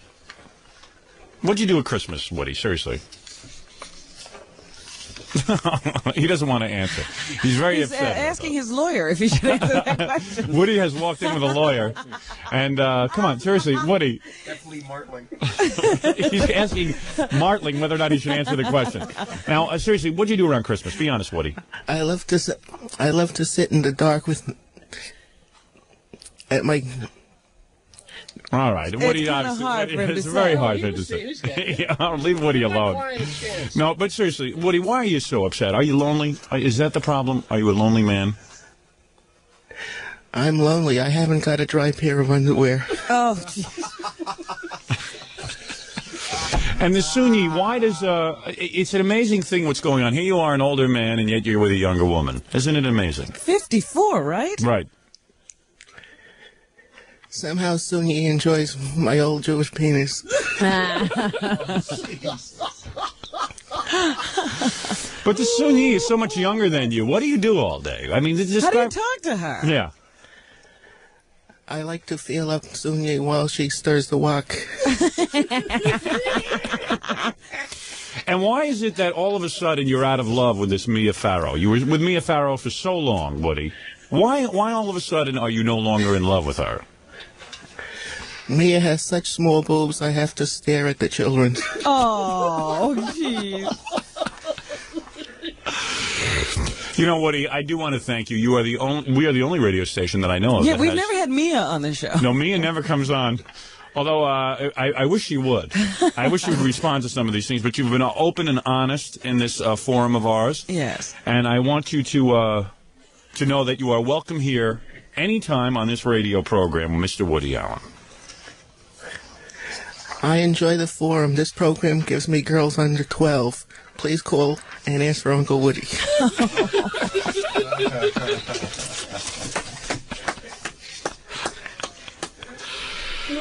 So, uh, Robin, I don't know about you, but I find this unbelievable. You have any questions? Well, I think it's ridiculous that he's making requests for 12 year olds to call. You can't do that on the radio, Woody. Yes. It's really true. What do, what do you have to say to that? Once you go Oriental, you never go back. So, are you going to marry Soon-Yi? That's what I've been reading. Some of the the uh, tabloids have been saying you've got a big surprise in store. Yeah, what about that? What is the big surprise? What what a party it was to dump that load, Mia, and bed down her kid. Oh. well, don't you think that was rather malicious? Woody? Yeah, really. Uh, t- tell me something. What what what goes on in that Mia Farrow household? She has so many children. I, I'm yeah, do you have any accusations about her? Right. Uh, And, and more importantly, what do you do there all day? What do you do at Mia Farrow's house all day? I kiss Dylan on her fanny while she reads the weekly reader. Ever heard of Nintendo?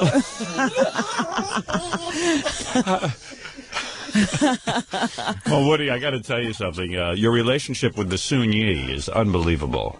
And, um, Certainly, you never made love though with her in front of the other kids. yeah, what do you do with that Soon Yi? I like to lick Soon-Yi like an Elvis stamp. Woody, come on, say something of substance. Say something about the whole case and how you're feeling. Go ahead.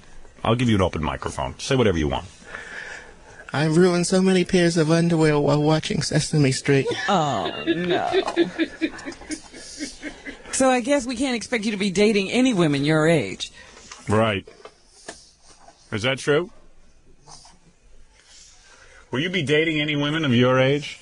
What, are you still with us? Mia and uh, Dylan have the same build. Mia and Dylan have the same build? so I guess it really doesn't matter. What about the allegation? Let's get down to the serious stuff. Yes. Uh, Woody, a, an allegation has been made about you that you forced Dylan's head into the spaghetti. Is that true that you did that? I put Dylan's face in hot spaghetti as a sex exercise. So I guess it's true. You're admitting to that. Oh. What kind of sex exercise is that, though? Now, what about um, the idea that you broke the legs? Or you threatened to break his legs. You you threatened to break the legs of your uh, son's satchel. Satchel, yeah. Now, now, I can't believe that. What about that? I can't wait to have children with Soon Yi. I've never broken the legs of a newborn.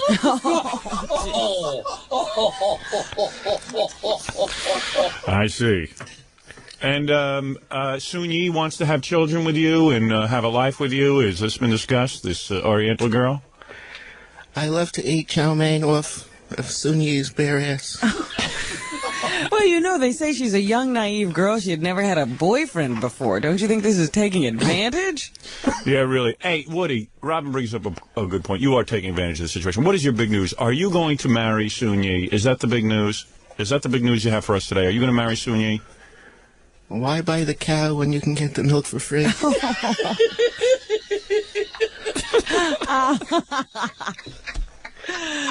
My goodness, Woody, that's an old saw that really just doesn't cut it anymore.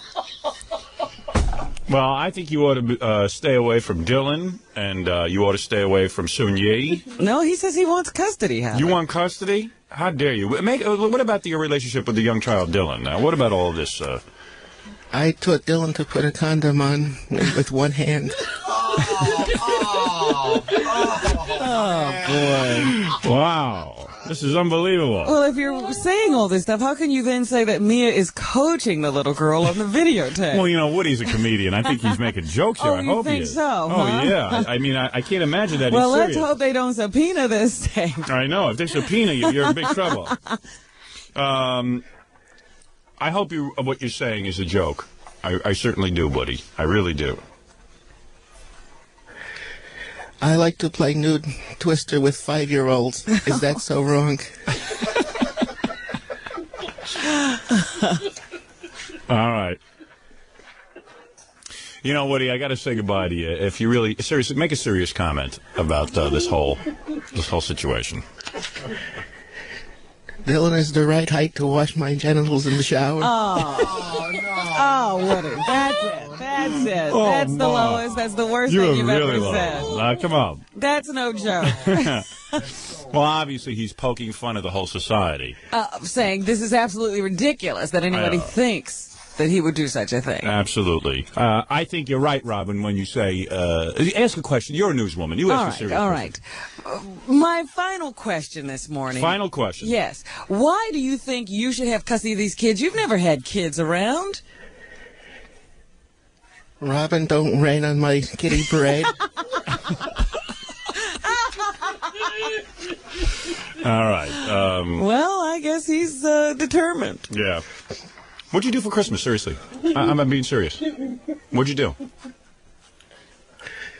I went caroling with Dylan's friends and felt their their little asses. Oh no. Well, that's going to be some custody case. I tell you, you better not testify like this in uh, court. You know, Woody, you have asked that uh, both you and Mia Farrow undergo psychiatric testing. Was that right? What do you think it'll show about you? you don't know. Believe me. It's unbelievable. You know, seriously, if you did go for, um, if you went for psychiatric counseling, and they asked you about Soon-Yi, the Chinese girl, what are you going to say to the psychiatrist about Sun Yi? When Soon-Yi starts to sweat during sex, I only feel 10 to 15 years older than her. All right. Listen, I want to thank uh, Woody for stopping by. thank you, Woody. Oh, boy. Did you have fun here today? Was that? Yes. Yes. you have to write that. yeah. Sometimes you can ad lib there, I'll tell you that. But anything you want to say, uh, Woody, before uh, you go? Anything over there? Go ahead. What, what do you want to say? Say something, please. Say, say a final word to us. We love when you talk so much, Woody. It's such an honor. You give so few interviews. Uh, there must be something, something that you want to sum up with. We love having this access to you for the first time. One last thing. Grace us with uh, some more of your humor. Oh, I see. All right. He doesn't want to say it. Okay. He said enough. He said enough. I think he did. I think you said I think too he much. cooked his goose. I certainly do. I don't see you winning that case. Well, of course, that is not the real Woody. That's, of course uh, not. That's Steve the engineer. Yeah. All right, Steve. Good job. What is that? What is that you want to say? Uh, Howard, you are king of all media. All right, thank you. yes, thank you. There you go. Thank you. All right, we got to go and uh, take a break, and then Rob, we should do the uh, rest of the news. All You've right. covered the Woody Allen thing pretty Yeah. thoroughly. We'll be back right after these words. When she would do the news, she knew the right stories to get me going. You know, she knew how to hit my buttons. Guess what? Mark Goodman and Alan Hunter soon Fired? to say goodbye to MTV on a regular basis. They say the parting is amicable and each is expected to sign contracts to come back and do special things. Special, yeah, just like Martha Quinn's back for special things. But they're both leaving to uh, pursue their acting careers. What acting careers? Mark Goodman was a disc jockey in WPLJ before he got that job. He has no acting career. And uh, certainly Alan Hunter, I never heard of him before. Wait, he don't even know how to act. Goodman is developing two TV shows he hopes to Oh, syndicate, He's crazy. and Hunter Yeah? is making a movie with Robby Benson. Yo, boy, what do they play? oh, man. Uh, Alan. Yes, Robby. they play sisters, I guess. I think so. Alan Hunter's like, I hate to say this is a pretty nice guy, actually. I, I did meet him. That's the problem in this business. I meet people, then I can't make fun of them. but Mark Goodman, I met twice, and I still think the guy's a real dick. I don't like him. I don't like him at all. I'm glad he's out of a job, but uh, Alan Hunter I'm kind of sad about. Well, it's time to move on, I suppose. Hmm. You know, they must have seen the handwriting on the wall. Yeah, I think it's a little too much with that MTV. I mean, you know, really, what is that MTV? You know, I used to think, man, that's a really good job. That's really, they're really going to become famous from that. But, all they are is DJs on television. Mhm. It's not all that big a deal. So maybe this acting thing will pan out for them in a better way. I thought Mark Goodman though was a pretty good VJ. I thought he handled the job pretty well. I never actually got to see Alan Hunter all that much, so I really didn't get a feel for him. But I always heard good things about Yeah, him. no, I'm saying Mark Mark Goodman. I thought, you know, as much as a silly guy as he is, I always thought he was a pretty good VJ. I Really? guess you know who, who, who can evaluate what's a good VJ. Hey Gary, that could have been your job, you moron. Boy, did you blow it? Now they're looking for two permanent know new something? VJs. Yeah. You wanna, yeah, but it's not over yet because when I went for the interview, they were looking for one. Now they're looking for Get two. out of here. You know something? You are so You'll probably delusional. get called back, right? Your your audition tape was so bad. Where is your audition tape for that MTV? I want to hear. packed- that. it's packed away. Go get that. Go It's get packed. it. Packed. Get it out of the box. I don't know which box it's in. You boss. imbecile. But, but but the point is, you know something? Yes. If I, What? now, if I were to get that, if I was to get that job, yes, I would stand in the same spot, and you would say, "What a crummy job! You're only getting fifty thousand dollars a year. You're not going to be famous." I was like, "I can't win thing." You're not. Don't worry. You don't have that. You don't have to worry about me making fun of you getting a job. you know, they got a guy over there. God bless him. Um, Steve Leeds. Steve Leeds, the program director at MTV. He's a wonderful guy, but he's got some kind of cockamamie idea. He's going to go out and he's going to hire young VJs. He's going to hire us like 16 year olds, like Dweezil or something like that. Now, eh, I'll tell you something. What makes you think? What makes you think? Like they got a young VJ on there, Carolyn uh, Heldman. Heldman. Uh-huh. How old is she? She looks older than Martha Quinn. She's about she's about twenty three or twenty And she looks older than Martha Quinn. Yeah, oh yeah, a lot older. I don't get the point of hiring young VJs. I liked Martha. I And thought, I thought was Martha great. was good. She was very good. I thought Nina was good. Take her and wrap her around my bedpost. Once again, I never ah, Chain her Nina. down. I swear to God. I'd like to chain her down to the bed like Reverend Heidnik. Make her my slave girl. I swear to God. I You are swear. pitiful. I swear I You will. always think such nice things you want to do to these people. Yeah, too. nothing, nothing romantic. Just chain them down. Well, you know, a girl, you know, a girl like that doesn't want to be in bed with me. I have to chain her down, and then I could do stuff to her, and then she'd learn to love me. Yes. But you know, they, they were. Uh, I spoke. One of the guys that works on the TV show has a friend that works at MTV, and he said that they were. That they did not take my audition tape lightly. That they He's considered it yanking, very he's seriously. yanking your crank. I'll tell you something. Steve Leeds is such a groupie of mine. The the the, uh, the guy who runs MTV is infatuated with me. He's in he's in love with me. There's no question about it. He's a groupie. So he hears Gary on the show. He figures, oh, then we'll put Gary on MTV. But there's no magic with you unless I'm at your side, you idiot. What's wrong with you? You have no personality. It's my personality that allows you to come through. You're, abso- you're absolutely right. Do you think like if once a week we could go down to tape on like Sundays for a whole week, would you come with No, me? just get out of here. Come on. You make me sick. You, you repulse me. You know what repulses me about you? I don't know, The but most? obviously- All right, you're Brett. But you know what second repulses me most about you? That you went to MTV and you didn't even tell me about the audition. you didn't even tell me about the job.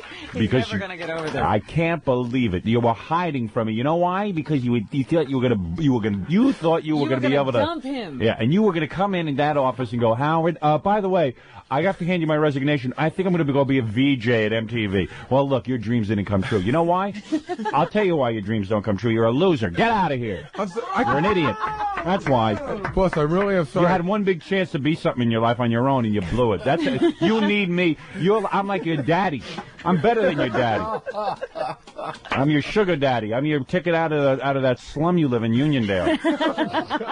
That's what you are. I'm sorry. I irritate. I can see this is like obviously a hot issue. Aren't you supposed to be uh, packing boxes in the office? We're moving the station, and you're supposed to be packing. Yeah. Uh, uh, isn't it true that you're marking those boxes with your breath? No, no, that's not true. The true. mozzarella scent, of course, is books. Anchovy scent is records. Pasta scent is scripts. and the green stain means Gary had an accident. Man, You're an outrage. I didn't do anything today, boss. That's just it. Why don't you do something? I'm paying you. You don't do anything go. every day. Get out of here. You're an imbecile. Oh my goodness! One final story. Well, let's save it for after the uh, spots, Rob. What are you in a rush? That guy's an idiot. He is. He's an idiot. And you know what he's making now? I figured out what he's earning.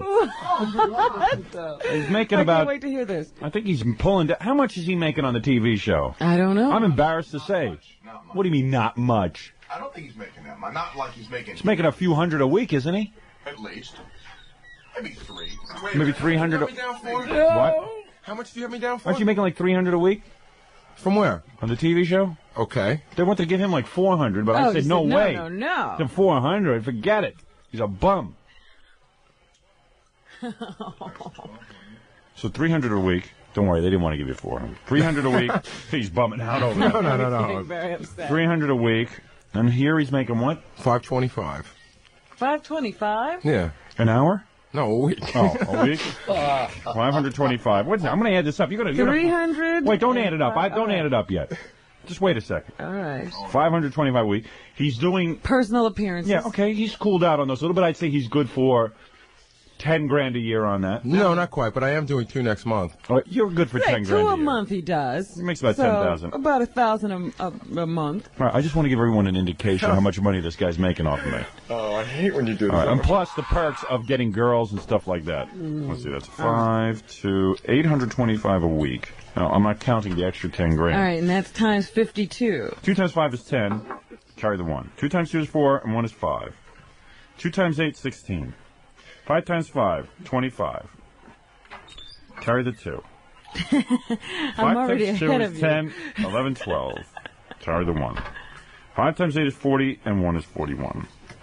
All right? Grand total 70, $78 million. No, no, no. Five, zero and zero is zero. It's 42,000. Wait a second. nine hundred dollars. About forty-three. Now add 10,000 to that. Add ten thousand. That's fifty-three. Fifty-three thousand dollars a year is what you're making. Yeah. Hold on a second. What? Okay. Hold on a second. What? Fifty-three Wait, I have a defense dollars here. a year for doing nothing. Yeah. I have a defense here. Yeah. This, and there's a reason why. Yeah. First of all, You drive me crazy. hold on. I made that. I made that three hundred dollars a week for only the last five or six weeks, and after this week, I won't make it anymore. So you adding that in as if I made it for a whole year. I only made it for six weeks. All right. Well, keep it down. but Got a then- Wait a point second. here. You were working for uh, my syndicated radio show. You were making big money on that. Oh too. yeah, buck and a half a, a week, man. I was going nuts. Uh, you can, he- he's He, making. uh, yeah, but Howard, he was man, doing a lot ruining, more you're ruining personal this for me. You don't understand. I keep making big money for you. Yeah. You're ruining this for me because I'm about to to to hit uh, Tom up for a raise, and you're ruining it for me. Oh yeah, you should hit him up for a raise. Because you know you, you deserve it. Don't you think so, boss? Get out of here, you idiot! Before you get a raise, no one's getting a raise here. I'm getting a raise before you. Get out of here! How dare you? I shouldn't talk for four hours till I, till I, I, I, I, I can't even talk to my family at night. and He's going to get a raise? You're out of your mind. Dingleberry breath. Oh, wait a second now. What? Wait, here we are. Here we are. How dare you? We're in Philadelphia. We're really hot show. We are in We- Philadelphia. Well, I think I helped. What do you to- mean, we? Yeah, we. White man. Yeah, we. I think I helped to. Just get out of here before I get sick. Sick to my stomach. Don't argue a case. You know what he does? He likes to argue his case on the air, and then when he goes to Tom, because he's a worm in front of Tom. I am. Why don't you go peddle ice cream like your old man? Oh, you want our raise? There's a good second job for Yeah, you. go work on the ice cream truck with your father on weekends. What's he got now? Uh, Haagen Dazs? Steve. Steve's. Yeah, go in the Steve's truck with him. Well, yeah, you should get a, a little something. Tom should give you a little something. Just a little bit. I'm not greedy. You know what he does? He comes in here. He doesn't have the balls to ask Tom for a raise, so he does it on the air. On the I've been working up to it for like a month now, and every time I get along with him when I'm about to do it, Something goes wrong. well, he always finds something that I'm doing wrong, so that I can't ask him. that's the whole thing. You gotta surprise them. Let me hear you go ding-a-ling, ding-a-ling. Ding-a-ling, ding-a-ling. Yeah, for the ice cream truck. He practiced. Oh man.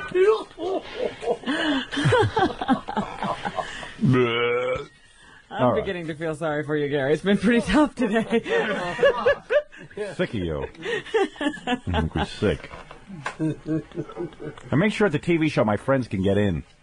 What's the problem here? Oh, what's the problem? While here? we're at it, for, for fifty-three thousand dollars a year, you think my friends could get into the TV show? Who couldn't get in? A friend of mine, Tim, Tim the trainer. Yeah. he couldn't get in? They they stopped because he showed up at five o'clock. They, the guy, the security uh, guard, uh, they wouldn't let him in. I, I said, well, if people who are on my list should be able to Yeah, get but in. this, at that point, let me tell you something. They when they let Get out of here! You No, make me no. sick. Don't, don't, don't give me that. Just get out of here. the security guard doesn't know. He doesn't have the list. The person with the list You closed. up- stay with the security guard. How dare you? Oh, get out of here. How can I stay with the security guard and hold your water at the same time? You just do it. You just hold your water, my friend. Because when I get through with you, Oh, man. You've had it. You enema bag face. Enema bag breath.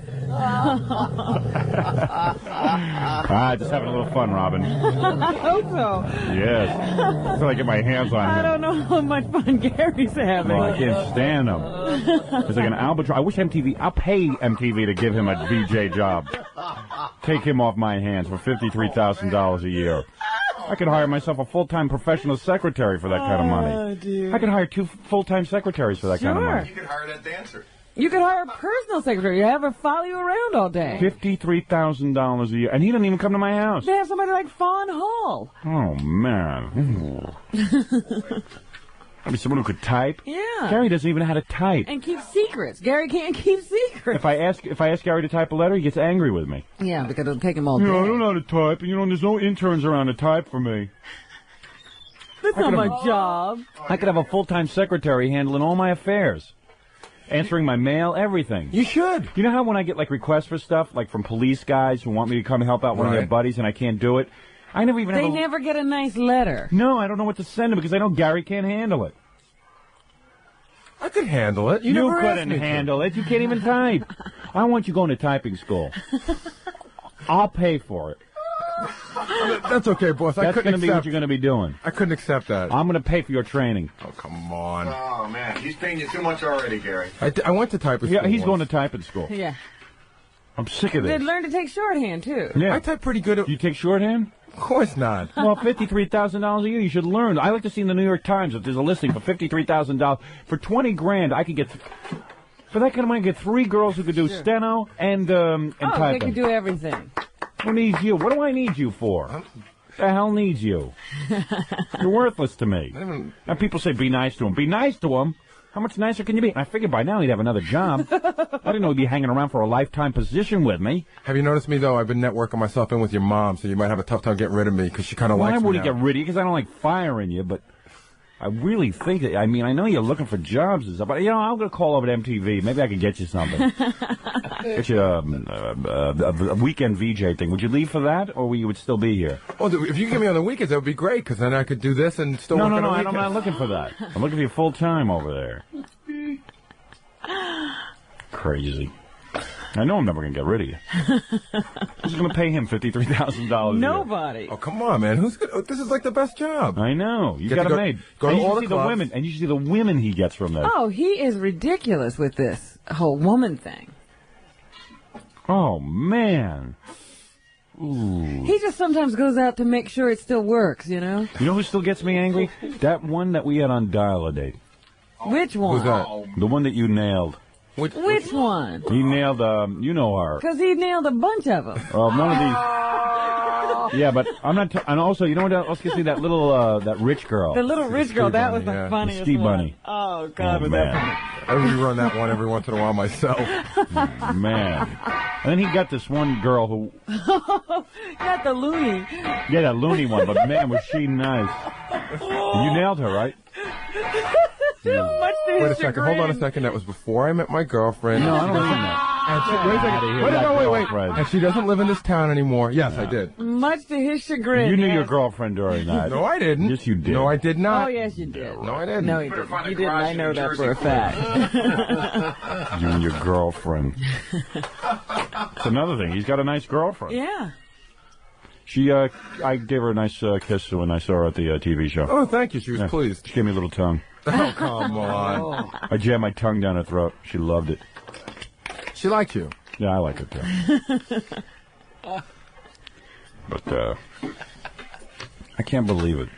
He gets all the Tukey Oh, goodness. because Fred don't take it. Fred don't want it. Fred runs away from it. He, Yeah. He's in a cart with it and won't Fred's take afraid of Tukey. Jackie, of course, is spoken for. Yeah.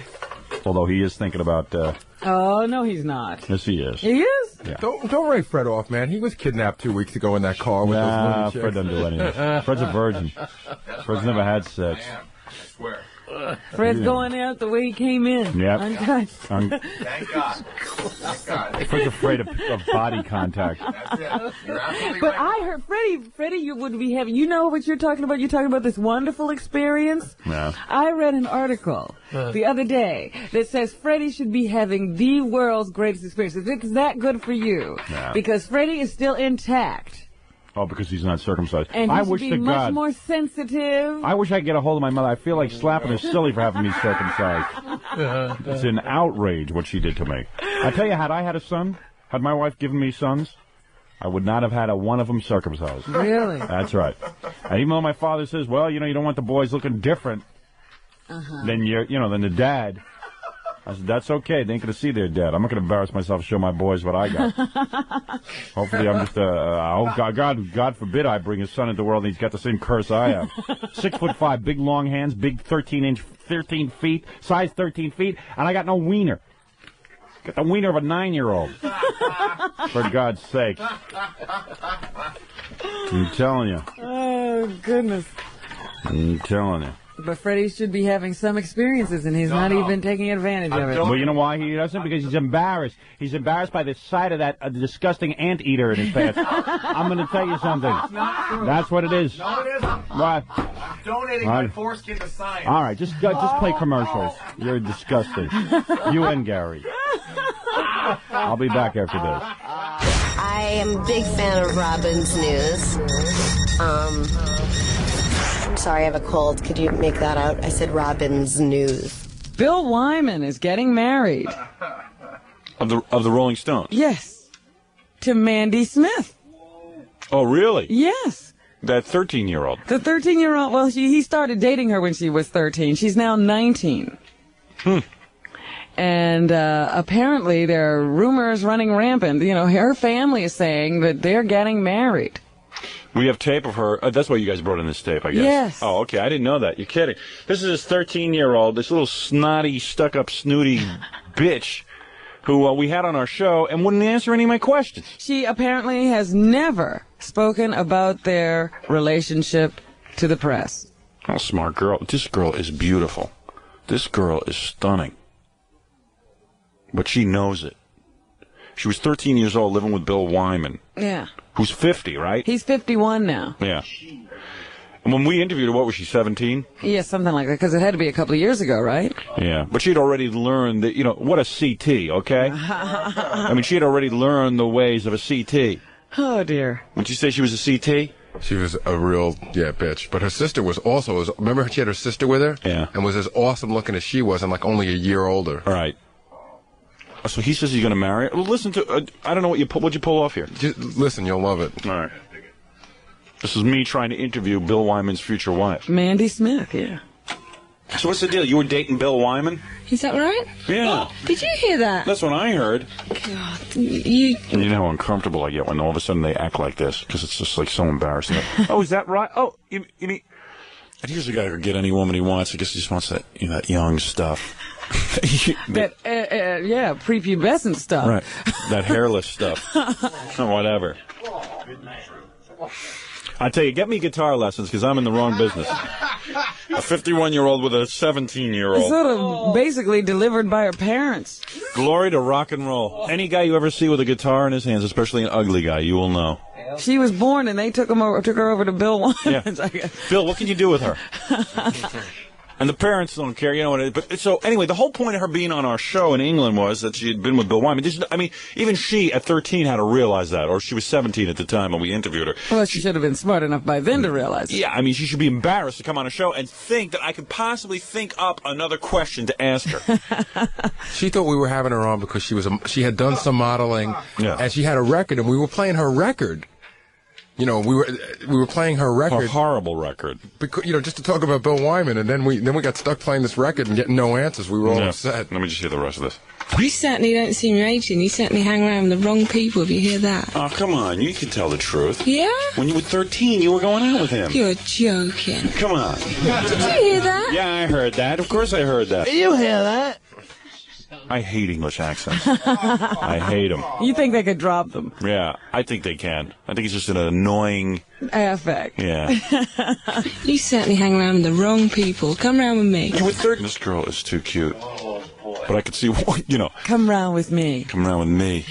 I'm sorry, I'm not 51 years old. and I'm not a rock star. You hooked up with Bill Wyman. Oh man, your mother let you do that? Who said that? You must be an orphan. And she's being, she's smart. She's like kind of being coy on the air, Right. but she left there, man. She wanted nothing to do with us, and I loved it. I loved it. It gets a little bit better. Okay. It kind of builds. Yeah, I remember her getting progressively more annoyed because you know we, we asked her once or twice, and she kind of handled it cutely, and then it was like, okay, why is this guy badgering already. me?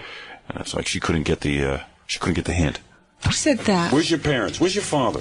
Hey, look, that's Who's that other blonde you came in with? That's none of your business. Who's the blonde you came in with? Who's that? Your sister? That's right, it's my sister. That is your sister? How old is she? Mm-hmm. She's 19. I'll get her in here. I'll talk dirty to her. No, seriously, come on. How did you meet Bill Wyman? I'm curious. Who said I met him? You were going out with him. What are you talking told about? you? I read it in your. I read it You read it where? in the paper. And wh- what papers? Well, you met him. You knew him. Yeah, right. Oh, I see. So you, you don't want to talk about it. That's right. Oh man. It's This a Rolling guy, Stone. suppose she's writing the book. Are you writing a book about it? Oh, come on. Let me tell you Give me some credit, Let me please. tell you something. Give me some credit. For I what? don't know what that means. What's the big deal? She's denying even knowing him.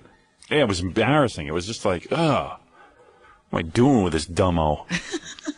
you know, sometimes I got to interview some real dummies.